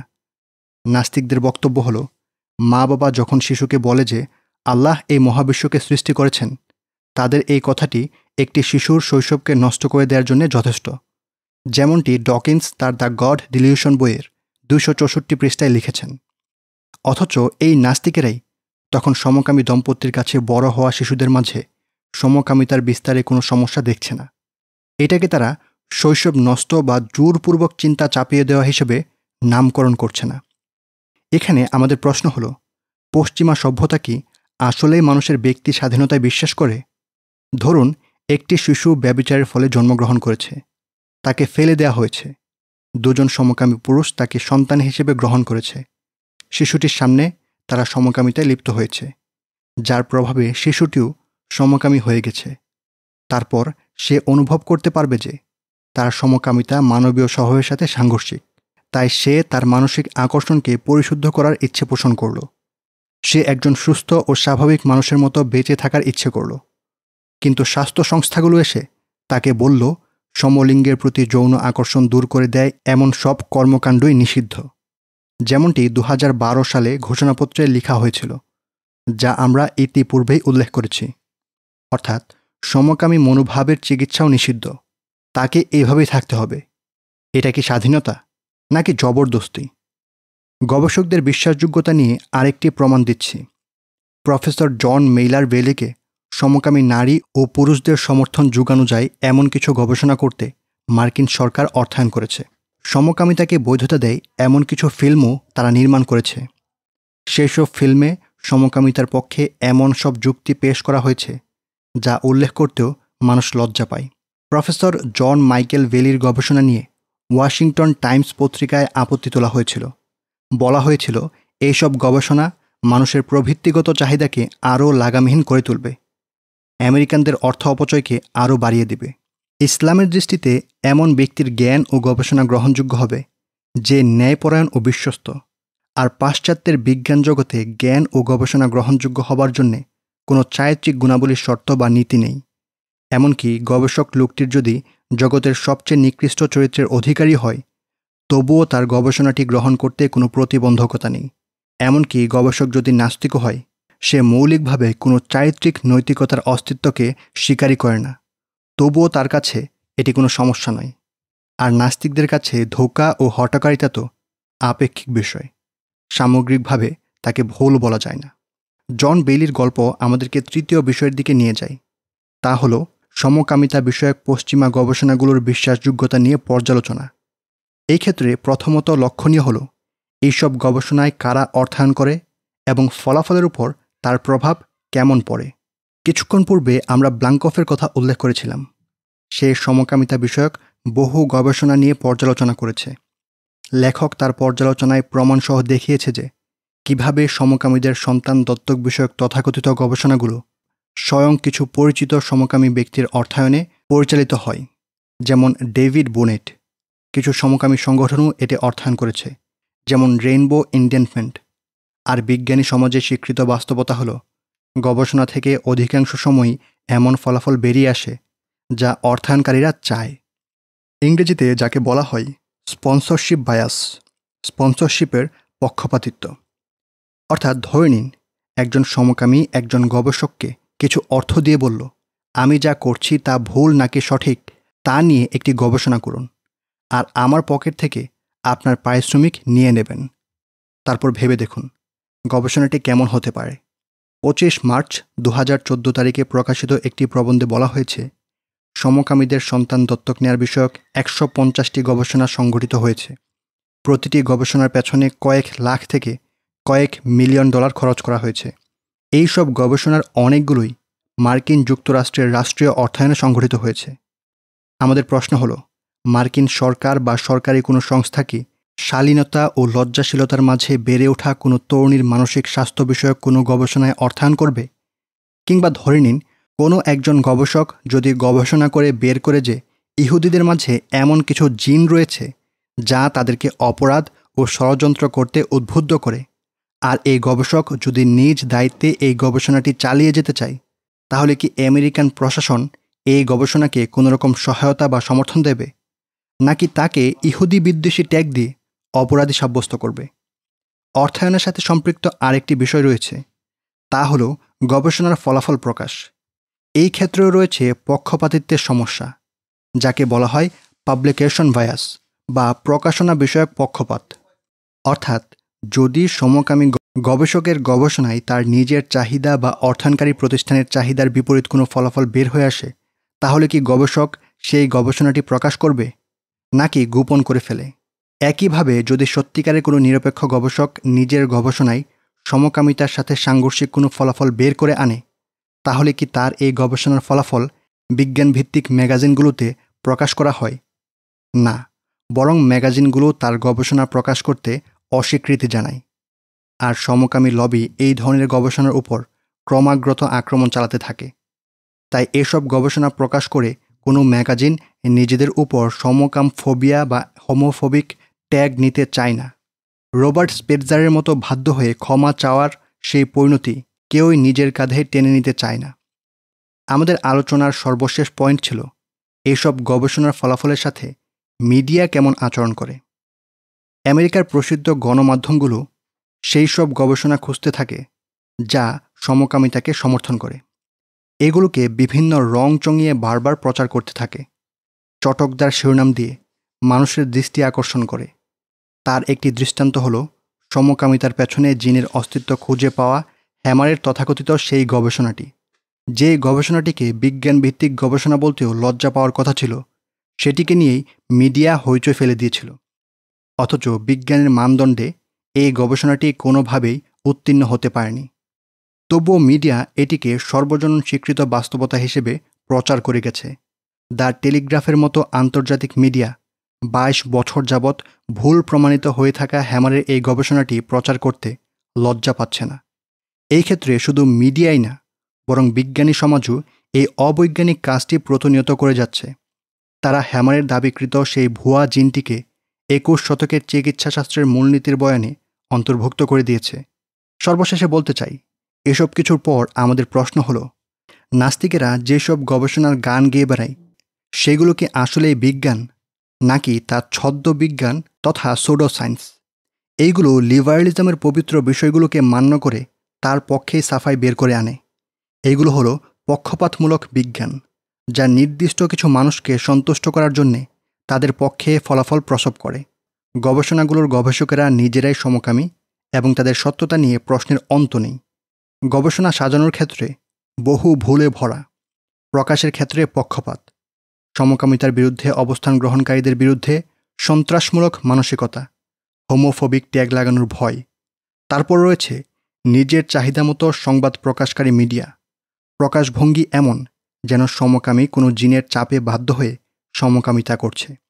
এত কিছুর পরেও তোতা পাখির মতো নাস্তিকেরা আপনাকে বলবে, আমরা বিজ্ঞান মনস্ক আল্লাহ সুবাহানা হাত তালা বলেন, স্তরে স্তরে অন্ধকার। যদি নিজের হাত কেউ বের করে তাহলে যেন নিজেই তা দেখতে পাবে না। আসলে আল্লাহ যার জন্যে কোনো আলো নির্ধারণ করে না, তার জন্যে নেই কোনো আলো। তারা নূর, আয়াত চল্লিশ।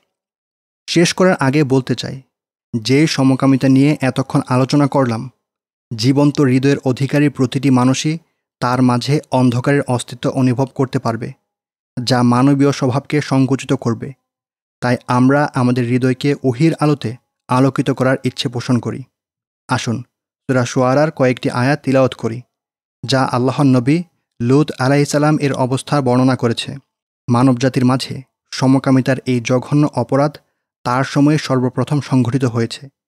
তিনি তার সম্প্রদায়কে সম্বোধন করে বলেছেন, জগতের মাঝে তোমরা পুরুষদেরকেই যৌনতার জন্য বেছে নিলে, তোমার রব তোমাদের জন্যে যে স্ত্রী সৃষ্টি করেছিলেন, তাকে ত্যাগ করলে তোমরা তো সীমা লঙ্ঘনকারী সম্প্রদায়। সুরা সোয়ারা আয়াত একশো পঁয়ষট্টি এবং ছেষট্টি। সমকামীদের কর্মের অনিষ্টতা প্রকাশ করার জন্যে লুত আলাহি সালামকে লম্বা দলিল প্রমাণ করতে হয়নি, কারণ তা সুস্পষ্ট নিকৃষ্ট কাজ। তাই এটির কথা উল্লেখ করলেই তার অনিষ্টতা বুঝে আসে। লুত আলাইসাল্লাম প্রথমেই তার সম্প্রদায়ের আকিদা ঠিক করার কাজে নামেননি, বরং তিনি সর্বপ্রথম তাদের মানবিকতার সংশোধনে নেমেছিলেন। তারা বলল, হে লুত, যদি তুমি বিরত না হও তাহলে অবশ্যই তুমি বহিষ্কৃতদের অন্তর্ভুক্ত হবে। তিনি বললেন, আমি তোমাদের কর্মকে ঘৃণা করি। হে রব, আমাকে ও আমার পরিবারকে তাদের কর্ম থেকে নিস্তার দিন। তখন আমি তাকে ও তার পরিবারের সকলকে মুক্তি দিলাম। কিন্তু এক বৃদ্ধা পেছনে থাকা লোকেদের সাথে পড়ে থাকল। তারপর আমি অবশিষ্ট সকলকে ধ্বংস করে দিলাম। আমি তাদের ওপর বর্ষণ করলাম প্রচণ্ড বৃষ্টি। ভীতি প্রদর্শনের জন্যে কতই না নিকৃষ্ট ছিল এই বৃষ্টি। নিশ্চয় এই ঘটনার মাঝে রয়েছে শিক্ষা, আর তাদের অধিকাংশই মুমিন ছিল না। নিশ্চয় আপনার রব মহাপরাক্রমশালী ও দয়াময়। রাসোয়ারা আয়াত একশো সাতষট্টি থেকে একশো পঁচাত্তর। আলোচনার মাঝখানেই বলতে চেয়েছিলাম, নাস্তিকতা ও ডারিনিজম কি হত্যা ও ধর্ষণের মতো অপরাধকে এই কারণে বৈধতা দেয় যে এগুলোর পেছনে কিছু জিনের ভূমিকা রয়েছে? যেমন তারা সমকামীদের বৈধতা দেয় কিন্তু কথার মাঝখানে আমি এসব প্রশ্নগুলো ছুড়ে দেইনি, কারণ নাস্তিকতা ও ডারুনিজমের কাছে এসব প্রশ্নের নতুন জবাব হলো হ্যাঁ বৈধতা দেয়। আলোচনা দীর্ঘ হয়ে যাবে, নতুবা যুদ্ধে উদ্বুদ্ধকারী জিনের অস্তিত্ব মানবদেহে পাওয়া গিয়েছে, বিজ্ঞানীদের গবেষণা থেকে এরও প্রমাণ দেখাতে পারতাম। এসব গবেষণা দাগি আসামির অপরাধকেও হালকা করে দিয়েছে, কারণ তারা ভাবছে তাদের এইসব কাজ বিজ্ঞানসম্মত। যেমনটি ঘটেছিল ব্র্যাডলি ওয়ার্ল্ডরুবের সাথে। আমি আপনাদেরকে টরল্যান্ড ও পালমান নামক দুইজন ডক্টরের বইয়ের কথা বলেছিলাম, যারা ধর্ষণকে জেনেটিক আচরণ বলে বৈধতা দেওয়ার চেষ্টা করেছে। আসলে কথা সেই একটি। আল্লাহ যার জন্যে কোনো আলো নির্ধারণ করেনি তার জন্যে নেই কোনোই আলো। নূর, আয়াত চল্লিশ। আজকের আলোচনা ছিল শাসকদের ইচ্ছায় বিজ্ঞানকে একটি যন্ত্র হিসেবে ব্যবহার করার দৃষ্টান্ত, ছিল বস্তুবাদীদের চারিত্রিক অধপতনের কিছু উদাহরণ। নয়টি বিষয়ের সারাংশ। আজকের পর্বে আমরা মহান আল্লাহর অস্তিত্বের উপর মানবীয় স্বভাবগত বিষয়গুলোর প্রমাণ সংক্রান্ত পূর্বের নয়টি পর্বের গুরুত্বপূর্ণ বিষয়গুলোর সারাংশ তুলে ধরব এবং এইসব আলোচনার উপর উত্থাপিত কিছু প্রশ্নের জবাব দেব। আমরা প্রমাণ করেছি যে মানুষের মাঝে সৃষ্টিগত স্বভাব বা ফিতরাত বলে একটি বস্তুর অস্তিত্ব রয়েছে। এই স্বভাবের কিছু উপকরণকে আমরা ব্যাখ্যা করেছি। যেমন ধর্ম পালনের আগ্রহ, মস্তিষ্ক নিঃসৃত অনস্বীকার্য বিষয় চারিত্রিক মূল্যবোধ, জীবনের লক্ষ্য উদ্দেশ্য সম্পর্কে জানার আগ্রহ ও স্বাধীন ইচ্ছাধিকার ইত্যাদি। উল্লেখিত সবগুলো উপকরণ যে মহান আল্লাহর অস্তিত্বকে প্রমাণ করে, তা আমরা স্পষ্ট করে দিয়েছি। আমরা প্রমাণ করেছি যে এইসব উপকরণের ব্যাপারে ইসলামের অবস্থান সুবিন্যস্ত ও যৌক্তিক। এর বিপরীতে এইসব উপকরণের ক্ষেত্রে নাস্তিক্যবাদ যেসব সংকটের মাঝে রয়েছে, তাও আমরা আলোচনা করেছি। আর এই সংকটের ভিত্তি হল একজন স্রষ্টার অস্তিত্বকে অস্বীকার করে সকল কিছুর অস্তিত্বের ব্যাপারে বস্তুবাদী ব্যাখ্যা দেওয়ার চেষ্টা। আমরা নাস্তিকতার অবস্থান স্পষ্ট করার চেষ্টা করেছি। স্রষ্টার অস্তিত্বকে অস্বীকার করতে গিয়ে তারা কি কি অবস্থান গ্রহণ করেছে তাও উল্লেখ করেছি। যেমন সর্বজনন স্বীকৃত বিষয়গুলোকে অস্বীকার, অনস্বীকার্য বাস্তবতা থেকে নিঃসৃত জ্ঞানকে অস্বীকার, দ্বিমুখিতা ও সাদৃশ্যহীনতা, এমন কিছু ফলাফল বের করা মানব মন সরাসরি যাকে ঘৃণা করে মানুষের মূল্য ও সম্মানকে তুচ্ছ করে এবং বিবেকের সত্যতা ও তার অনুভূতিকে বাতিল করে দেয়া ইত্যাদি। আমরা বলেছি যে, নাস্তিকতা যখন এইসব সমস্যার যে কোনো একটি সমস্যা থেকে পালাতে চেষ্টা করে, তখন সে আরেকটি সমস্যায় পতিত হয়। সে যদি বিবেক নিঃসৃত অনস্বীকার্য বিষয়ের অস্তিত্ব স্বীকার করে নিতে চায়, তাহলে তাকে তার বস্তুবাদী দর্শনের সাথে দ্বিমুখিতা করতে হয়। আর যদি সে বস্তুবাদী দর্শনকে ঠিক রাখতে যায় তাহলে তাকে বিবেক নিঃসৃত অনস্বীকার্য বিষয়গুলোর অস্তিত্বকে অস্বীকার করতে হয়। যদি সে চারিত্রিক মূল্যবোধকে অস্বীকার করার বিপদ থেকে পালাতে চায়, তাহলে সে বস্তুবাদী দর্শনের সাথে দ্বিমুখিতায় জড়িয়ে যায়। আর যদি বস্তুবাদী দর্শনকে ঠিক রাখতে যায়, তাহলে বাধ্য হয়ে চারিত্রিক মূল্যবোধকে অস্বীকার করতে হয়, যা মানব মন সরাসরি ঘৃণা করে। তাই নাস্তিকের এই কথা বলার কোনো উপায় নেই যে, যেসব নাস্তিক চারিত্রিক মূল্যবোধের অস্তিত্বকে অস্বীকার করে আমি তাদের বক্তব্যকে প্রত্যাখ্যান করছি। সব কিছুর পেছনে একটি কারণ রয়েছে, এই দর্শনকে যারা অস্বীকার করে, আমি তাদের মতামতকে প্রত্যাখ্যান করছি। এইসব বলে সে সংকট থেকে মুক্তি পাবে না। কারণ তার এই প্রত্যাখ্যান তাকে তার নাস্তিকতার সাথে সাংঘর্ষিক অবস্থানে নিয়ে দাঁড় করাবে। তা সত্ত্বেও আমরা অনেক স্থানে এভাবে বলেছি, এই বিষয়টির মাঝে নাস্তিকতা কোনো সমস্যা দেখে না, কিংবা নাস্তিকতার চরিত্র এমন, অথবা নাস্তিকতা এমনটি বলছে। যাতে কেউ এই কথা বলার সুযোগ না পায় যে সকল নাস্তিক তো উল্লেখিত বিষয়টিকে সমর্থন করে না। আমরা নাস্তিকতার যেই ফলাফলগুলোর কথা উল্লেখ করেছি, সেগুলো নাস্তিকতার দর্শন অনুযায়ী অপরিহার্য। যদিও কিছু নাস্তিক ভিন্ন কথা বলার চেষ্টা করুক না কেন। পূর্বের নয়টি পর্বে আমরা দেখিয়েছি সৃষ্টিগত স্বভাবের অস্তিত্বকে অস্বীকার করে নাস্তিকরা কীভাবে সেই স্লোগানগুলোর বিরুদ্ধে অবস্থান গ্রহণ করে, যা সে রাত দিন আউড়ে বেড়ায়। নাস্তিকদের স্লোগান হল আমি আমার মস্তিষ্ককে সম্মান করি। আমি মানবতাবাদী, মনুষ্যত্বে বিশ্বাস করি। আমি বিজ্ঞানকে সত্যায়ন করি। পঞ্চম পর্বে আমরা দেখিয়েছি কীভাবে নাস্তিকতা বিবেককে অপমান করে এবং তাকে নাকচ করে দেয়। ষষ্ঠ, সপ্তম ও অষ্টম পর্বে দেখিয়েছি নাস্তিকতা কীভাবে মানুষ ও তার চরিত্রকে অপমান করে। পঞ্চম, দশম ও এগারোতম পর্বে দেখিয়েছি কীভাবে নাস্তিকতা আধুনিক বিজ্ঞানকে অপমান করে। মোট কথা নাস্তিকতা তার সকল স্লোগানকেই নাকচ করে দেয়। একইভাবে আমরা দেখিয়েছি, নাস্তিকতা আল্লাহর অস্তিত্বে বিশ্বাসী মুমিনদের যেসব কারণে সমালোচনা করে, তারা নিজেরাই কীভাবে সেই সব কাজ করে বেড়ায়। তারা মুমিনদের গায়েবে বিশ্বাসের সমালোচনা করে, অথচ সেই গায়েবের অস্তিত্বের ব্যাপারে মুমিনদের নিকট রয়েছে বহু প্রমাণ। বিপরীতে নাস্তিকেরা এমন সব অদৃশ্য বিষয়ে বিশ্বাস রাখে, যার কোনো প্রমাণ নেই। যেমন স্বভাবগত বিষয়ের বস্তুবাদী ব্যাখ্যায় তারা বিশ্বাস করে অথচ তাদের সপক্ষে কোনো প্রমাণই নেই। মুমিনেরা যদি কিছু প্রশ্নের জবাবে বলে, আমরা জানি না কেন তা সংঘটিত হয়েছে, তাহলে নাস্তিকেরা এই কথাকে ত্রুটি বলে সাব্যস্ত করে। অথচ মুমিনদের এই বক্তব্য যৌক্তিক বিশ্বাসের ভিত্তিতে আত্মসমর্পণ মাত্র। বিপরীতে, নাস্তিকরাই বহু প্রশ্নের জবাবে বলে, আমরা জানি না কেন তা সংঘটিত হয়েছে। যেমন মানুষের স্বাধীন ইচ্ছাধিকারের অস্তিত্বের ব্যাপারে প্রশ্ন করা হলে, তারা এই কথা বলে। অথচ বস্তুবাদী নাস্তিকতার দৃষ্টিতে এই বক্তব্যটি গ্রহণযোগ্য নয়। নাস্তিকরা দাবি করে, আল্লাহর অস্তিত্বে বিশ্বাস করে মুমিনেরা নিজেদেরকেই ধোকা দিচ্ছে, অথচ নাস্তিকরাই নিজেদেরকে ধোকা দিয়ে বেড়াচ্ছে। কেন আমরা পৃথিবীতে এলাম? এই পর্বটিতে আমরা তা আলোচনা করেছি। অনেক মুসলিমের মনে কিছু প্রশ্ন রয়েছে, কিছু সন্দেহ ও সংশয় রয়েছে, যার উপযুক্ত জবাব তারা খুঁজে পায়নি। তার কারণ, হয়তো সেই উত্তরটি উপযুক্ত উৎসে অনুসন্ধান করেনি, অথবা তার ইমান মৌলিকভাবে শক্তিশালী ভিত্তির উপর প্রতিষ্ঠিত নয়, কিংবা হতে পারে তার কর্মপন্থার মাঝে বড় কোনো ভুল রয়ে গেছে। হতে পারে সে নিজের সন্দেহগুলোকে শক্তিশালী ভিত্তির কাছে অর্পণ করে দেয়নি। অর্থাৎ যেসব আনুষাঙ্গিক বিষয়ের ব্যাখ্যা তার কাছে অস্পষ্ট মনে হয়েছে, সেগুলোকে সে তার বৃহৎ বিশ্বাসের আলোকে দেখেনি। যে বৃহৎ বিশ্বাসের দলিল তার কাছে রয়েছে, ফলে সে সন্দেহ ও সংশয়ের মাঝে অবস্থান করছে। যেমন, এক ব্যক্তির মাথায় কিছু সংশয় জন্ম নিয়েছে। ফলে সে আল্লাহর অস্তিত্বকে অস্বীকার করে ফেলেছে। সে ভাবছে, নাস্তিক হয়ে সে সন্দেহ ও সংশয় থেকে পুরোপুরি মুক্তি পেয়ে গেছে। অথচ সে জানে না আল্লাহর অস্তিত্বকে অস্বীকার করার মাধ্যমে সে ক্রমাগত অস্বীকারের একটি জালে ফেসে গেছে। সে অস্বীকার একসময় তাকে অনস্তিত্ববাদ ও দ্বিমুখিতার দিকে ঠেলে দেবে।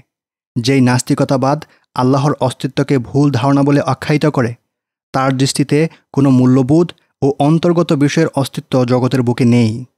এমনকি এক পর্যায়ে এসে নাস্তিক্যবাদ বলে মস্তিষ্ক নিঃসৃত অনস্বীকার্য বিষয়গুলো ভুল ধারণা, চারিত্রিক মূল্যবোধ ভুল ধারণা, জীবনের লক্ষ্য ও উদ্দেশ্য অনুসন্ধান ভুল ধারণা, মানুষের স্বাধীন ইচ্ছাধিকার ভুল ধারণা, বরং মানুষের সত্তা, তার অবস্তুগত আত্মা ও মানবীয় আকৃতিতে শুধুমাত্র একটি ভুল ধারণা। ঠিক যেমনটি বলেছে কর্নেল বিশ্ববিদ্যালয়ের জীববিজ্ঞানের প্রফেসর নাস্তিক উইলিয়াম প্রোভাইন। সে জানিয়েছে বিষয়টির সূচনা হয় একজন কর্তৃত্ববান সৃষ্টিকর্তার অস্তিত্বকে অস্বীকার করার মাধ্যমে। তারপর মৃত্যু পরবর্তী কোনো জীবনের অস্তিত্বকে অস্বীকার করা হয়। যখন আপনি এই দুইটি চিন্তা থেকে বের হয়ে যেতে পারবেন, তখন বাকি সব বিষয় আপনার কাছে আপেক্ষিক মনে হবে। আপনি বিশ্বাস করতে পারবেন যে, চারিত্রিক মূল্যবোধ বলতে কিছুই নেই। মানুষের কোনো স্বাধীন ইচ্ছাধিকার নেই। এমনকি এই মানবীয় জীবনের ন্যূনতম কোনো অর্থও নেই। আমরা এমনিতে জন্ম নিচ্ছি, মারা যাচ্ছি এবং বিলীন হয়ে যাচ্ছি। মৃত্যুর মাধ্যমে আমরা চূড়ান্তভাবে নিঃশেষ হয়ে যাচ্ছি। হে যুবক, তুমি তো ধর্মত্যাগ করে বন্ধুদের কাছে গর্বভরে বলে বেড়াচ্ছ। তুমি সবাইকে জানিয়ে দিচ্ছ যে তুমি অনেক প্রশ্ন ও সন্দেহ থেকে মুক্তি পেয়েছ। যেই সব প্রশ্ন ও সন্দেহের মাঝে তুমি মুসলিম অবস্থায় ছিলে। জেনে রেখো যুবক, তুমি প্রশ্ন ও আপত্তির এক অতল গহ্বরে অতল সাগরে প্রবেশ করেছ। তোমার উপর এখন ঢেউয়ের মতো একের পর এক প্রশ্ন আসতেই থাকবে। বিশ্বস্ত রুজ্জু ছেড়ে তুমি সীমাহীন উপত্যকার দিকে রওনা হয়েছ। এই বাস্তবতা থেকে তুমি ততক্ষণ মুক্তি পাবে না, যতক্ষণ না নিজের অবস্থান পরিবর্তন করো। আসুন, এবার আমরা আগের পর্বগুলোতে উত্থাপিত আপত্তিগুলোর জবাব দেওয়ার চেষ্টা করি। কোনো কোনো পর্বে আমি কিছু আয়াত উল্লেখ করেছি। কেউ কেউ আপত্তি করেছেন যে কোরআনের আয়াত দিয়ে তো নাস্তিকদেরকে সম্বোধন করা যায় না। প্রথমত, এই সিরিজটি শুধুমাত্র নাস্তিক ও সন্দেহবাদীদের জন্য নয়, বরং এটা মুমিনদের ইমান বৃদ্ধির জন্যও। তবে আমরা যদি কোরআনের আয়াত দিয়ে নাস্তিকতাকে সম্বোধন করেও থাকি, তবুও তাতে আপত্তির কিছু নেই। যদি আমরা এটা বোঝাতাম যে আল্লাহ এমনটি বলেছেন, তাই নাস্তিককে মেনে নিতে হবে, তাহলে আমাদের উপর আপত্তি তোলা যেত। বলা যেত, এটা অযৌক্তিক, কারণ নাস্তিক তো আল্লাহর অস্তিত্বেই বিশ্বাস করে না। কিন্তু আয়াতগুলো আমরা উল্লেখ করেছি বিভিন্ন বিষয়ে ইসলামের অবস্থান স্পষ্ট করার উদ্দেশ্যে। ইসলাম যেই উপাস্যে বিশ্বাস করে, তার দিকে আহ্বান করার জন্যে। আয়াতগুলো উল্লেখ করা হয়েছে বাস্তবতার সাথে, তার সামঞ্জস্য ও নাস্তিক্যবাদের বৈপরীত্যকে তুলে ধরার জন্যে। কারণ সামঞ্জস্যতা সত্যতার প্রমাণ ও বৈপরীত্য অসত্যতার প্রমাণ। তারা কি কোরআন নিয়ে গবেষণা করে না? আর যদি তা আল্লাহ ছাড়া অন্য কারও পক্ষ থেকে আসত, তবে তারা এতে অনেক বৈপরীত্য দেখতে পেত। সুরা নিসা, আয়াত বিরাশি। তার চেয়েও গুরুত্বপূর্ণ বিষয় হলো, নাস্তিককে কোরআনের আয়াত দিয়ে সম্বোধন করা যায় না, ব্যাপকভাবে এমন দাবি করা ঠিক নয়। বরং অনেক আয়াতে এমন বহু যুক্তি রয়েছে, যা দ্বারা নাস্তিককে সম্বোধন করা যায়। যেমন, তারা কি স্রষ্টা ছাড়াই সৃষ্টি হয়েছে, নাকি তারা নিজেরাই সৃষ্টিকর্তা? সুরাতুর আয়াত পঁয়ত্রিশ। আমরা এখানে নাস্তিকের সাথে বিতর্ক করছি আয়াতের মাঝে বিদ্যমান যুক্তি নিয়ে। কোরআন বলেছে, তাই আমরা তার উপর কোনো কিছু চাপিয়ে দিচ্ছি না। আমরা এভাবে বলিনি যে, হে নাস্তিক, কোরআন বলছে মহান আল্লাহর অস্তিত্ব রয়েছে, তাই তোমাকে মেনে নিতে হবে। কেউ কেউ আপত্তি করে বলেছেন, আপনি পর্যালোচনা করে দাঁড় করিয়েছেন যে, আল্লাহ আছেন। আল্লাহ ইসলামী দৃষ্টিতে সৃষ্টিকর্তার নাম। আপনি এতগুলো পর্ব আলোচনা করে যা প্রমাণ করলেন, তাতে সর্বোচ্চ একজন ঔপাস্য বা সৃষ্টিকর্তার অস্তিত্ব প্রমাণ হয়। আপনি যে দাবি করেছেন আপনি ইসলামের ঔপাস্যের অস্তিত্বকে সাব্যস্ত করেছেন। এটা তো যা প্রমাণ করেছেন, তার চেয়েও বেশি দাবি করা হয়ে যাচ্ছে। আসলে এই পর্বগুলো দুটি বিষয়কে একসাথে সাব্যস্ত করছে। এক, জগতের নিয়ন্ত্রক একজন সৃষ্টিকর্তার অস্তিত্ব। দুই, তার কিছু গুণাবলী, তার সৃষ্টি জগৎ যার প্রতি ইঙ্গিত করে। ইসলামী একমাত্র দিন, যা এসব গুণাবলী সহ একক সৃষ্টিকর্তার সঠিক ধারণা দিয়েছে। তিনিই জগতের নিয়ন্ত্রক। বিকৃত আসমানি কিতাবগুলোতে মহান সৃষ্টিকর্তার এমন গুণ উল্লেখ করা হয়েছে, যা তার জন্য সমীচীন নয়। যেমন তথাকথিত কিতাবুল মুকাদ্দাসে বলা হয়েছে যে, সৃষ্টিকর্তা ইয়াকুবের সাথে কুস্তি লড়েছেন। এমনকি ইয়াকুব তাকে ধরাশয়ী করে ফেলার উপক্রম হয়েছে। আসমান ও জমিন সৃষ্টি করার পর তিনি বিশ্রাম নিয়েছেন। এগুলো এমন গুণ যা সৃষ্টিকর্তার সক্ষমতা ও প্রজ্ঞার সাথে সামঞ্জস্যপূর্ণ নয়। যেমনটি আমরা পূর্বের একটি পর্বে আলোচনা করেছি। যেমন ষষ্ঠ পর্বে আমরা উল্লেখ করেছি এমন একজন সৃষ্টিকর্তার অস্তিত্ব রয়েছে, যিনি পূর্ণতার অধিকারী। তিনি চারিত্রিক মূল্যবোধ, যেমন কল্যাণ ও সত্যের ভিত্তি স্থাপন করেছেন। তিনি চারিত্রিক মূল্যবোধের ব্যাপক নীতি মানুষের মাঝে স্থাপন করে দিয়েছেন। আমাদের দলিলগুলো বাস্তবেই মাত্র একজন স্রষ্টার অস্তিত্ব প্রমাণ করে ক্ষান্ত হয়ে যায়। কিন্তু সেই স্রষ্টাকে অবশ্যই ইসলামের নির্ধারিত গুণে গুণান্বিত হতে হবে। কারণ ইসলামই একমাত্র দিন, যা স্রষ্টাকে তার ক্ষমতা, জ্ঞান, প্রজ্ঞা ও দয়ার দাবি অনুযায়ী গুণান্বিত করে, যা স্রষ্টা হিসেবে তার শ্রেষ্ঠত্ব ও মহত্বকে আবশ্যক করে, যেই সকল গুণ তাকে উপাসনার উপযুক্ত হিসেবে প্রমাণ করে। তাই এই ক্ষেত্রে আল্লাহ নামটি উচ্চারণ করতে কোনো বাধা নেই। এটা কোনো প্রকার সীমা লঙ্ঘনও নয়। কেউ কেউ আপত্তি করে বলেছেন, আপনি নাস্তিকতাকে বাতিল করে দেওয়ার ভিত্তিতে ইসলামের বিশুদ্ধতার দাবি তুলেছেন। অথচ নাস্তিকতা বাতিল প্রমাণিত হওয়ার মানে এই নয় যে ইসলাম সঠিক। বাস্তবতা হলো, আমি কোথাও এমনটি দাবি করিনি। নাস্তিকতা বাতিল প্রমাণিত হওয়ার উপর আমি ইসলামের বিশুদ্ধতাকে নির্ভরশীল বানাইনি।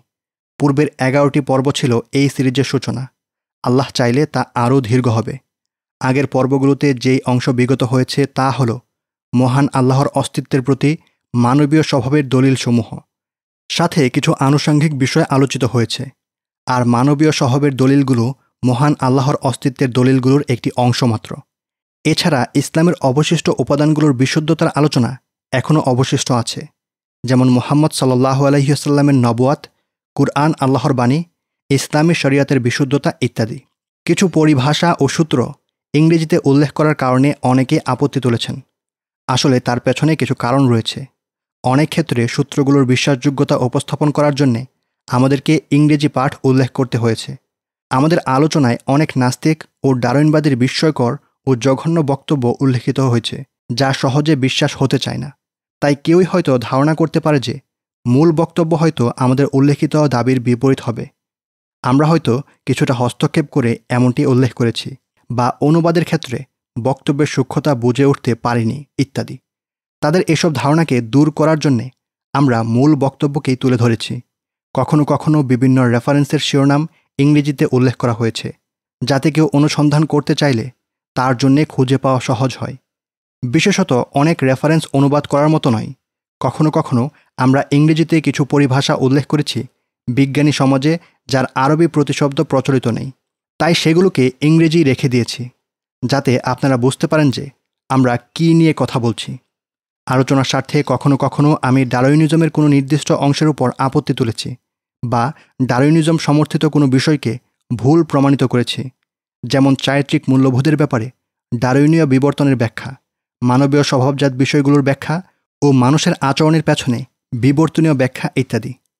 অনেকে ধারণা করছে যে আমি ডারুনিজম নিয়েই পর্যালোচনা করছি, তাই তারা আত্মপক্ষ সমর্থন করা শুরু করেছেন। ডারুনিজমের বিশুদ্ধতা প্রমাণ করতে শুরু করেছেন। আমাকে তাদের বক্তব্যের জবাব দিতে বলেছেন। আমি এখানে বলে নিতে চাচ্ছি যে এই সিরিজে আমার কর্মপদ্ধতি সুনির্দিষ্ট ও সূক্ষ্ম। আমি এখানে ধারাবাহিকভাবে কয়েকটি বিষয়কে সামনে আনব।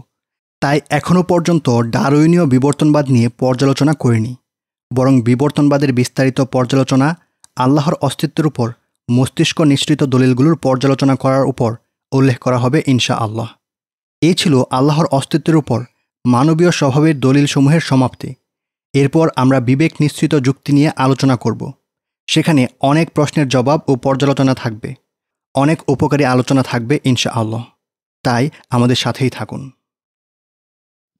জ্ঞানের আলোকে মহান আল্লাহর অস্তিত্ব। মানবীয় জ্ঞানের আলোকে আল্লাহর অস্তিত্বের কি কোনো প্রমাণ আছে? এই প্রশ্নের জবাব সংক্ষিপ্ত ও সহজ। মানবীয় জ্ঞান সবচেয়ে বেশি যাকে প্রমাণ করে, তিনি হলেন মহান আল্লাহ। আপনি হয়তো বলতে পারেন, কোথায়? আমরা তো আল্লাহকে দেখতে পাই না বা শুনতে পাই না।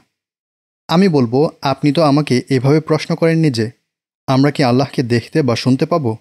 যেমন বিভিন্ন বিষয়কে শুনতে বা দেখতে পাই?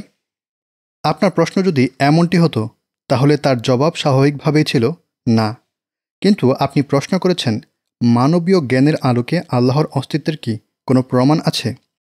জ্ঞান হলো অনুভূতি ও মস্তিষ্কের সমন্বয়ে অর্জিত বস্তু। মানুষ কোনো বোধির যন্ত্র বা ক্যামেরা নয় যে, তার মাধ্যমে আমরা ছবি ধারণ করব।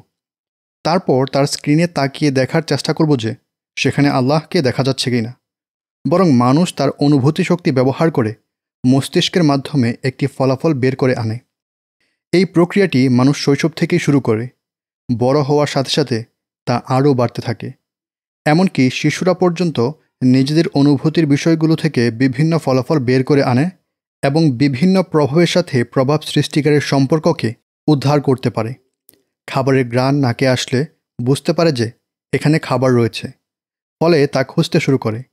কোনো কোনো প্রাণী পায়ের চিহ্ন অনুসরণ করে নিজের শিকার খুঁজে বের করে, যেমন কুকুর। আপনি যদি একটি কামড়ানো আপেল দেখতে পান এবং তার উপর কোনো মানুষের দাঁতের চিহ্ন থাকে, তাহলে আপনি বুঝতে পারবেন যে কোনো একজন মানুষ আপেলটিতে কামড় দিয়েছে। এটা জ্ঞান। অথচ আপনি সেই মানুষটিকে দেখেননি।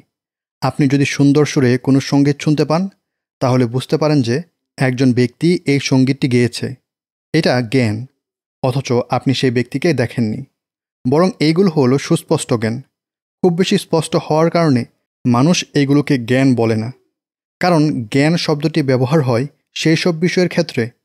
মানুষ যা নিজের চিন্তা শক্তিকে বিশেষভাবে ব্যবহার করে আনে, এই ধরনের বিষয়ের ক্ষেত্রে যেমনটি প্রয়োজন পড়ে না। প্রতিটি সংঘটিত বিষয়ের একটি কারণ রয়েছে। এটি সুস্পষ্ট, সহজাত যৌক্তিক একটি নীতি, যার জন্যে কোনো শিক্ষা বা মেধার প্রয়োজন পড়ে না। এই নীতিটি আমরা আমাদের জীবনের প্রতিটি ক্ষেত্রে মেনে চলি। আমরা খাই, কেননা খাবার ক্ষুধা দূর করার কারণ। আমরা পান করি, কেননা পানি তৃষ্ণা দূর করার কারণ। আমরা ঘুমাই, কেননা ঘুম আরামের কারণ। আমরা কাজ করি, কেননা কাজ জীবিকা অর্জনের কারণ। প্রতিটি সংঘটিত বিষয়ের একটি কারণ রয়েছে।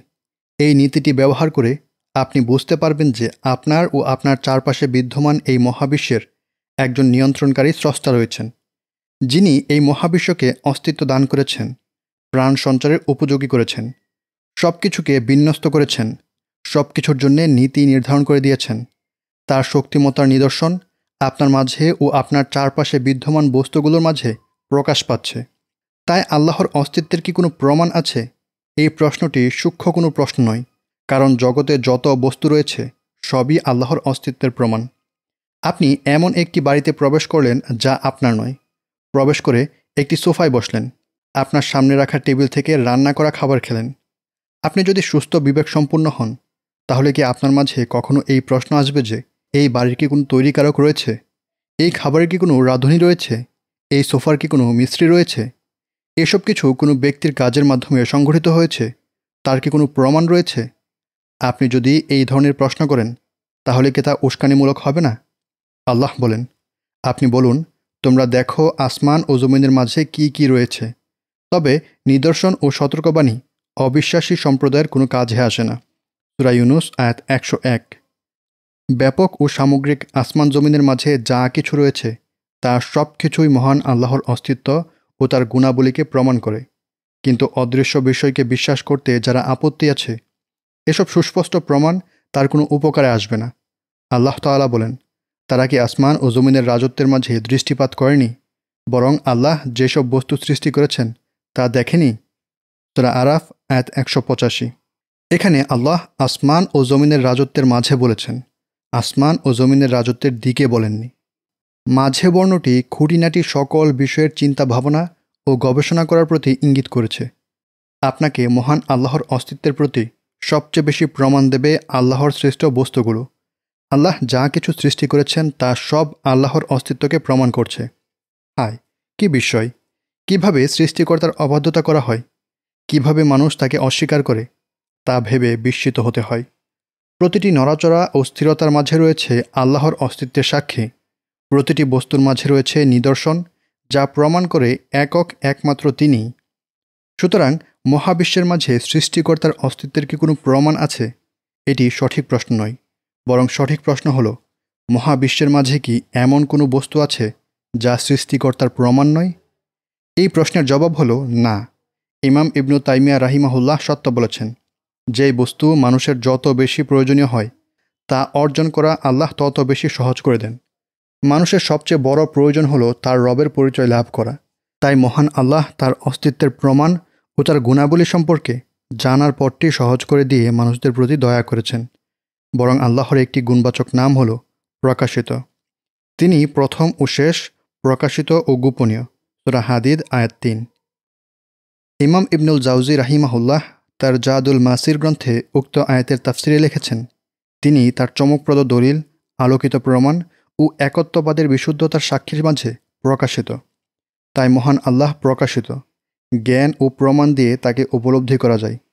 একই সাথে তিনি গোপনীয় কারণ জগতের অন্য সব দৃশ্যমান বস্তুর মতো তিনি দৃশ্যমান নন।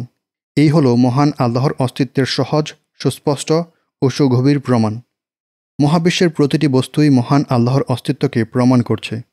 আপনি যা কিছু দেখছেন তা এলোমেলো কোনো জগৎ নয়, বরং তার গঠন ও আচরণ প্রমাণ করছে যে তা সৃষ্ট বস্তু।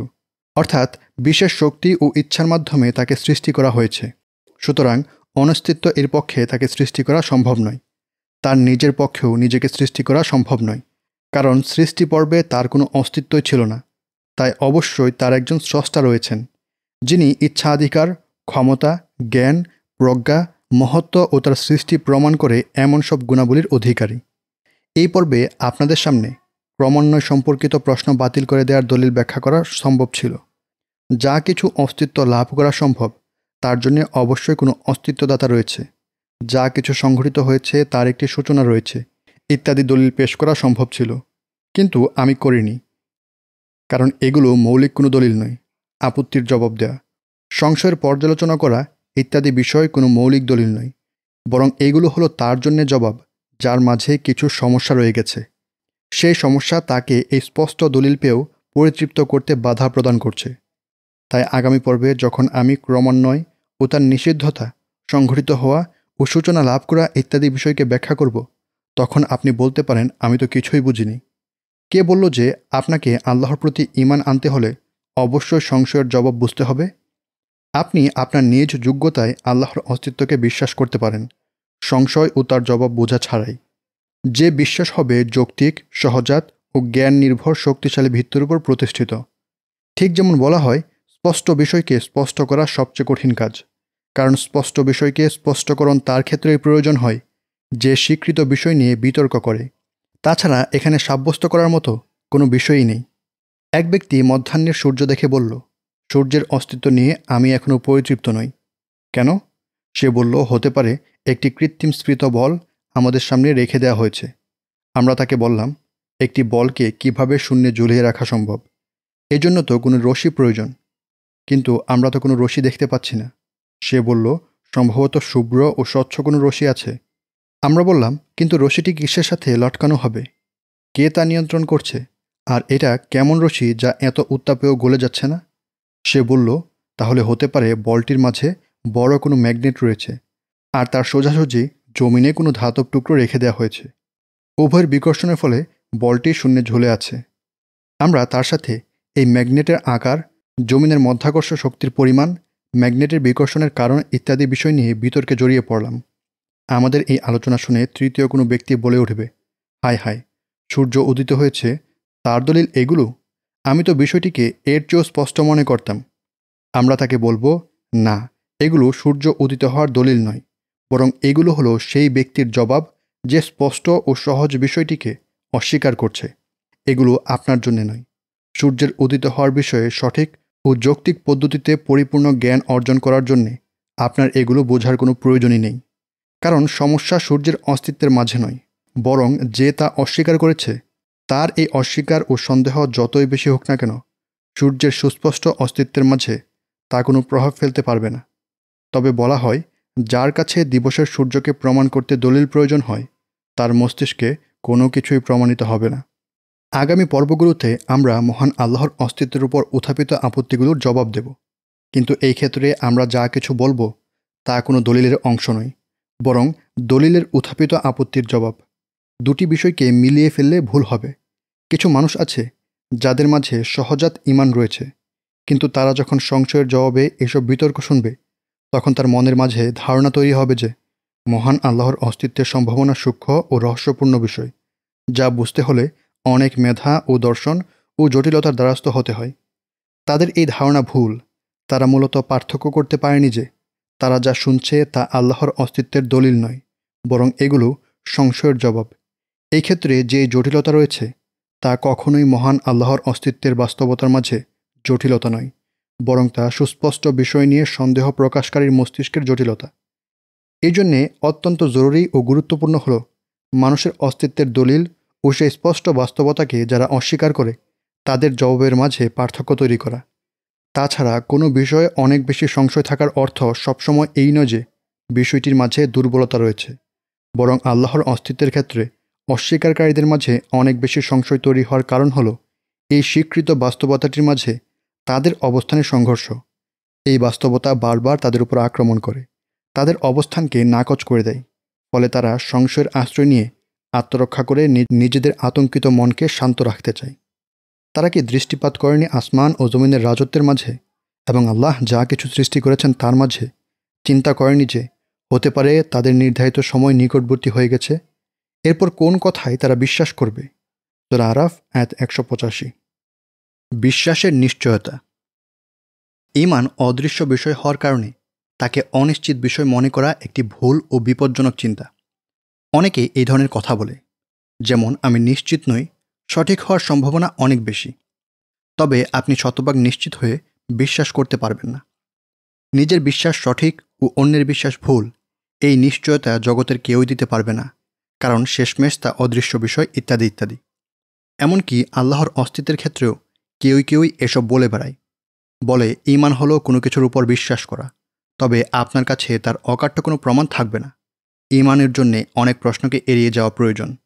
বিশ্বাসের পেছনে সবসময় যুক্তি তালাশ করবেন না। এই ধরনের কথা আল্লাহর প্রতি বিশ্বাসকে, বিশেষত অদৃশ্য বিশ্বাসকে, অনুমান নির্ভর বিষয়ে পরিণত করে। ইমানের অকাট্যতা ও নিশ্চয়তাকে বাতিল করে দেয়। ইমানকে তখন মনে হয় প্রবল ধারণার উপর ভিত্তি করে প্রতিষ্ঠিত বিশ্বাস, যা সঠিক হওয়ার সম্ভাবনা অনেক বেশি রয়েছে, তবে একশো পার্সেন্ট নিশ্চিত করে বলা যায় না। প্রশ্ন হলো, আল্লাহর অস্তিত্বের প্রতি বিশ্বাস ইসলামের দৃষ্টিতে কি এমনই? উত্তর হলো, কখনোই না। ইসলামের দৃষ্টিতে আল্লাহর অস্তিত্বের প্রতি বিশ্বাস হলো এমন নিশ্চিত ও অকাট্য বিষয়, যেই ব্যাপারে কোনো সন্দেহ সংশয়ের অবকাশ নেই। ইমান অদৃশ্য হওয়ার মানে কখনোই এটা নয় যে, তার ব্যাপারে নিশ্চয়তা প্রকাশ করা সম্ভব নয়। অদৃশ্য মানে অস্পষ্ট বা রহস্যময় নয়। এমনও নয় যে, আল্লাহর প্রতি বিশ্বাস একটি সংবেদনশীল ও আত্মসমর্পণ নির্ভর বিষয়, বরং এটি যুক্তিপূর্ণ, দালিলিক সহজাত ও জ্ঞানসম্মত বিষয়। আল্লাহর অস্তিত্বের প্রতি বিশ্বাস এমন বিষয়, জ্ঞান ও মানবীয় স্বভাব আপনাকে যার প্রমাণ দিয়ে দেবে। হৃদয়ের ব্যাধি বা প্রভৃতির ধারণা তাকে বাধা সৃষ্টি করতে পারবে না। এটি ইসলামের সবচেয়ে সুস্পষ্ট বিষয়। কিন্তু বিস্ময়কর হল, নাস্তিকতার বিরুদ্ধে কথা বলে এমন অনেকের কাছে এই বিষয়টি পুরোপুরি স্পষ্ট নয়। আল্লাহর প্রতি বিশ্বাস অন্য ধর্মাবলম্বীদের নিকট কখনো কখনো অস্পষ্ট মনে হতে পারে। ফলে তারা বিভিন্ন প্রশ্ন এড়িয়ে যাওয়াকে নিরাপদ মনে করে। জ্ঞানের আলোকে তাকে বিশ্লেষণ করার সাহস না করে নিঃশর্তভাবে মেনে নিতে পারে। কিন্তু ইসলাম ধর্মের অনুসারীদের তেমন কিছু করার প্রয়োজন নেই, আলহামদুলিল্লাহ। এই পর্বটি মুসলিমদের জন্যে, পাশাপাশি সংশয়বাদীদের জন্যেও যারা ধারণা করে যে আমরা তাদেরকে অজ্ঞতা ও সংবেদনশীল একটি বিশ্বাসের দিকে আহ্বান করছি, বরং আমরা তাদেরকে আহ্বান করছি একটি যৌক্তিক, দালিলেক ও সহজাত বিষয়ের দিকে। আমরা মানুষকে যে আত্মসমর্পণের দিকে আহ্বান করি, তা আল্লাহর অস্তিত্বের বিষয় নয়। এটা আত্মসমর্পণের ক্ষেত্র নয়, বরং আত্মসমর্পণ হল ইসলামের আনুষাঙ্গিক বিষয়গুলোর ক্ষেত্রে, যার ভিত্তি হবে সহজাত যৌক্তিক ও দালিলিক বিশ্বাস। আমরা যেই কুরআনের দিকে আহ্বান করি, তা বলে, মুমিন তো শুধু তারাই যারা আল্লাহ ও তার রাসুলের প্রতি বিশ্বাস স্থাপন করেছে, তারপর সন্দেহগ্রস্ত হয়নি। সুরা হুজরাত আয়াত পনেরো। অর্থাৎ তারা দৃঢ় সত্যায়নের সাথে ইমান এনেছে। যার সাথে সন্দেহ বা প্রবল ধারণার কোনো সংমিশ্রণ নেই। এটা কোনো সতর্কতামূলক বা স্বেচ্ছাচারিতামূলক বিশ্বাস নয়। এমন নয় যে আমরা দেখছি আল্লাহর অস্তিত্বের প্রমাণগুলো অকাট্য নয়, তবুও বিশ্বাস করছি। বরং ইসলামী দর্শন বলে মহান আল্লাহর অস্তিত্ব সবচেয়ে বড় বাস্তবতা। মহান আল্লাহ নিজেই সত্য। তা এই জন্য যে আল্লাহ হলেন মহাসত্য। আর তারা আল্লাহর পরিবর্তে যার দিকে আহ্বান করছে তা মিথ্যা। সুরা লুকমান আয়াত্রিশ আল্লাহর অস্তিত্ব অনেক বেশি সুস্পষ্ট হওয়ার কারণে কোরআন এই বিষয়টিকে দলিল উপস্থাপন ও পর্যালোচনার ক্ষেত্র হিসেবে নির্ধারণই করেনি, বরং শুধু অস্তিত্বের চেয়েও কিছু অতিরিক্ত বিষয়ের উপর দলিল উপস্থাপন করেছে, যেমন একত্ববাদ ও মহান আল্লাহর বিভিন্ন গুণাবলীর ইত্যাদি। কিন্তু আল্লাহর অস্তিত্বের বিষয়টি অকাট্য, তা নিয়ে কুরআন বিশেষ কোনো আলোচনার প্রয়োজন বোধ করেনি। তাদের রাসুলগণ তাদেরকে বললেন, আল্লাহর ব্যাপারেও সন্দেহ, যিনি আসমান ও জমিনের স্রষ্টা সুরা ইব্রাহিম, আয়াত দশ। এটি এমন একটি আয়াত যার মাঝে সহজাত ও জ্ঞানসম্মত উভয় দলিলই বিদ্যমান রয়েছে। আল্লাহর ব্যাপারেও সন্দেহ? মানে আল্লাহর অস্তিত্ব নিয়েও সন্দেহ? কিংবা আল্লাহর একত্বের মাঝেও সন্দেহ? তার অস্তিত্ব ও একত্ব তো সহজাত বিষয়, যা মানুষের অন্তরে বপন করে দেয়া আছে, যার মাঝে কোনো সন্দেহ নেই। জ্ঞানসম্মত প্রমাণ হলো যে, তিনি আসমান ও জমিনের স্রষ্টা। এই জগতে যা কিছু রয়েছে তার সব কিছুই একজন সুস্থ মস্তিষ্ক ও স্বাভাবিক হৃদয়ের অধিকারী মানুষকে সৃষ্টিকর্তার অস্তিত্বের প্রমাণ দেবে। মুসা আলহিসাল্লামের সাথে ফিরাউনের বিতর্কের মাঝে ফিরাউন প্রশ্ন করল, আর বিশ্বজগতের প্রতিপালক আবার কি? সুরা সোয়ারা আয়াত তেইশ। মুসা আলাহিসাল্লাম বললেন, তিনি আসমান ও জমিন এবং তার মধ্যবর্তী সকল বস্তুর রব, যদি তোমরা বিশ্বাসী হও। সুরা সোয়ারা আয়াত চব্বিশ। অর্থাৎ এই মহাবিশ্বের দিকে দৃষ্টিপাত করলে বিশ্বজগতের প্রতিপালকের পরিচয় এমনভাবে পাওয়া যাবে, যা অস্বীকার করার জুই নেই। এত স্পষ্ট যাতে সন্দেহের অবকাশ নেই। যদি তোমরা বিশ্বাসী হও, অর্থাৎ তোমরা যদি কোনো কিছুর উপর বিশ্বাস করে থাকো, তাহলে এই রবের প্রতি বিশ্বাসকে তোমাদের নিকট সবচেয়ে উত্তম বিশ্বাস বলে মনে হবে। আর যদি তোমরা বলো কোনো কিছুর উপরই আমাদের বিশ্বাস নেই, তাহলে তোমরা মিথ্যাবাদী। কারণ প্রতিটি মানুষকে সুস্পষ্ট ও আবশ্যকীয় কিছু বিষয়ে বিশ্বাস করতে হয়। এক পর্যায়ে ফিরাউন বলল, তোমাদের নিকট যে রাসুল প্রেরণ করা হয়েছে, সে তো পাগল। সুরাশুয়ারা আয়াত সাতাশ। মুসা আলাইসাল্লাম বললেন, তিনি পূর্ব ও পশ্চিম এবং উভয়ের মাঝে যা কিছু রয়েছে সব কিছুর রব, যদি তোমরা বুদ্ধিমান হও। সুরাশুয়ারা আয়াত আটাশ। অর্থাৎ তোমরা যদি আল্লাহকে অস্বীকার করো, তাহলে তোমাদেরকে পাগল বলাই অধিক যুক্তযোগ্য কেননা তোমাদের উপকারী বুদ্ধিমত্তা ছিনিয়ে নেওয়া হয়েছে। বুদ্ধিমত্তা কি? তা হলো কিছু মৌলিক অপরিহার্য জ্ঞান, যেমন প্রতিটি ঘটনার পেছনে একটি কারণ রয়েছে, আর এই বুদ্ধিমত্তাই মানুষকে মহান সৃষ্টিকর্তার অস্তিত্বের প্রমাণ দেয়। যদি তোমাদের মাঝে বিশ্বাস বলে কোনো বস্তুর অস্তিত্ব থেকে থাকে, তাহলে তোমরা আল্লাহকে চিনতে পারবে। এমনকি যদি তোমাদের মাঝে বুদ্ধিমত্তা বলে কোনো বস্তুর অস্তিত্ব থেকে থাকে, তাহলেও আল্লাহকে চিনতে পারবে। একইভাবে আপনি সুরা জাসিয়ার প্রথম অংশ নিয়ে চিন্তা করুন। নিশ্চয় আসমান ও জমিনের মাঝে বিশ্বাসীদের জন্য বহু নিদর্শন রয়েছে। তোমাদের সৃষ্টির মাঝে ও ছড়িয়ে দেয়া চতুষ্পদ জন্তুর মাঝে বহু নিদর্শন রয়েছে বিশ্বাসী সম্প্রদায়ের জন্যে।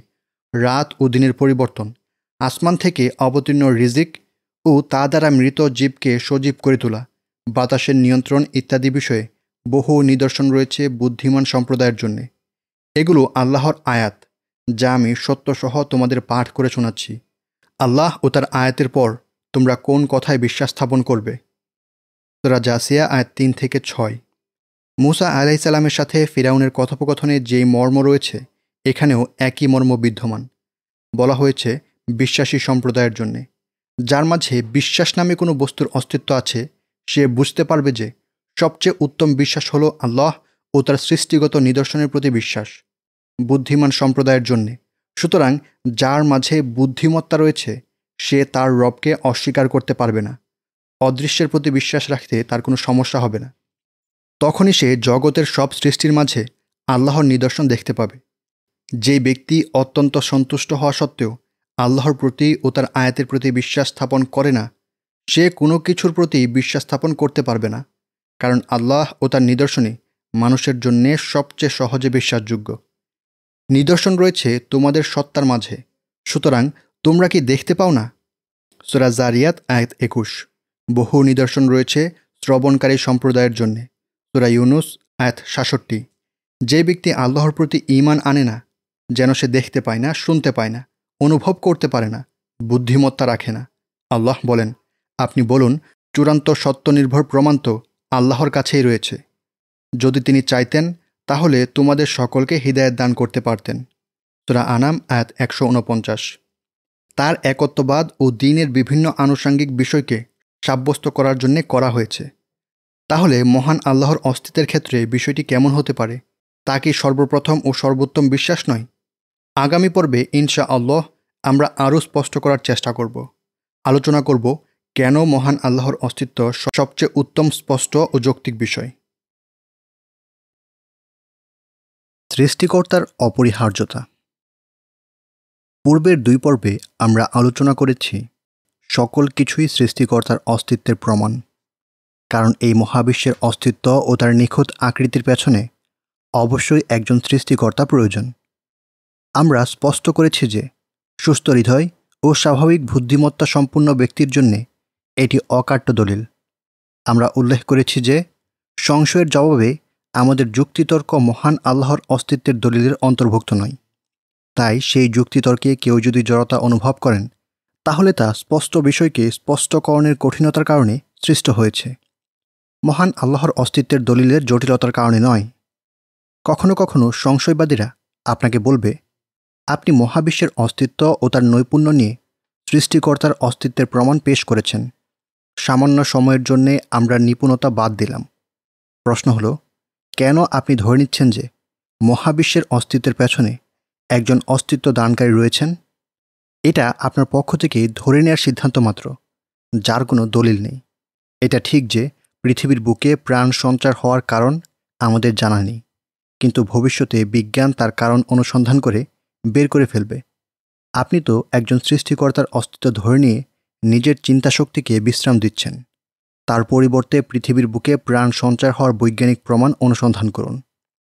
এই সংশয়বাদের জবাবে আমরা বলব, ঠিক আছে, আমরা কিছুক্ষণ মহাবিশ্বের নিপুণতার বিষয়টি এড়িয়ে গেলাম। ভুলে থাকলাম যে, এই সূক্ষ্ম ব্যবস্থাপনা পরিচালনার জন্যে একজন বিজ্ঞ, সক্ষম ও প্রাজ্ঞবান কর্তা আবশ্যক। আপনার সাথে আমরা এখন মহাবিশ্বের অস্তিত্বের বিষয়টি পর্যালোচনা করি। আল্লাহ বলেন, থামুন থামুন, আল্লাহ বলেন এসব কথা বলে আমাদের সাথে বিতর্ক করা যাবে না। আমি আল্লাহর অস্তিত্ব স্বীকারই করি না। আমি আপনার সামনে মহান আল্লাহর বাণী থেকে একটি দলিল উপস্থাপন করছি। আমি জানি আপনি আল্লাহর কালাম বিশ্বাস করেন না। কাজেই এই আয়াত না হয় আমার জন্যই ছেড়ে দিন। আমার সাথে আমার বিশ্বাস অনুযায়ী আল্লাহর আয়াতের মাঝে বিদ্যমান জ্ঞানসম্মত দলিলটি দিয়ে না হয় বিতর্ক করুন। কি সেটা? আল্লাহ বলেন, তারা কি স্রষ্টা ছাড়াই সৃষ্টি হয়েছে? নাকি তারা নিজেরাই সৃষ্টিকর্তা? তারা কি আসমান ও জমিন সৃষ্টি করেছে? আসলে তারা বিশ্বাস করছে না। হে মানুষ, কে আপনাকে সৃষ্টি করেছে? এক সময় আপনার অস্তিত্ব ছিল না। তারপর কে আপনাকে অস্তিত্ব দান করেছে? এই ক্ষেত্রে কি কি সম্ভাবনা থাকতে পারে? এক, অনস্তিত্ব আপনাকে সৃষ্টি করেছে। দুই, আপনি নিজেই নিজেকে সৃষ্টি করেছেন। তিন, কেউ একজন রয়েছেন যিনি আপনাকে সৃষ্টি করেছেন। প্রথম দুটি সম্ভাবনা সুস্পষ্ট বাতিল। কারণ অনস্তিত্ব কোনো কিছুকে অস্তিত্ব দান করতে পারে না। আর মানুষ হিসেবে আপনি পরিপূর্ণ অস্তিত্ব লাভ করার পরেও নিজের অস্তিত্বকে নির্ধারিত মেয়াদের চেয়েও বেশিক্ষণ টিকিয়ে রাখতে পারেন না। নিজেকে বার্ধক্য বা মৃত্যু থেকে রক্ষা করতে পারেন না। আপনি নিজে পরিপূর্ণ দেহ ও বুদ্ধিমত্তার অধিকারী হওয়ার পরেও তা পারেন না। তাহলে কীভাবে আপনি নিজেকে শুরু থেকে অস্তিত্ব দান করতে পারেন? যেহেতু প্রথম দুটি সম্ভাবনা বাতিল হয়ে গেছে তাই অবশিষ্ট রয়েছে শুধু তৃতীয়টি। আপনি নিজ সত্তার বাহির থেকে সংঘটিত কোনো কারণে সৃষ্টি হয়েছেন। হ্যাঁ আমি আমার পিতার শুক্রাণু ও মায়ের ডিম্বাণু থেকে অস্তিত্ব লাভ করেছি। ঠিক আছে, এটা তো কারণ মাত্র কিন্তু কে আপনাকে অস্তিত্ব দান করেছে? আপনি এবার আদম পর্যন্ত গিয়ে ঠেকবেন আর বলবেন, তাকে আল্লাহ সৃষ্টি করেছেন। আর আমি বলব, বিবর্তনের ফলে মানুষ এই পর্যন্ত এসেছে। আমরা কখনো একমত হতে পারব না। না না, একটু অপেক্ষা করুন। মানবজাতির বেড়ে ওঠার পেছনে ব্যাখ্যা যেটাই হোক না কেন, ক্রমান্বয়ে তা একটি নির্দিষ্ট পর্যায়ে গিয়ে সমাপ্ত হবে। এমনকি আমরা যদি সেই পর্যায়টি নির্ধারণ করার ক্ষেত্রেও মতভেদ করি, তবুও আমাদেরকে মেনে নিতে হবে যে এই পর্যায়টির অস্তিত্ব রয়েছে। অর্থাৎ ধারাবাহিকতা সমাপ্ত হয়ে একটি সূচনা অবশ্যই রয়েছে। কোনো জিনিস সূচনা ছাড়া ধারাবাহিকভাবে সংঘটিত হতে থাকা সম্ভব নয়। এটা অসম্ভব। কেন সূচনাহীন ক্রমান্বয়ে অসম্ভব হবে? আমি আপনার এই কথা মানি না। এই হলো আপনাদের সমস্যা। আপনারা এমন স্পষ্ট ও যৌক্তিক বিষয়ও মেনে নিতে পারেন না, যা প্রমাণ করার কোনো প্রয়োজন হয় না। সূচনাহীন ক্রমান্বয় অসম্ভব, কারণ তার অর্থ দাঁড়াবে শেষ পর্যন্ত কোনো কিছু সংঘটিত হবে না। কীভাবে? ক্রমান্বয় কীভাবে কোনো কিছু সংঘটিত না হওয়াকে আবশ্যক করে? আমি আপনাকে একটা দৃষ্টান্ত দিচ্ছি। কারণটি স্পষ্ট করে দিচ্ছি। ধরুন, আমাদের নিকট একজন বন্দী রয়েছে, যার মুক্তির ফয়সালা হয়ে গেছে। যে সৈনিকটি এই বন্দিকে পাহারা দিচ্ছিল, সে বলল, আমি ততক্ষণ তাকে মুক্তি দিতে পারি না, যতক্ষণ না আমার ক্যাপ্টেন আমাকে অনুমতি দেন। ক্যাপ্টেন বলল, আমি এমনটি আদেশ করতে পারি না, যতক্ষণ না আমাকে মেজর আদেশ করেন। মেজর বলল, লেফটেন্যান্ট কর্নেলের কথা। এভাবে ক্রমান্বয়ে চলতে লাগল। তাহলে এভাবে আর এই বন্দির মুক্তির কোনো সম্ভাবনা নেই। কিন্তু যদি আমরা দেখি বাস্তবেই এই বন্দিকে ছেড়ে দেওয়া হয়েছে, তাহলে আমরা নিশ্চিতভাবে বুঝতে পারি যে ধারাবাহিকতা একটি নির্দিষ্ট সীমা পর্যন্ত গিয়ে সমাপ্ত হয়ে গেছে। একটি পর্যায়ে এসে কোনো এক অফিসার অন্য কারও আদেশের অপেক্ষা করেনি। আপনি যদি দেখতে পান যে আপনার সামনে ডমিনো টাইল একটির পর একটি পড়ে যাচ্ছে, আর আপনি জানতে পারেন যে একটি টাইল ততক্ষণ পড়ে না, যতক্ষণ না তার পূর্বটি পড়ে, তাহলে আপনি নিশ্চিতভাবে বুঝতে পারবেন যে কেউ একজন প্রথম টাইলটিকে নাড়া দিয়েছে। ডমিনো টাইল হলো চার কোনা বিশিষ্ট ছোট ছোট টাইল বিশেষ, যা একটি বিশেষ ধরনের খেলার কাজে ব্যবহৃত হয়। টাইলগুলো ধারাবাহিকভাবে সাজিয়ে কোনো একটি আকৃতি তৈরি করা হয়। তারপর প্রথমটি ছেড়ে দিলে ক্রমান্বয়ে সবগুলো পড়ে যায়। আপনি এই কথা বলতে পারবেন না যে শুরুতে কেউই তাকে স্পর্শ করেনি। আমাদের ক্ষেত্রেও ঠিক একই ঘটনা ঘটেছে। যদি এই মহাবিশ্ব কোনো কিছুর মাধ্যমে সৃষ্টি না হতো এবং এভাবে চলতে থাকত, তাহলে এই মহাবিশ্ব অস্তিত্ব লাভ করত না। কিন্তু এই মহাবিশ্ব অস্তিত্ব লাভ করেছে। তার মানে হলো, কারণের ক্রমান্বয় একটি পর্যায়ে গিয়ে বন্ধ হয়ে গেছে। তা এমন একটি কারণের কাছে গিয়ে বন্ধ হয়ে গেছে, যার পূর্বে কোনো কারণ বিদ্যমান নেই। এই কারণটি হয়তো পূর্ব থেকে অনস্তিত্বে থাকবে অথবা থাকবে না। যদি সে শুরু থেকে অনস্তিত্বে থাকে, তাহলে তো তারও এমন একটি কারণ প্রয়োজন আছে, যে কারণ তাকে অস্তিত্ব দান করবে। আর আমরা প্রমাণ করলাম যে তার পূর্বে কোনো কারণ নেই। তাহলে বোঝা গেল যে এই প্রথমটি পূর্ব থেকে অনস্তিত্বে নয়, বরং তা অনাদি, যার কোনো সূচনা নেই, যা স্বয়ং সম্পূর্ণ। অস্তিত্ব লাভ করার জন্যে অন্যের মুখাপেক্ষী নয়। চলুন আবারও আয়াতে ফিরে যাই। তারা কি স্রষ্টা ছাড়াই সৃষ্টি হয়েছে? নাকি তারা নিজেরাই সৃষ্টিকর্তা? তারা কি আসমান ও জমিন সৃষ্টি করেছে? আসলে তারা বিশ্বাস করছে না। সুরাতুর আয়াত ৩৫ থেকে ছত্রিশ। আপনার উপর যে নিয়ম প্রয়োগ করা হয়েছে, আসমান জমিনের উপরেও একই নিয়ম প্রয়োগ করা হয়েছে। মানবজাতি আসমান ও জমিনকে অনস্তিত্ব থেকে অস্তিত্ব দান করেনি। সে নিজেও নিজেকে সৃষ্টি করেনি। আর অনস্তিত্বও তাকে অস্তিত্ব দান করেনি। তাই তার অস্তিত্বের জন্যে একজন সৃষ্টিকর্তা অপরিহার্য। যদি মেনেও নেই যে মহাবিশ্বের অস্তিত্বের পেছনে অনাদি একটি কারণ প্রয়োজন, কিন্তু কেন আপনারা সেই কারণকে আল্লাহ বলে নামকরণ করছেন? তার জন্য বিশেষ কিছু গুণাবলী সাব্যস্ত করছেন? পূর্বের তর্কে আমরা শুধু প্রথম বা অনাদি কারণে সাব্যস্ত করিনি, বরং এই কারণটির মাধ্যমেই মহাবিশ্ব অস্তিত্ব এসেছে, এটাও সাব্যস্ত করেছি। তার এই অস্তিত্ব দানই প্রমাণ করে যে তিনি সীমাহীন ক্ষমতা, ইচ্ছাধিকার, চিরঞ্জীব ইত্যাদি গুণের অধিকারী।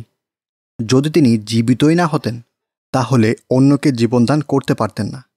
কারণ যার যা নেই, সে অন্যকে তা দান করতে পারে না। তিনি তার ইচ্ছাধিকার নিয়েই সৃষ্টি জগৎকে সৃষ্টি করার ইচ্ছা করেছেন, আর ক্ষমতা দিয়ে নিজের ইচ্ছাকে বাস্তবায়ন করেছেন। আর আমরা তার সৃষ্ট নৈপুণ্যের আলোচনা করলে দেখতে পাবো যে তা আরও কিছু গুণাবলীর প্রতি ইঙ্গিত দিচ্ছে। যেমন প্রভুত্ব, জ্ঞান, প্রজ্ঞা, দয়া, মহত্ব, শাশ্বত ইত্যাদি। সহজ কথা হলো, এই সকল গুণে গুণান্বিত যে সৃষ্টিকর্তা আছেন, ইসলামী দর্শনে তাকে আল্লাহ বলা হয়। তাই আল্লাহর অস্তিত্বের প্রতি বিশ্বাস শুধু সংবেদনশীল ও নিঃশর্তভাবে স্বীকার করে নেওয়ার বিষয় নয়, বরং তা দলিল নির্ভর, যৌক্তিক ও প্রামাণিক বিষয়। পাশাপাশি এটি সহজাত বিষয়। মহান আল্লাহর অস্তিত্বের প্রতি আমাদের বিশ্বাস, সুনিশ্চিত জ্ঞান থেকে সঠিক পদ্ধতিতে বের করা অনস্বীকার্য ফলাফল। কারণ আমরা কখনোই বলি না যে, এই মহাবিশ্বের স্রষ্টা সম্পর্কে আমরা কিছুই জানি না। তাই তার সমাধানের জন্যে আল্লাহর অস্তিত্বকে নির্ধারণ করে নিই। আমাদের বিশ্বাস কখনোই এমনটি নয়। বরং আমরা বলি আবশ্যকীয় জ্ঞান নির্ভর যুক্তি প্রমাণ করে যে, এই মহাবিশ্বের একজন অনাদি সৃষ্টিকর্তা অপরিহার্য, যাকে কেউ সৃষ্টি করেনি। এই যুক্তি সৃষ্টিকর্তার কিছু গুণাবলীও প্রমাণ করে। আমরা বলি না যে কারণের ধারাবাহিকতা অসীম হয়ে চলতেই থাকবে, তাই আমরা তার একটি সীমানা নির্ধারণ করে নিলাম। চিন্তার অলসতা থেকে আল্লাহর অস্তিত্বকে ধরে নিলাম। আমরা কখনোই এমনটি বলি না, কারণ তার আবশ্যকীয় ফলাফল দ্বারাই মহাবিশ্বের অনস্তিত্ব, যা বিবেক ও অনুভূতির বিরোধী। কোনো নাস্তিক বলতে পারে, বিজ্ঞান ভবিষ্যতে প্রাণ সঞ্চারের কারণ আবিষ্কার করবে। তখন আমরা বলব বিজ্ঞান কখনোই এটা আবিষ্কার করবে না যে অনস্তিত্ব কোনো সত্তা প্রাণকে অস্তিত্ব দান করেছে কিংবা প্রাণ নিজেই নিজেকে অস্তিত্ব দান করেছে কিংবা প্রাণ সঞ্চারের কারণ অসমাপ্তভাবে ক্রমান্বয়ে চলতে থাকবে। বিজ্ঞান কখনোই বিবেক নিঃসৃত অনস্বীকার্য বিষয়ের সাথে সাংঘর্ষিক কোনো ফলাফল বের করে আনবে না। কারণ বিবেক নিঃসৃত অনস্বীকার্য বিষয়গুলো বাতিল করে দিলে মানবীয় বিজ্ঞান অনর্থক হয়ে দাঁড়ায়।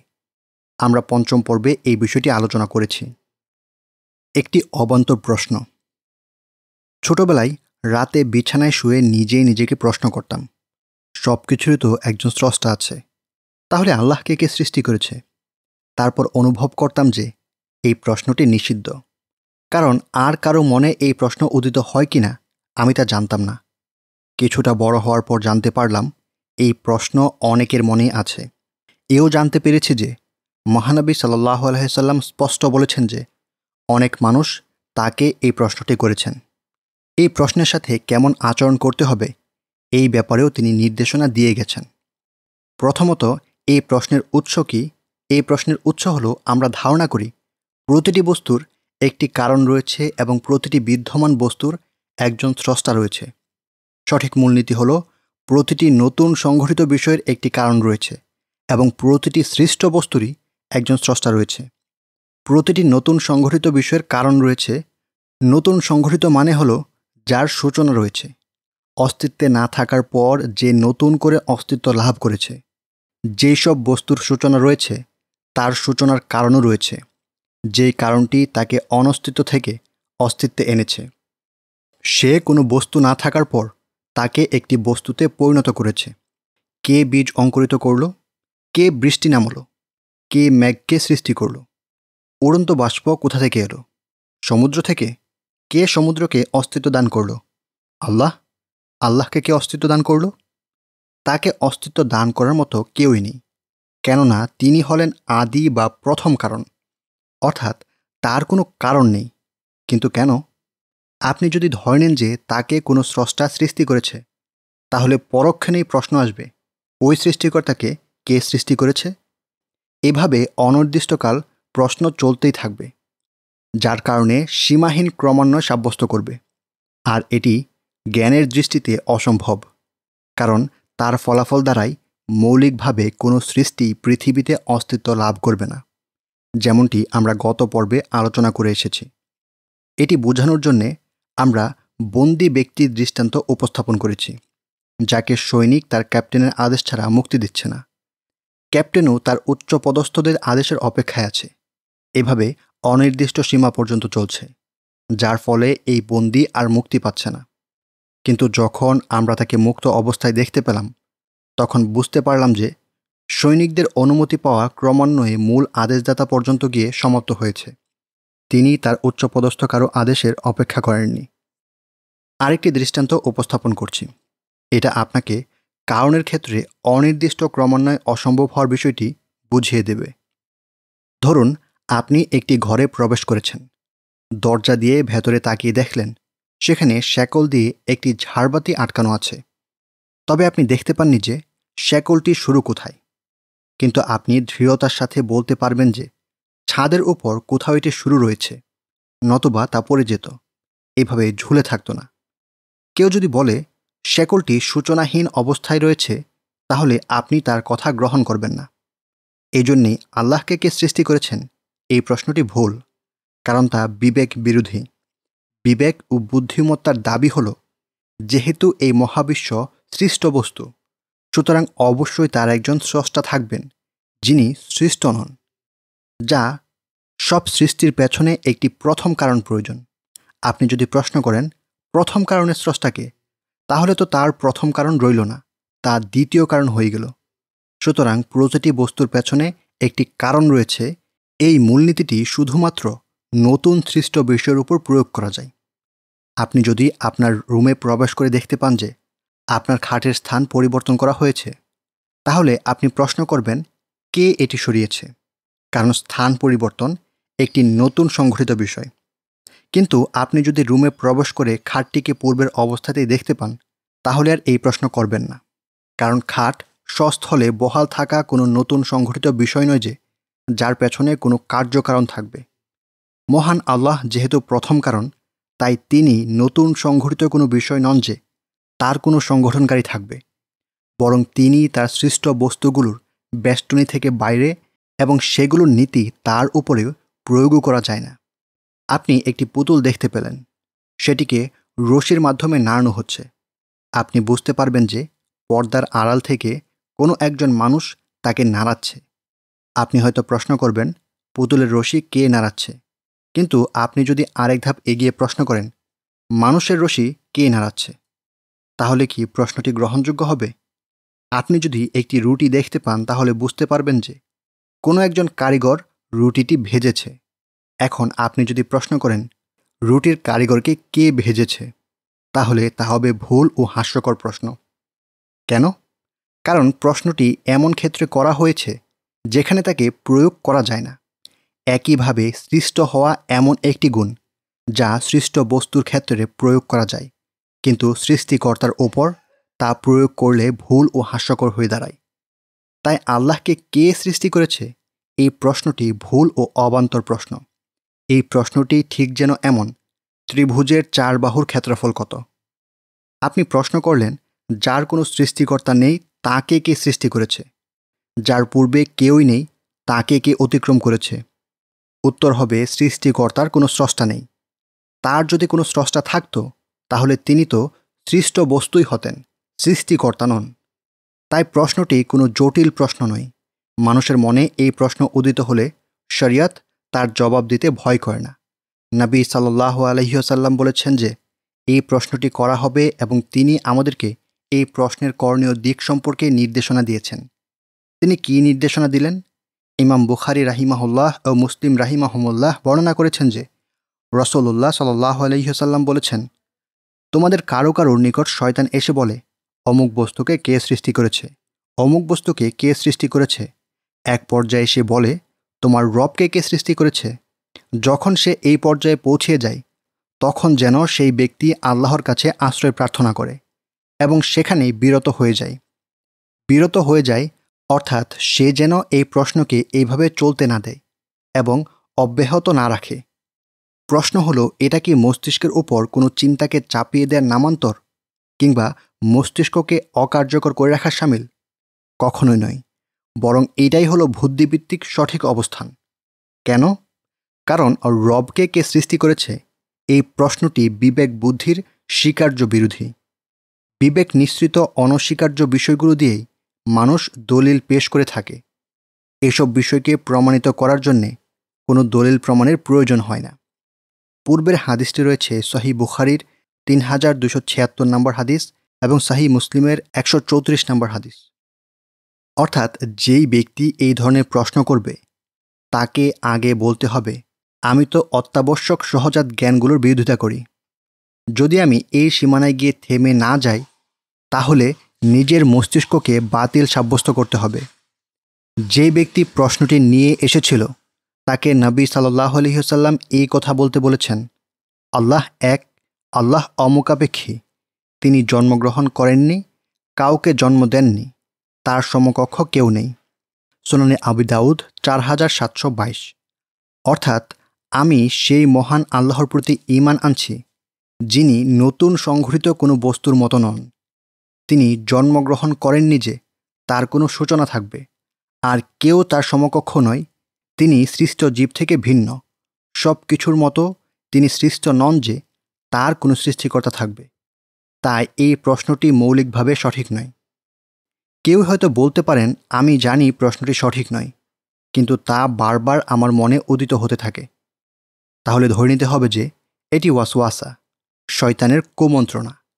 এটির প্রতি আপনার আচরণ তেমনই হবে যেমনটি আপনি ইবাদত সংশ্লিষ্ট ওয়াসওয়াসার ক্ষেত্রে করে থাকেন।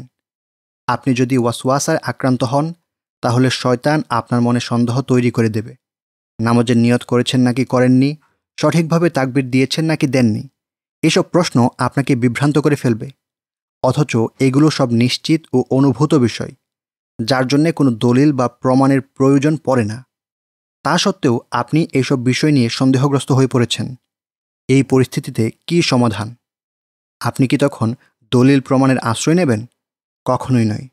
বরং আপনি সেই বিতাড়িত শয়তান থেকে আল্লাহর কাছে আশ্রয় চাইবেন। যে আপনাকে ওয়াসওয়াসায় ফেলেছে। পাশাপাশি যেই সব বিষয়ে সন্দেহ তৈরি হয়, সেগুলো নিয়ে চিন্তা ভাবনা করা থেকে বিরত থাকবেন। আল্লাহকে কে সৃষ্টি করেছে এই প্রশ্নের ক্ষেত্রেও একই কাজ করতে হবে। কারণ আপনি জানেন যে এই প্রশ্নটি বিবেক বুদ্ধির অনস্বীকার্য বিষয়ের সাথে সাংঘর্ষিক। আল্লাহকে কে সৃষ্টি করেছে? এই প্রশ্নটি নাস্তিকেরা করে থাকে, কারণ তারা এই কথাটি মেনে নিতে পারে না যে আল্লাহ অনাদি, তার কোনো সূচনা নেই। যেই নাস্তিক এই আপত্তি তুলেছে, আপনি তাকে পাল্টা প্রশ্ন করুন, ওহে নাস্তিক, আপনি কি বিশ্বাস করেন মহাবিশ্বের সূচনা হয়েছে? যদি সে বলে হ্যাঁ তাহলে আপনি বলুন তবে তো এই মহাবিশ্ব নতুনভাবে সংঘটিত। আর বিবেকের অনস্বীকার্য দাবি হল, প্রতিটি নতুনভাবে সংঘটিত বস্তুর একজন স্রষ্টা থাকবে। আর সে যদি বলে, মহাবিশ্ব অনাদি তাহলে আপনি তাকে বলুন, মহাবিশ্বকে অনাদি মানতে পারলে আল্লাহকে অনাদি মানতে আপত্তি কোথায়? তাহলে তো আপনি মৌলিকভাবে কোনো সত্তার চিরন্তন বা অনাদি হওয়ার বিষয়টিকে অস্বীকার করছেন না। অথচ আপনি একজন সৃষ্টিকর্তার অনাদি হওয়া নিয়ে আপত্তি করেছেন। যিনি জ্ঞান, ইচ্ছাধিকার, প্রজ্ঞা, ক্ষমতা দিয়ে মহাবিশ্বকে সৃষ্টি করেছেন, যার নিদর্শন সকল কিছুর মাঝে প্রকাশিত হচ্ছে, অথচ মহাবিশ্বকে অনাদি বলে দিচ্ছেন।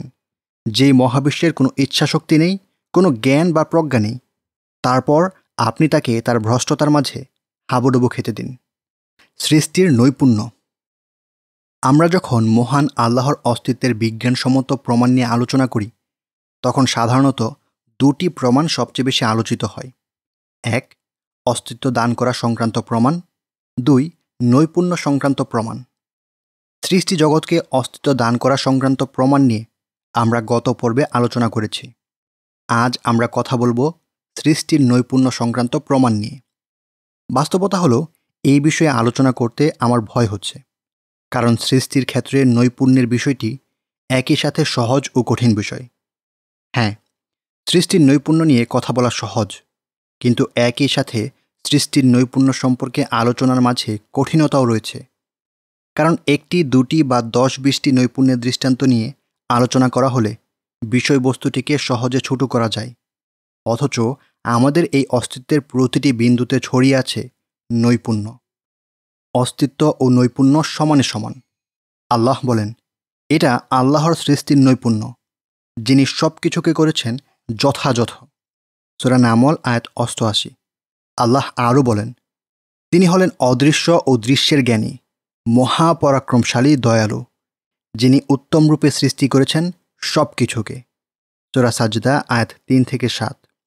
আসুন, সৃষ্টির নৈপুণ্যের কিছু দৃষ্টান্ত দেখি, অথবা আর আসুন, সৃষ্টির কিছু দৃষ্টান্ত দেখি। উভয় কথার অর্থ একই হয়ে যায়, কারণ সৃষ্টির প্রতিটি বস্তুর মাঝে ছড়িয়ে আছে নৈপুণ্য। সৃষ্টির নৈপুণ্য প্রকাশ পাচ্ছে আমার জিভা মুখে দাঁতে। যেগুলোর মাধ্যমে আমি আপনাদের সামনে সৃষ্টির নৈপুণ্য নিয়ে কথা বলতে পারছি। সৃষ্টির নৈপুণ্য প্রকাশ পাচ্ছে আমার প্রতি আপনাদের দৃষ্টিতে। আমার আওয়াজ আপনাদের শ্রবণে। আমার কথা বোঝায় ও আমার বক্তব্য আপনাদের মস্তিষ্কে সংরক্ষণ করার মাঝে। যে আমার কথাকে মিথ্যা প্রতিপন্ন করবে বা অস্বীকার করবে তার প্রতিটি আচরণেও প্রকাশিত হবে সৃষ্টির নৈপুণ্য। সে যতই অস্বীকার করার চেষ্টা করুক, তার প্রতিটি কাজই প্রকাশিত হবে সৃষ্টির নৈপুণ্য। আমরা যেসব ব্যবস্থাপনা নৈপুণ্য ও কুশলতার মাঝে বসবাস করছি, সেগুলোর সঠিক মূল্যায়ন করতে পারি না, কারণ আমরা তার বিপরীত অবস্থার অভিজ্ঞতা অর্জন করিনি। আল্লাহ বলেন, নিশ্চয় আল্লাহ আসমান ও জমিনকে বিলুপ্ত হয়ে যাওয়া থেকে রক্ষা করেন। সুরাফাতির আয়াত একচল্লিশ। সত্যি এটি মহান একটি আয়াত। এই কাজটির মাঝে নব্বইটিরও বেশি প্রাকৃতিক উপাদান আবিষ্কার করা সম্ভব হয়েছে। সূক্ষ্মভাবে প্রতিটি নিউট্রন ও তার প্রোটনকে নির্দিষ্ট আকৃতির নিউক্লিয়াসে বিন্যাস করা হয়েছে। বৈদ্যুতিক ক্রিয়াকে প্রতিটি কক্ষপথে প্রয়োজনীয় মাত্রায় আকৃষ্ট করা হয়েছে। এই উপাদানগুলো কিছু সুসাব্যস্ত রাসায়নিক নিয়ম মেনে কাজ করে যাচ্ছে। ফলে মানুষের জীবন ধারণ করার মতো উপযুক্ত আবহাওয়া তৈরি হচ্ছে। উপযুক্ত ঘনত্ব ও উচ্চতা দিয়ে একটি বায়ুমণ্ডল সৃষ্টি করা হয়েছে, যার মাঝে বিদ্যমান রয়েছে প্রয়োজন পরিমাণ গ্যাস, যার ফলে নিয়মতান্ত্রিক গতিতে শব্দ তরঙ্গ স্থানান্তরিত হচ্ছে। বীজকে গ্রহণ করা ও বৃষ্টির পানিকে জমা রাখার উপযুক্ত করে প্রস্তুত করা হয়েছে মাটিকে। সুনির্দিষ্ট পরিমাণ তরলতা, মিষ্টতা ও বৈশিষ্ট্য দিয়ে পানিকে সৃষ্টি করা হয়েছে। নির্দিষ্ট পরিমাণ তাপমাত্রায় তা ধোয়া হয়ে মেঘে রূপান্তরিত হয়। আরেকটি তাপমাত্রায় তা গণীভূত হয়ে বৃষ্টির জন্য উপযোগী হয়। আর এ সব কিছুই সংঘটিত হয় উপযুক্ত প্রাকৃতিক পরিক্রমার মধ্যে দিয়ে। উপযুক্ত গতিতে আলো চলমান রয়েছে।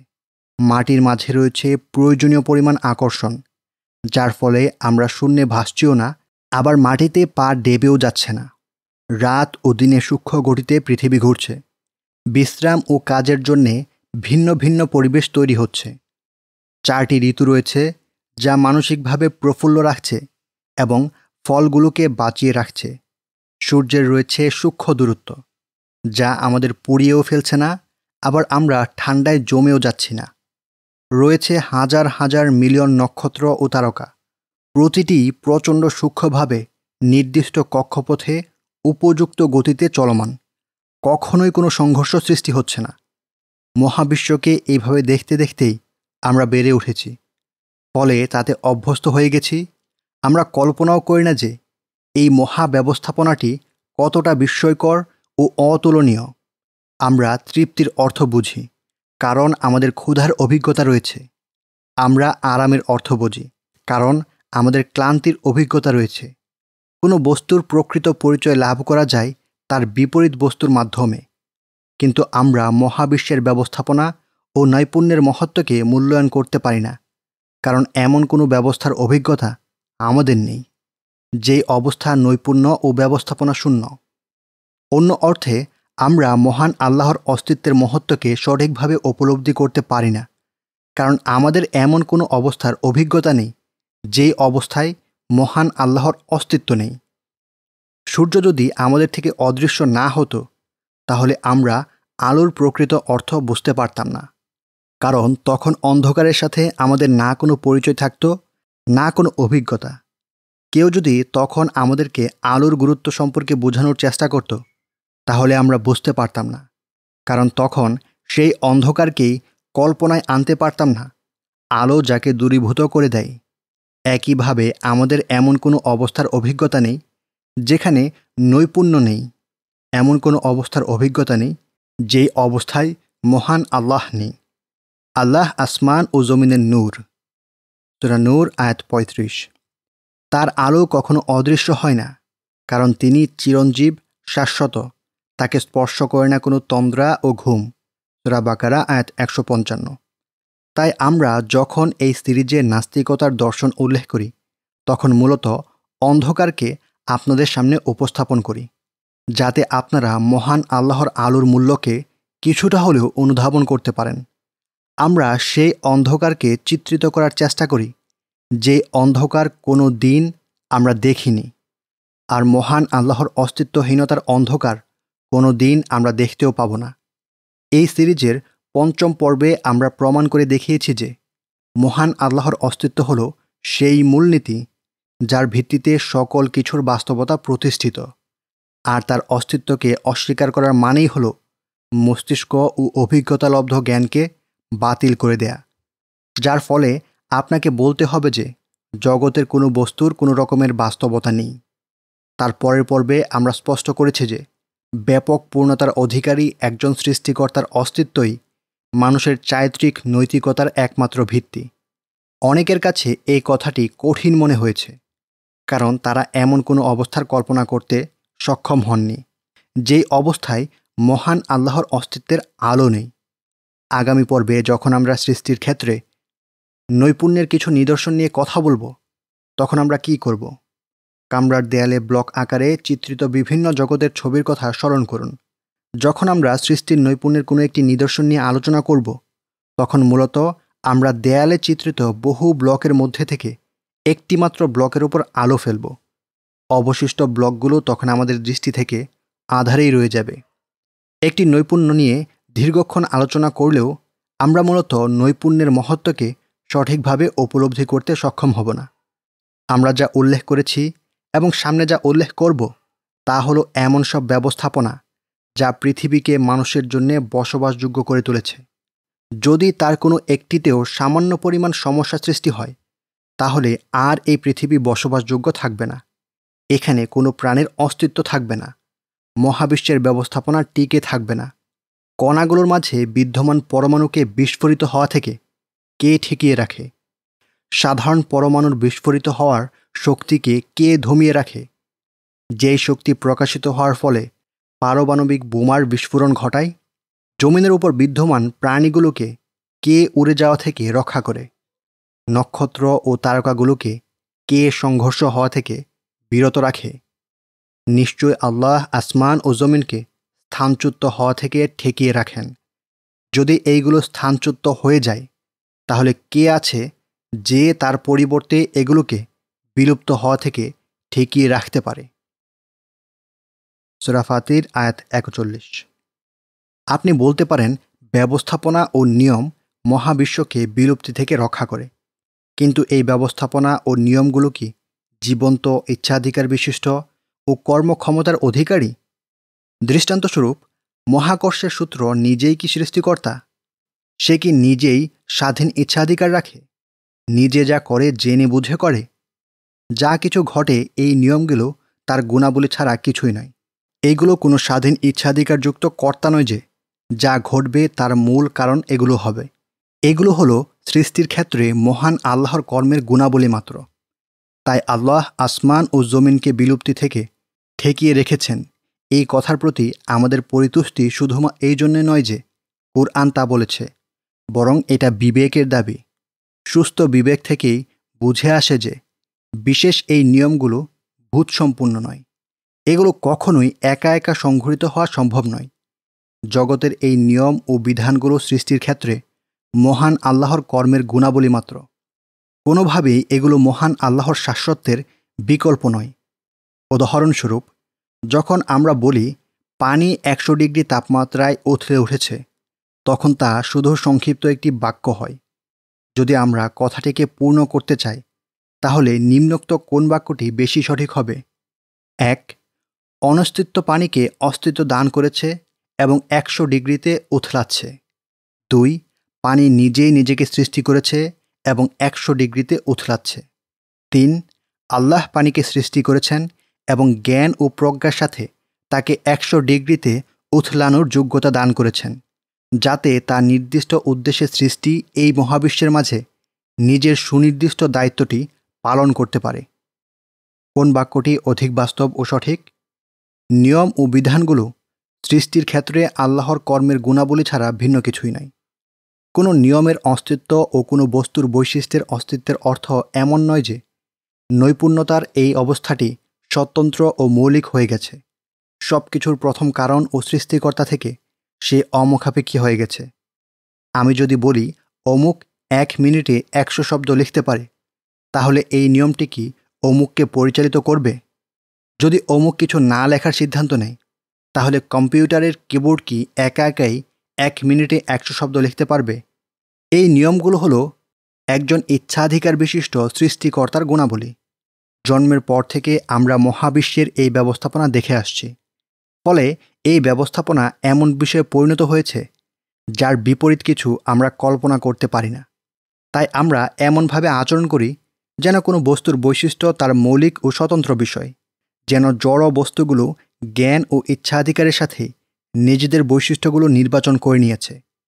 কিন্তু যদি আমরা চিন্তা করি, তাহলে বিদ্যমান সকল বস্তুর মাঝেই মহান আল্লাহর ক্ষমতার বহিঃপ্রকাশ দেখতে পাব।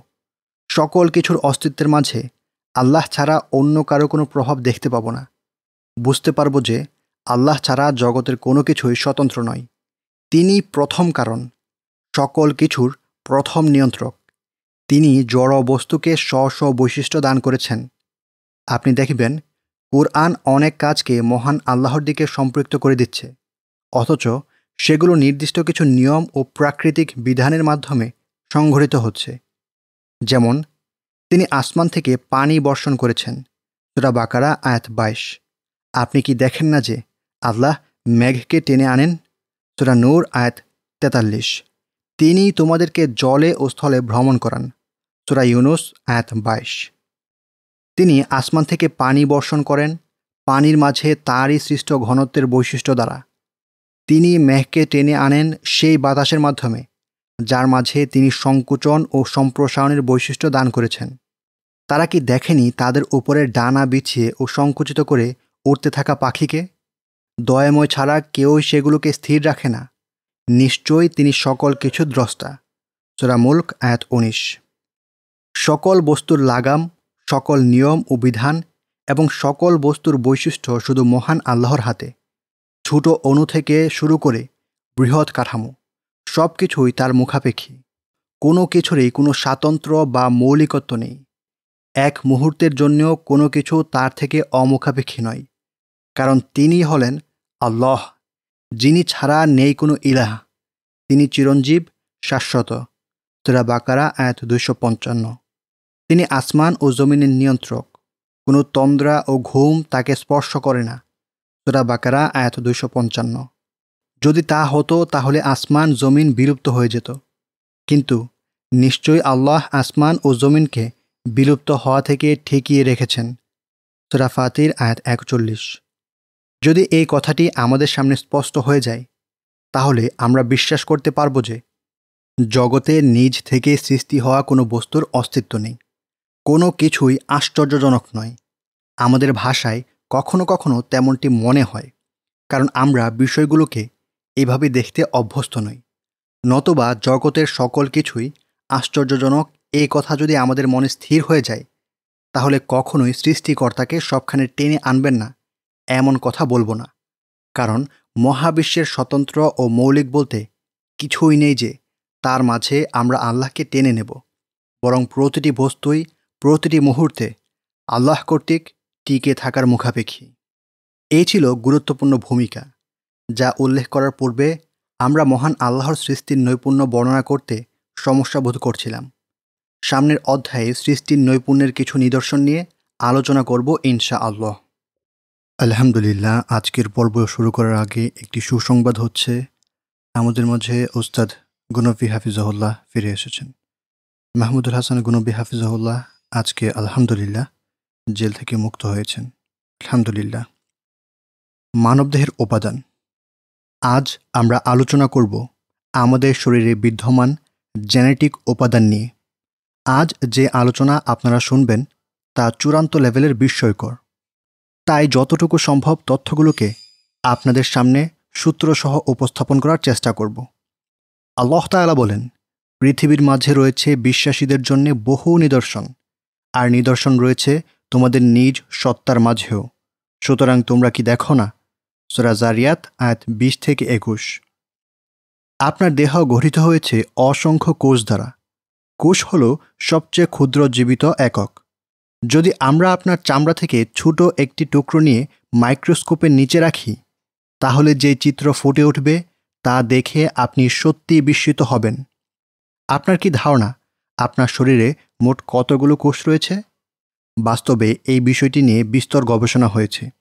এই বিষয়ে সবচেয়ে গ্রহণযোগ্য গবেষণা হল দু হাজার তেরো সালের অ্যানেলস অফ হিউম্যান বায়োলজি ম্যাগাজিনে প্রকাশিত an estimation of the number of cells in the human body শিরোনামের গবেষণাটি।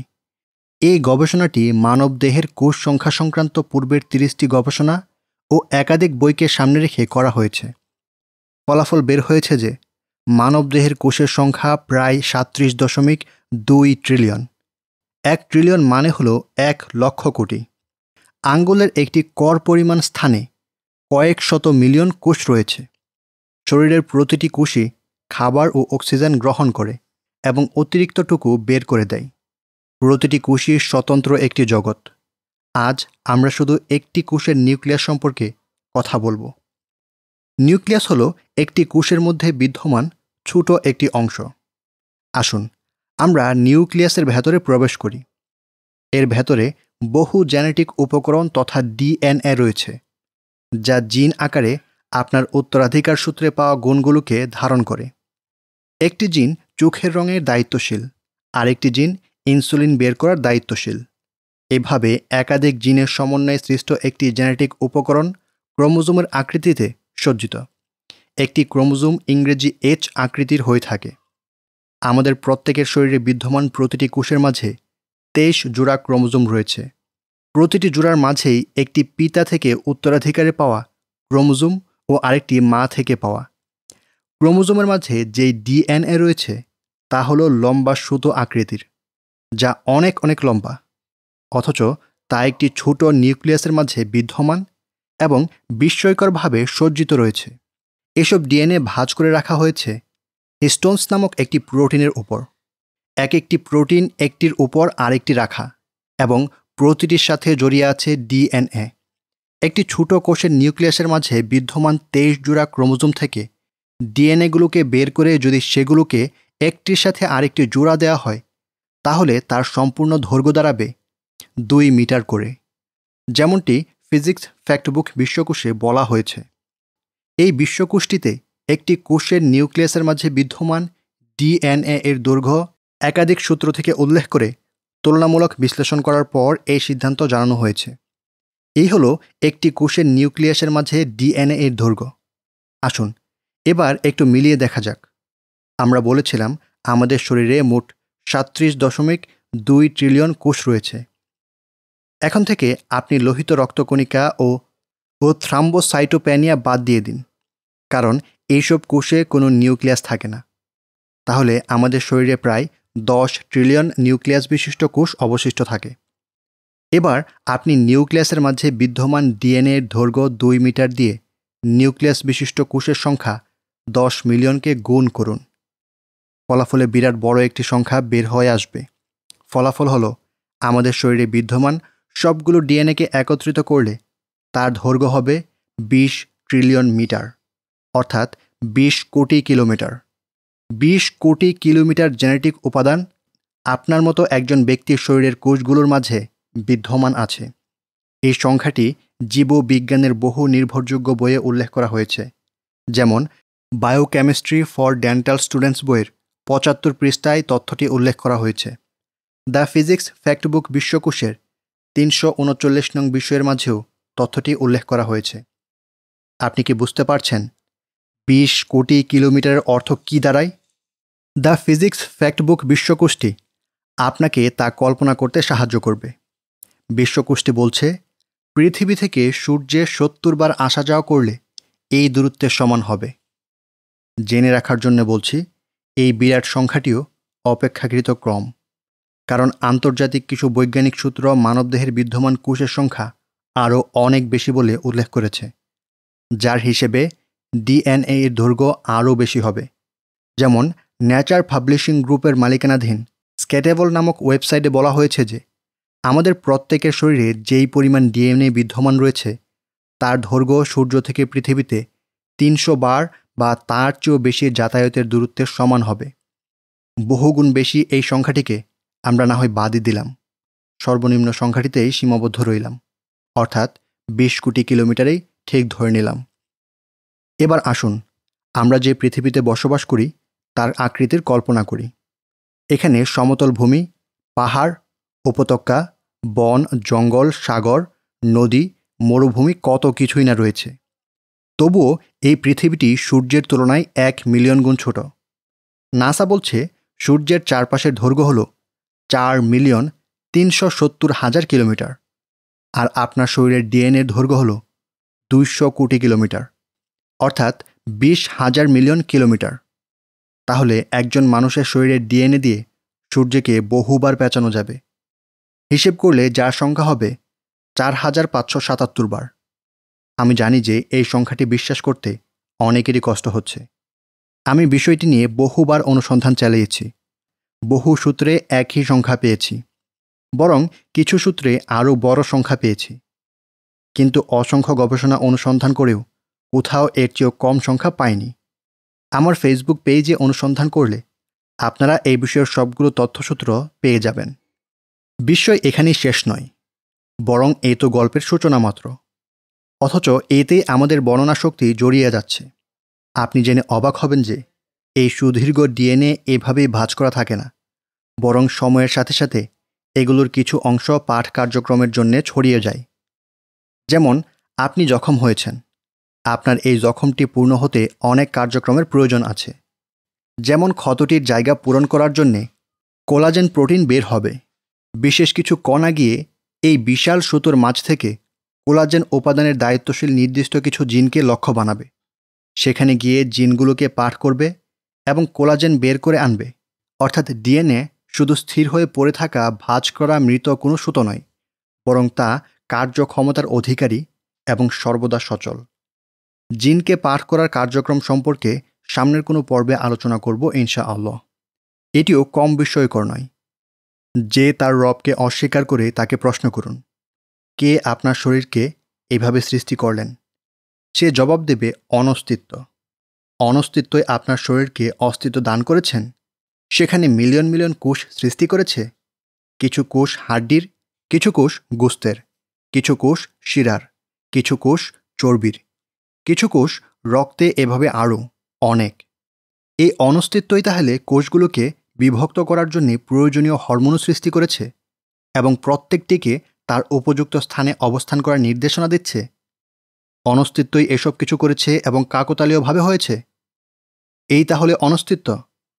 সেই তাহলে আপনার কোষের মাঝে বিস্ময়করভাবে এসব ডিএনএকে গুছিয়ে রেখেছে? এই অনস্তিত্বই তাহলে ডিএনএকে সৃষ্টি করেছে এবং হিস্টুনের পাশে সেগুলোকে গুটিয়ে রেখেছে? একটির উপর আরেকটিকে সাজিয়ে রেখেছে? এমনভাবে সাজিয়েছে যে, প্রয়োজনের সময় সঠিকভাবে তাকে খোঁজে পাওয়া যায়? অনস্তিত্বই এসব কিছুকে কাকতালীয়ভাবে সৃষ্টি করে ফেলেছে। এই হলো আপনার বক্তব্য। কিন্তু আমরা বলি, এগুলো আল্লাহর সৃষ্টি। সুতরাং তুমি আমাকে দেখাও যে, তিনি ছাড়া অন্যরা কি কি সৃষ্টি করেছে। বরং জালিমেরা সুস্পষ্ট ভ্রষ্টতার মাঝে ডুবে আছে। তোরা লোকমান আয়াত এগারো। বিস্ময়কর সংকেত। গত পর্বে আমরা একজন মানুষের দেহে বিদ্যমান বিশাল লম্বা ডিএনএ সম্পর্কে জেনেছি। আজ আমরা যা দেখব তা এর চেয়েও বিস্ময়কর। আমরা আজ দেখব কীভাবে এই ডিএনএকে চর্বি, গুস্ত ও রক্তের মাঝে অনুবাদ করে দেয়া হয়। দেখব সেই মহান আল্লাহর সৃষ্টি নৈপুণ্যের আরও একটি নিদর্শন, যিনি সকল কিছুকে নিপুণ করে সৃষ্টি করেছেন। বিষয়টি আসলে সহজ নয়। প্রথম দিকে এটিকে রসকস ছাড়া বৈজ্ঞানিক আলোচনা মনে হবে, কিন্তু শেষ বিবেচনায় এটি গুরুত্বপূর্ণ। তাই আমি পরামর্শ দেব ধৈর্য ধরে শেষ পর্যন্ত আলোচনাটি পড়তে। ইনশা আল্লাহ শেষ পর্যন্ত শুনলে আপনি অনেক উপকৃত হবেন। প্রথমে আমরা সহজ একটি উদাহরণকে বিশ্লেষণ করব, তারপর তাকে আমাদের দেহের কার্যক্রমের সাথে মিলিয়ে দেখব। ধরুন, একটি বড় লাইব্রেরি। এই লাইব্রেরিতে এমন সব তথ্য সমৃদ্ধ বই আছে যা দিয়ে একটি বড় শহর নির্মাণ করা যাবে।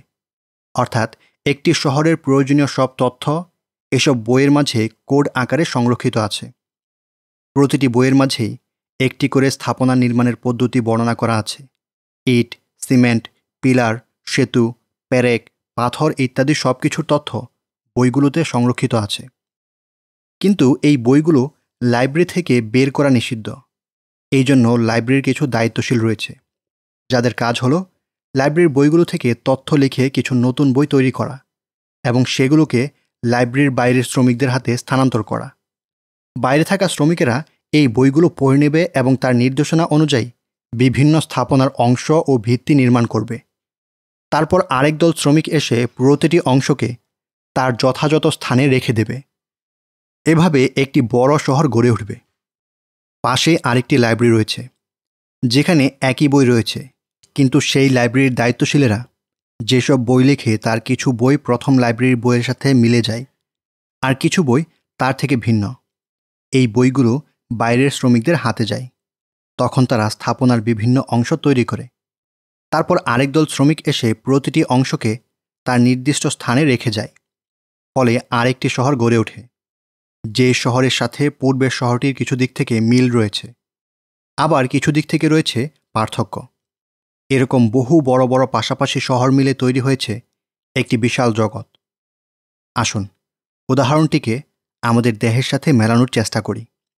আপনার শরীর হলো এই বিশাল জগৎটি, আর পাশাপাশি শহরগুলো হলো আপনার শরীরে বিদ্যমান বিভিন্ন কোষ। কিছু কোষ হাড্ডির, কিছু কোষ পেশির। কিছু কোষ থেকে হরমোন উৎপন্ন হয়, যেমন ইনসুলিন। এভাবে বহু কোষ প্রতিটি কোষের মাঝে রয়েছে সেই বিশাল লাইব্রেরি। যেই লাইব্রেরিগুলোতে রয়েছে সেই বইগুলো।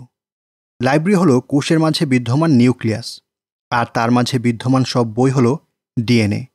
ডিএনএগুলো ছোট ছোট একক কোণ আকারে সৃষ্টি, যেগুলোকে বলা হয় নিউক্লিওটাইডস। একটি ডিএনএর মাঝে চারটি নিউক্লিওটাইড রয়েছে। যেগুলোর কোড হলো ক্রমান্বয়ে এটিজিসি অর্থাৎ লাইব্রেরির মাঝে যেই বইগুলো রয়েছে, তার ভাষা চারটি বর্ণ দ্বারা গঠিত। এই নিউক্লিওটাইডগুলো বিভিন্ন আকৃতিতে বিন্যস্ত। তার এই বিন্যাস থেকে জন্মগ্রহণ করে এমন কিছু জিন যা অন্য জিনগুলো থেকে ভিন্ন। যেমন প্রতিটি লাইব্রেরিতেই বহু লাইব্রেরি থেকে ভিন্ন ভিন্ন কিছু বই থাকে। তাহলে প্রতিটি জিন হল নির্দিষ্ট আকৃতিতে বিন্যস্ত বিরাট সংখ্যক নিউক্লিওটাইটের সমষ্টি। মানুষের মাঝে প্রায় বিশ হাজার জিন রয়েছে। প্রতিটি জিনেরই একটি অনুবাদ রয়েছে, যা নির্দিষ্ট একটি প্রোটিনকে বোঝায়। যেমন, লাইব্রেরির এক একটি বই নির্দিষ্ট একটি স্থাপনার অংশ তৈরির তথ্য দেয়, যেমন পিলার বা ছাদ।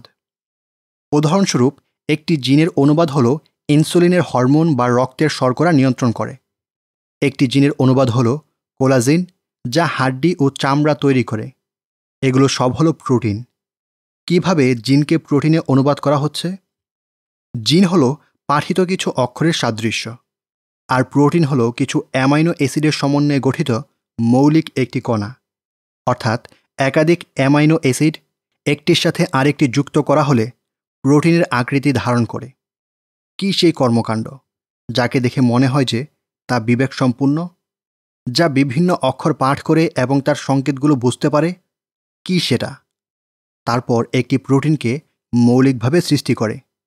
আসুন জেনে নিই, আমাদের শরীরে কোষের মাঝে অবিরাম ঘটতে থাকা সেই কার্যক্রমের বিবরণ।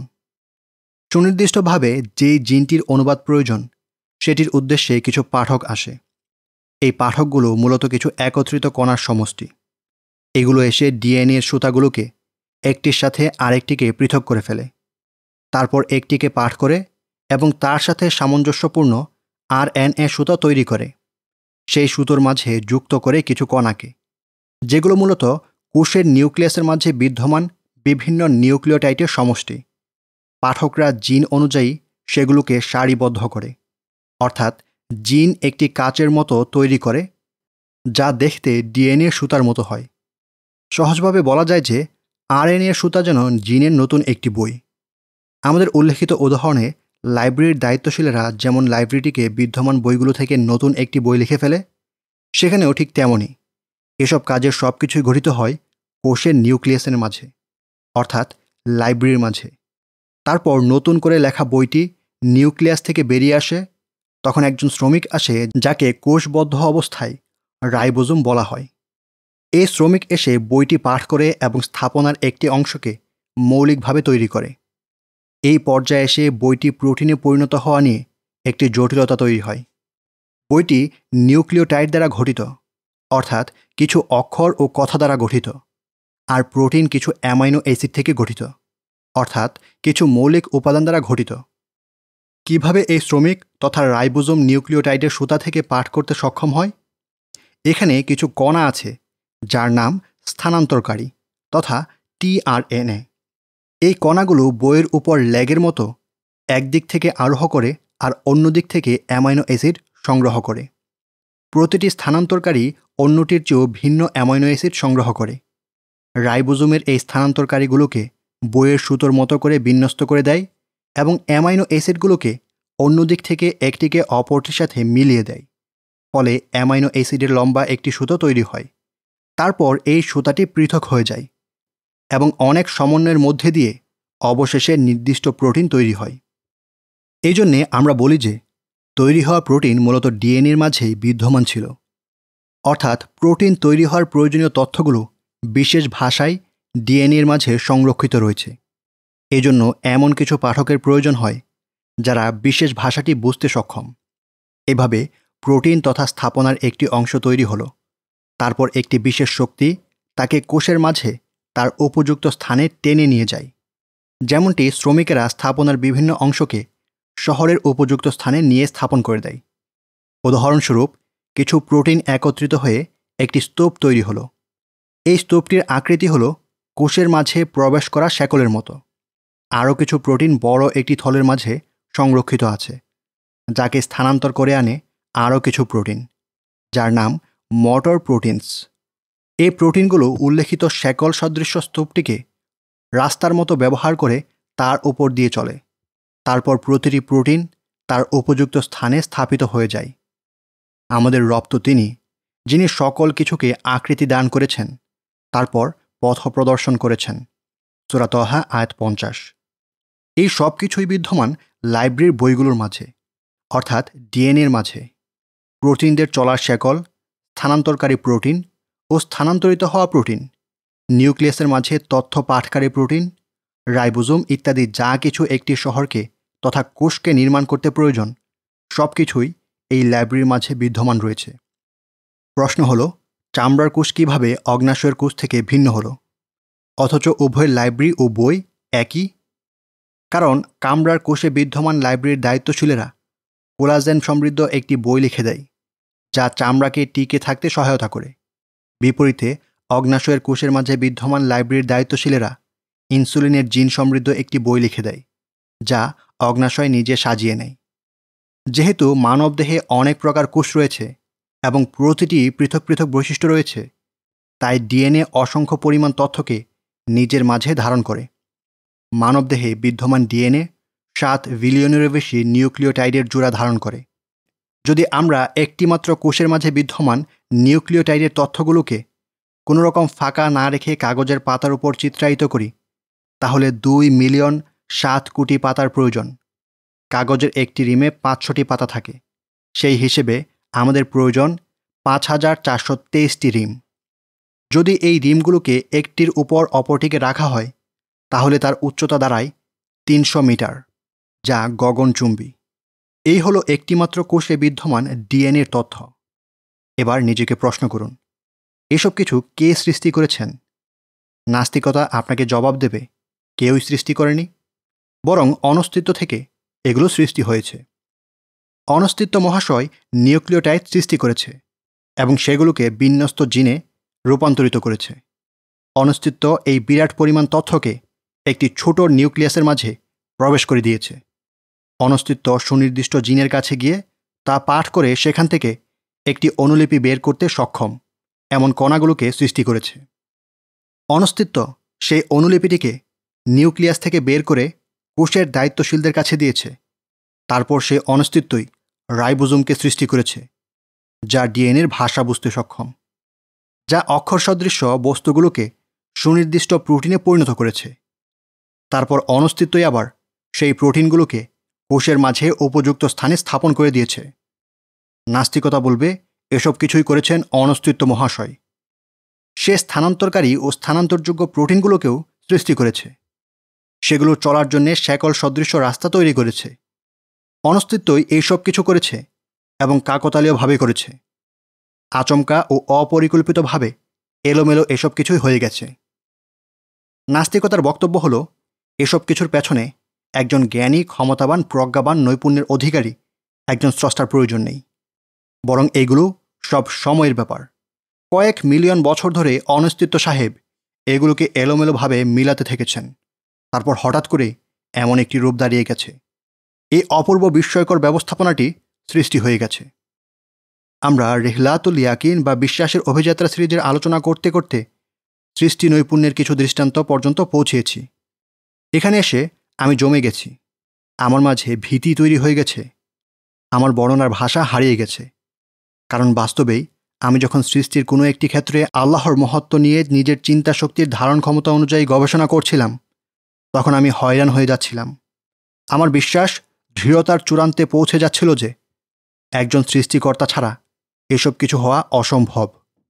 আমি বুঝতে পারছিলাম যে, আমার পক্ষে কখনোই তা পূর্ণাঙ্গ আলোচনা করা সম্ভব নয়। তবুও আপনাদের সামনে এই আলোচনাটুকু তুলে ধরলাম। তোমাদের প্রতিপালকের নিকট অজুহাত পেশ করার জন্যে এবং যাতে তারা আল্লাহ ভীরু হয়। তোরা আরাফ, আয়াত একশো চৌষট্টি। আলহামদুলিল্লাহ, এরই মাধ্যমে আমরা শেষ করছি রেহলাতুল ইয়াকিন বা বিশ্বাসের অভিযাত্রা এই সিরিজটির অডিও বুক আপনারা যদি এমন আরও সুন্দর সুন্দর অডিও বুক শুনতে চান, তাহলে আমাদের চ্যানেলটি সাবস্ক্রাইব করুন এবং বেল বাটন চেপে রাখুন পরবর্তী সকল ভিডিওর নোটিফিকেশন পাওয়ার জন্য এছাড়াও যদি ভিডিওটি আপনার ভালো লেগে থাকে তাহলে কমেন্টে আপনার মতামত জানাতে পারেন এবং মানুষদের মাঝে শেয়ার করতে পারেন আপনার প্রতিটি লাইক কমেন্ট এবং শেয়ার আমাদেরকে ইউটিউব অ্যালগোরিদম অন্যদের মাঝে ছড়িয়ে যেতে সাহায্য করবে আসসালামু আলাইকুম রহমতুল্লাহ বারাকাত জাজাকাল্লাহ খাইরান يا ربي